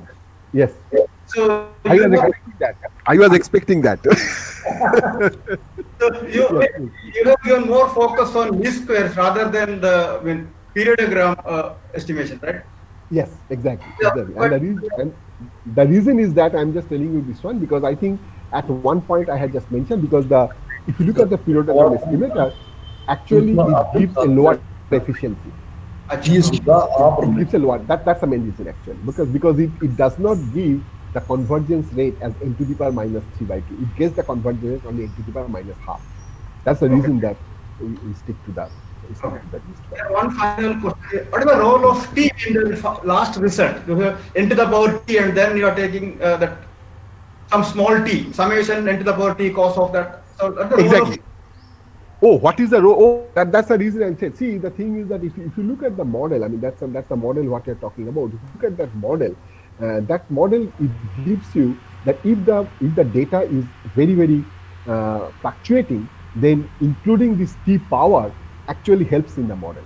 Okay, and that's the reason that I feel this one that that's what we are trying to look at it now. If you look at particularly the stock market data nowadays, which are very very uh, uh, highly highly volatile data, uh, our feeling is that uh, this kind of model will be very very helpful actually. Okay, that's the reason that n to the power t comes into picture. Okay. Okay. That's all. Are there any other questions from the uh, viewers? Okay. If not, uh, let us thank uh, Professor Debashis Kundu for his nice and very uh, in-depth study presentation. Thank you very much. Thank you. Thank you. Sir, uh, sir, I al- Thank you, sir. Thank you. Thank you. Yeah. Yeah, uh, I also Yeah, thank, I also thank uh, our chairman, uh, Professor uh, uh, Balakrishna sir, for chairing the two sessions. Thank you, sir, for uh, uh, having here uh, this. Uh, I also Uh, thank, I also uh, thank uh, Professor Professor Ashish Ashish Gupta sir and Professor Devashish Kundu sir for their uh, valuable time to spa- uh, spare here and deliver their uh, lecture. Thank you, thank you, Lord sir. Thank you. Now, now I request uh, uh, Madam Sheila Misra to speak some messages. Namaskar. Uh, now we are back after the wonderful session by Professor Devashish Kundu. And uh, I think uh, because of the technological glitch, we have come to this kind of arrangement. Otherwise, we would have kept all the messages in one session only. So uh, this is more beautiful because uh, uh, being uh, such a renowned statistician uh, of that stature of Professor C.R. Rao, having uh, the best birthday wishes in between the session is the best option. I think that has happened by the go- grace of the God. So thank you very much for uh, conveying the birthday birthday wishes from all of you and uh, from the renowned statisticians of the world uh, in themselves al- also. So it is uh, a great opportunity for me to continue with the birthday messages. And now I am going to convey the message from Dr. R.B. Barman, the chairman from National Statistical Commission. Professor C. Radhakrishna Rao, a doyen of statistics across the globe, is a genius and a magnetic personality. We have been looking forward to this date, 10th September 2020, when he not only completes a hundred years, but also stands out as a most outstanding exponent of statistics for almost eight decades. I am most inspired by his deeply ingrained advice. All methods of acquiring knowledge are essentially through statistics. It is the most apt and stimulating mantra for scientific investigations in all fields of research. The countries which have embraced this empirical science wholeheartedly for extracting knowledge in this information age are now among the leaders in the world. We have many challenges. I hope the richness of statistics and data science gives us unbounded motivation for scaling new heights in science and technology, economic and social development. So thank you, uh, Dr. R.B. Barman, uh, for sharing your beautiful thoughts with all of us. Thank you so much. Uh, now we are having uh, the birthday message, and uh, the message titled as The Message from an Ardent Admirer. And the admirer is none other than the renowned statistician, Professor S.P. Mukherjee. So I'm going to read out uh, his message. It is a great day for all of us to express our relations, to convey our respectful greetings to a living legend of statistics, Professor C. Radhakrishna Rao, on the memorable occasion of his centennial birth anniversary and to pray for his continued presence as a living inspiration to scholars across the globe. It is a great day for all those engaged or interested in the pursuit and promotion of statistics as an interdisciplinary body of scientific language.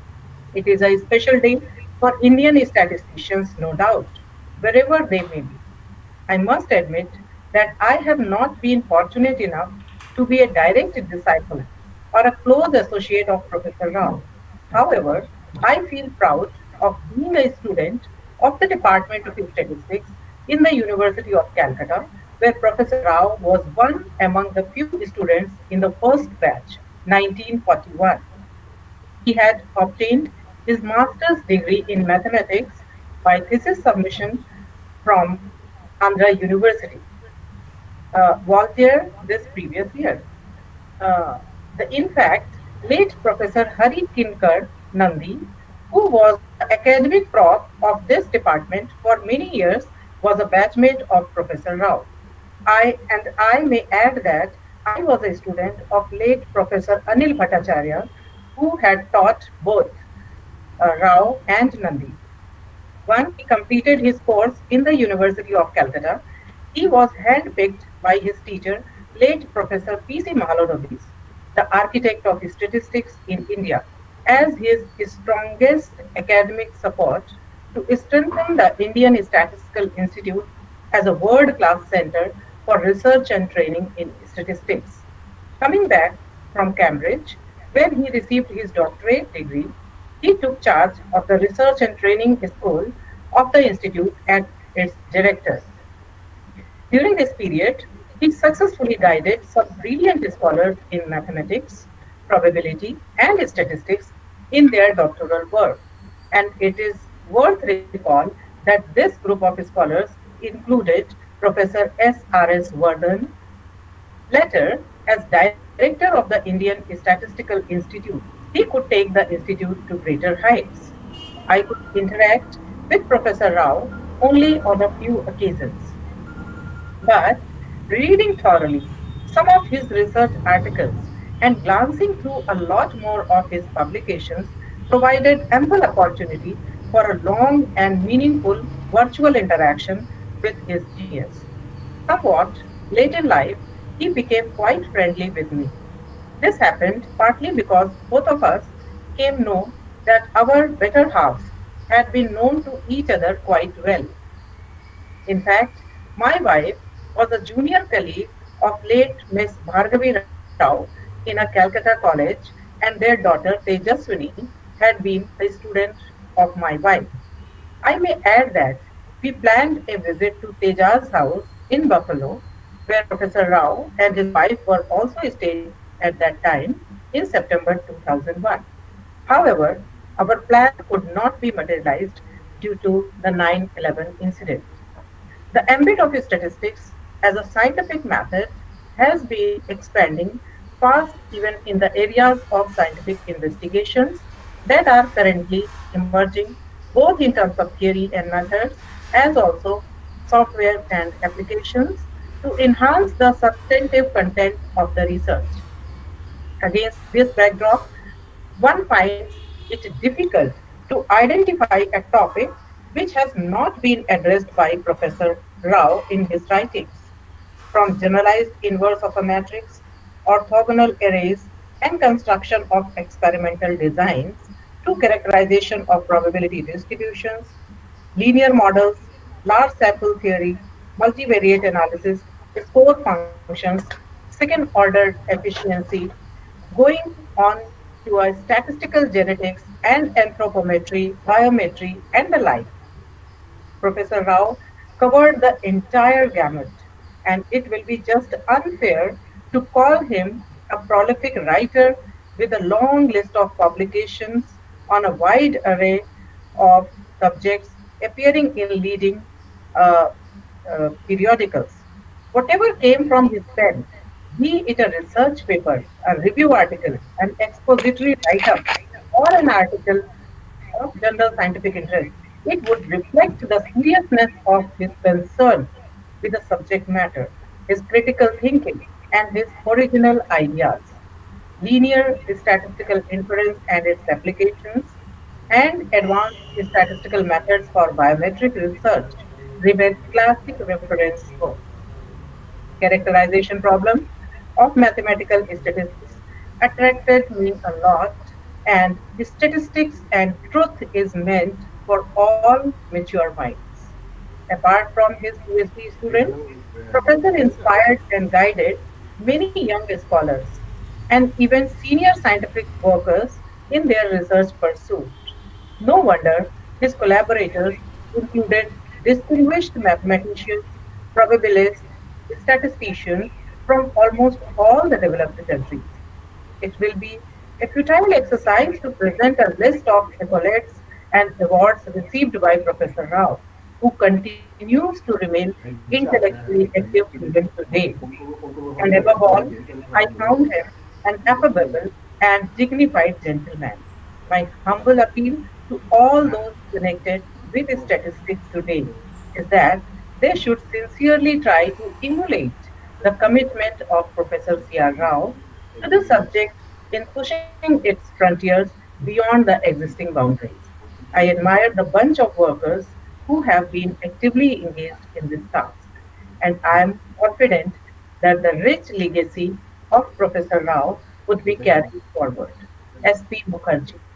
So thank you so much, sir. We are just overwhelmed by your message, and we can feel that this is not your, uh, you are not representing only yourself. You are presenting the all statistician fraternity's feelings through your message. We are really touched, and thank you so much for sharing it at the ISPS platform. We are really delighted to uh, listen to your message. Thank you very much, sir. Now we uh, move further with another uh, message uh, for uh, a happy birthday to Professor C.R. Rao on his centenary celebration. And the person is none other than our Professor T.J. Rao. So here is the message uh, from another renowned statistician. Around seven decades ago, a passenger traveling to Calcutta on the Madras Howrah Mail was asked what he does for a living. Perhaps feeling that ah. an accurate reply would be, not be understood. He seems to have answered, I work in a school and I am the headmaster of the school. the school referred to is the world famous research and training school, RTS, of the Indian Statistical Institute, ISI. And the unassuming passenger was none other than the living agent, agent Professor C.R. Rao. he was the head of the school for, uh, for almost for a quarter of a century, whose centennial birthday we are celebrating today. After retirement from ISI, Dr. Rao worked in the USA on invitations from Pittsburgh and Penn State University and currently is with the University of Buffalo, SUNY. In the 60s, during RTS club sessions, Dr. Rao used to say, if you need a grant, use the terms signal and noise.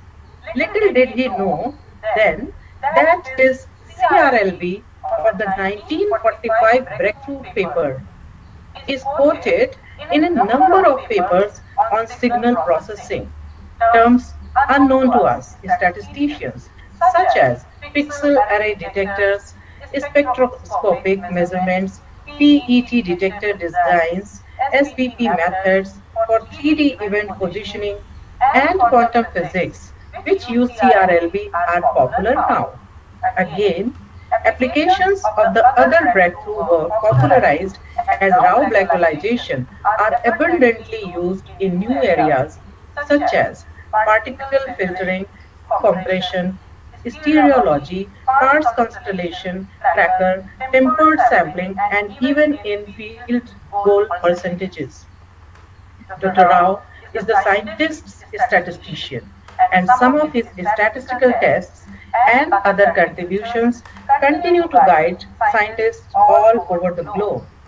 Today, we all join in conveying our regards, sincere thanks, and the very best wishes to Dr. Rao for a happy and healthy centennial birthday and good times ahead.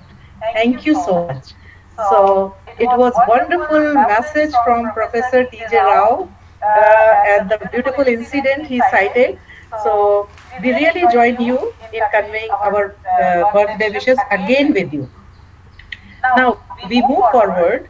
Uh, another legendary statistician, renowned professor who we have just listened in the first half of the session, Professor Ashish Gupta.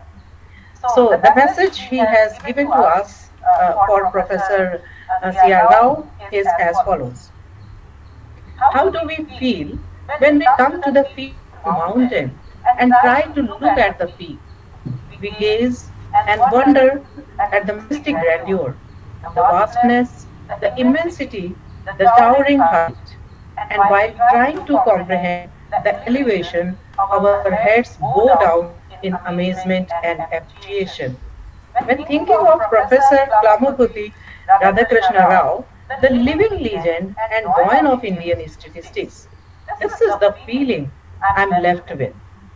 I'm immensely fortunate to have Professor Rao's physical presence and blessings in the major events of my life. In my doctoral work at Ohio State University, in my professional career, and also in my social arena. With Professor Rao, it has always been a learning experience and has left me profoundly impressed, notably his depth, patience, and helpfulness with my research work, and simplicity, warmth, and human gesture during our social contacts. I recall fondly two incidents. First incident, there was an important social event at my residence where ISI faculty members were invited. Many senior members had come to attend, but not Professor Rao. Suddenly, I was informed that Professor Rao is waiting at gate. Went out to greet him, he smiled and said that others had left without his knowledge. Yes, they thought he was too busy. So, he has come alone, on his own. Second incident. In connection with the international conference to mark his 90th birth anniversary celebration at ISI Kolkata, I was fortunate to have our conference uh, to have I was fortunate to have our uh, state government graciously permit the use of a special launch to have a short trip on the river Ganges. Professor Rao, even at 90, to the surprise of all of us and warnings from many, with childlike exuberance, insisted on joining the trip and enjoyed it with the participants through its full duration. Such human and warm approach of his to the various matters in my life made me admire him even more from the bottom of my heart. I feel proud, privileged, and extremely fortunate to have the opportunity to know such a wonderful and complete human being as Professor C.R. Rao. While coordinating his 90th birth anniversary at ISI in 2010, I had told him that we are looking forward to his grand birth centennial, and today I am overjoyed to be a part of this gala celebration. On this auspicious occasion, I express my heartfelt gratitude and deep respect not only to my unparalleled mentor in academia, but also to a human guru in all aspects in my life. Hearty congratulations, sir, for being 100 years today. 100 years young today. you have been living the rainbow of life in all its hues, its radiance, and its serenity. May you, sir, continue to do so by doing whatever you enjoy most. Sir, pray that you be blessed with good health and happiness so that we may bask in your glory for many, many more years to come. So wonderful wishes from Professor Ashish Sen Gupta for such a uh, legendary human being whom we are able to see, to feel, to to read, and to be connected in so many ways. We statisticians, especially from India, we really feel privileged to be uh, have been born in the same country as Professor C.R. Rao, who has served us. So thank you so much, Professor Sen Gupta, for sharing so wonderful wishes for Professor C.R. Rao. Coming to uh, next uh, uh, birthday message, we are having it from Padma Shri Dr. G. Bhaktavasalam. He is chairman of KG Hospital and Postgraduate Medical Institute in Coimbatore. So here goes the message from uh, Padma Shri Dr. G. Bhaktavasalam. At the Sanctum Sanctorum, sacred place of Lord Venkateshwara, having told trust, having total trust on him, begin to experience his deep plans for us, more satisfying than ourselves that the perfect light has empowered us to tread to celebrate with laurels and bouquet the birth centenary of living legend Dr. Calyampudi Radhakrishna Rao, Padma Vibhushan awardee, and US Medal of Science to be held in September 2020. And we take this opportunity to extend our warm greetings congratulating your initiative to organize international conference on statistics and data science, theory and practices for progress and prosperity on this auspicious occasion with the gracious blessings of Dr. C.R. Rao. His contribution to innumerable domains, biological, engineering, spatial, statistical, technological, digital, and computer science, carrying forward the message of discovering new knowledge for better humanity with a genuine proof of evidence establishing statistics is the science of the future. We wish the event a grand success with zeal and enthusiasm for all delegates, dignitaries, and each will take home a value-based actionable insight. So thank you, Professor Bhaktavasalam.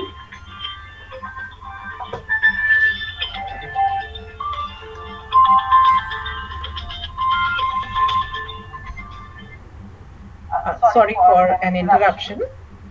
Um, so thank you very much, sir, for communicating your uh, birthday wishes and the uh, best wishes for the conference organizers.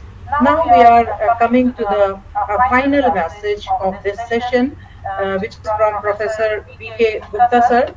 And uh, he is president of SSCA and former CAR national professor at IASRI, New Delhi. So, uh, message of Professor Gupta is here.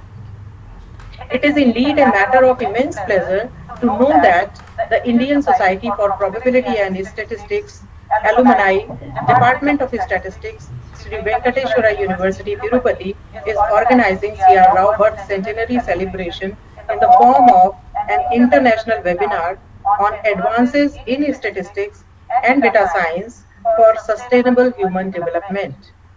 For students, research scholars, faculty of statistics during 7 to 10 September 2020, culminating on the birthday of Professor Rao, a day when this living legend hits his century of age. Professor Rao was born on 10th of September 1920 at the Madras Presidency of British India. This living legend in statistics is known for Cramér-Rao bound, Rao-Blackwell theorem, Rao-score test, Fisher-Rao distance, generalized inverse and orthogonal arrays among his numerous path-breaking contributions.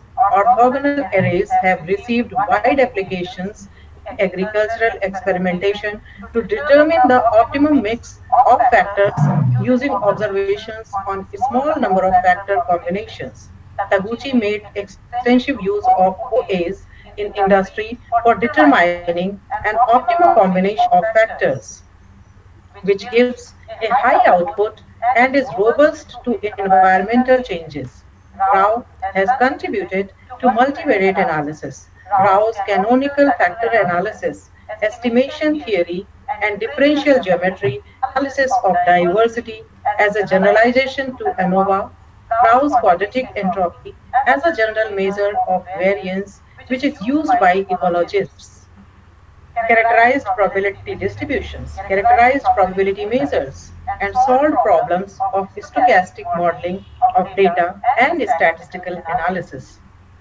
Professor Rao's long list of awards includes the Padma Vibhushan in 2001, Padma Bhushan in 1968, Indian Science Award 2009, United States National Medal for Science 2002, Wilks Memorial Award 1989, the medal in both silver 1965 and gold in 2011.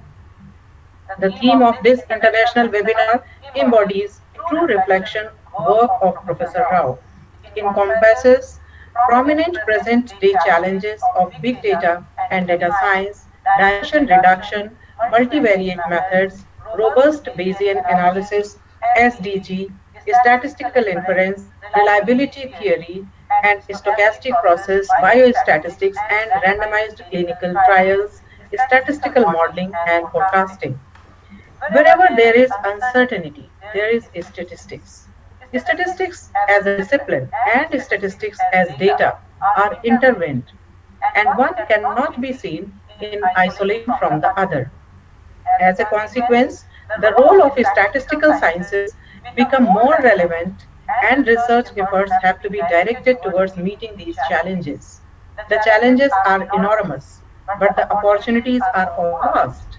I'm confident that the theme of this Congress would motivate the young researchers to draw an agenda for future research on these emerging areas. The efforts of the societies like ISPS and such webinars would definitely pave the way to attract talent towards statistical sciences to live to the glory of this living stalwart of statistical sciences of the present times. The power of statistics is in statistical power, and I expect that the younger generation of scientists would carry the message from this Congress. It is very heartening that this international webinar being organized as a mark of respect for a monumental stalwart and to honor him on his successfully completing 100 years of productive living is being held at the foothills of Lord Venkateshwara Temple, Tirumala. We all pray that the blessings of Lord Venkateshwara be always be with Professor Rao and he continues living healthy so that the statistics community continues to benefit from his intelligence, knowledge, experience, and wisdom for a long time. I wish him a healthy life. Unfortunately, we are passing through a difficult time and cannot gather together to make a loud sound of cheers to Professor Rao. Thanks to this digital world, what make, that makes it possible to imitate the reality. I wish this international webinar a grand success. May this be a memorable felicitation of an all-time great living legend, Professor C.R. Rao. So thank you so much, Professor V.K. Gupta, sir. Uh, you have really uh, very well said that though we missed the personal gathering, but yes, with the effort of Professor Reddy and uh, Professor Srinivasa Rao and the entire organizing team, we could celebrate in a very big way uh, at this virtual platform. So thank you so much, Professor Gupta, for sharing your birthday wishes with all of us. And now, uh, before just ending uh, the session of message communication, I would just like to share a beautiful pic which I took when we were in the Portugal Toma. I wish Professor Rao a very, very happy birthday from Lucknow, from Lucknow University, and from all people of uh, uh, our place, our students, and everybody. So I'm just presenting this the beautiful uh, picture uh, which we have just uh, clicked during his. Uh,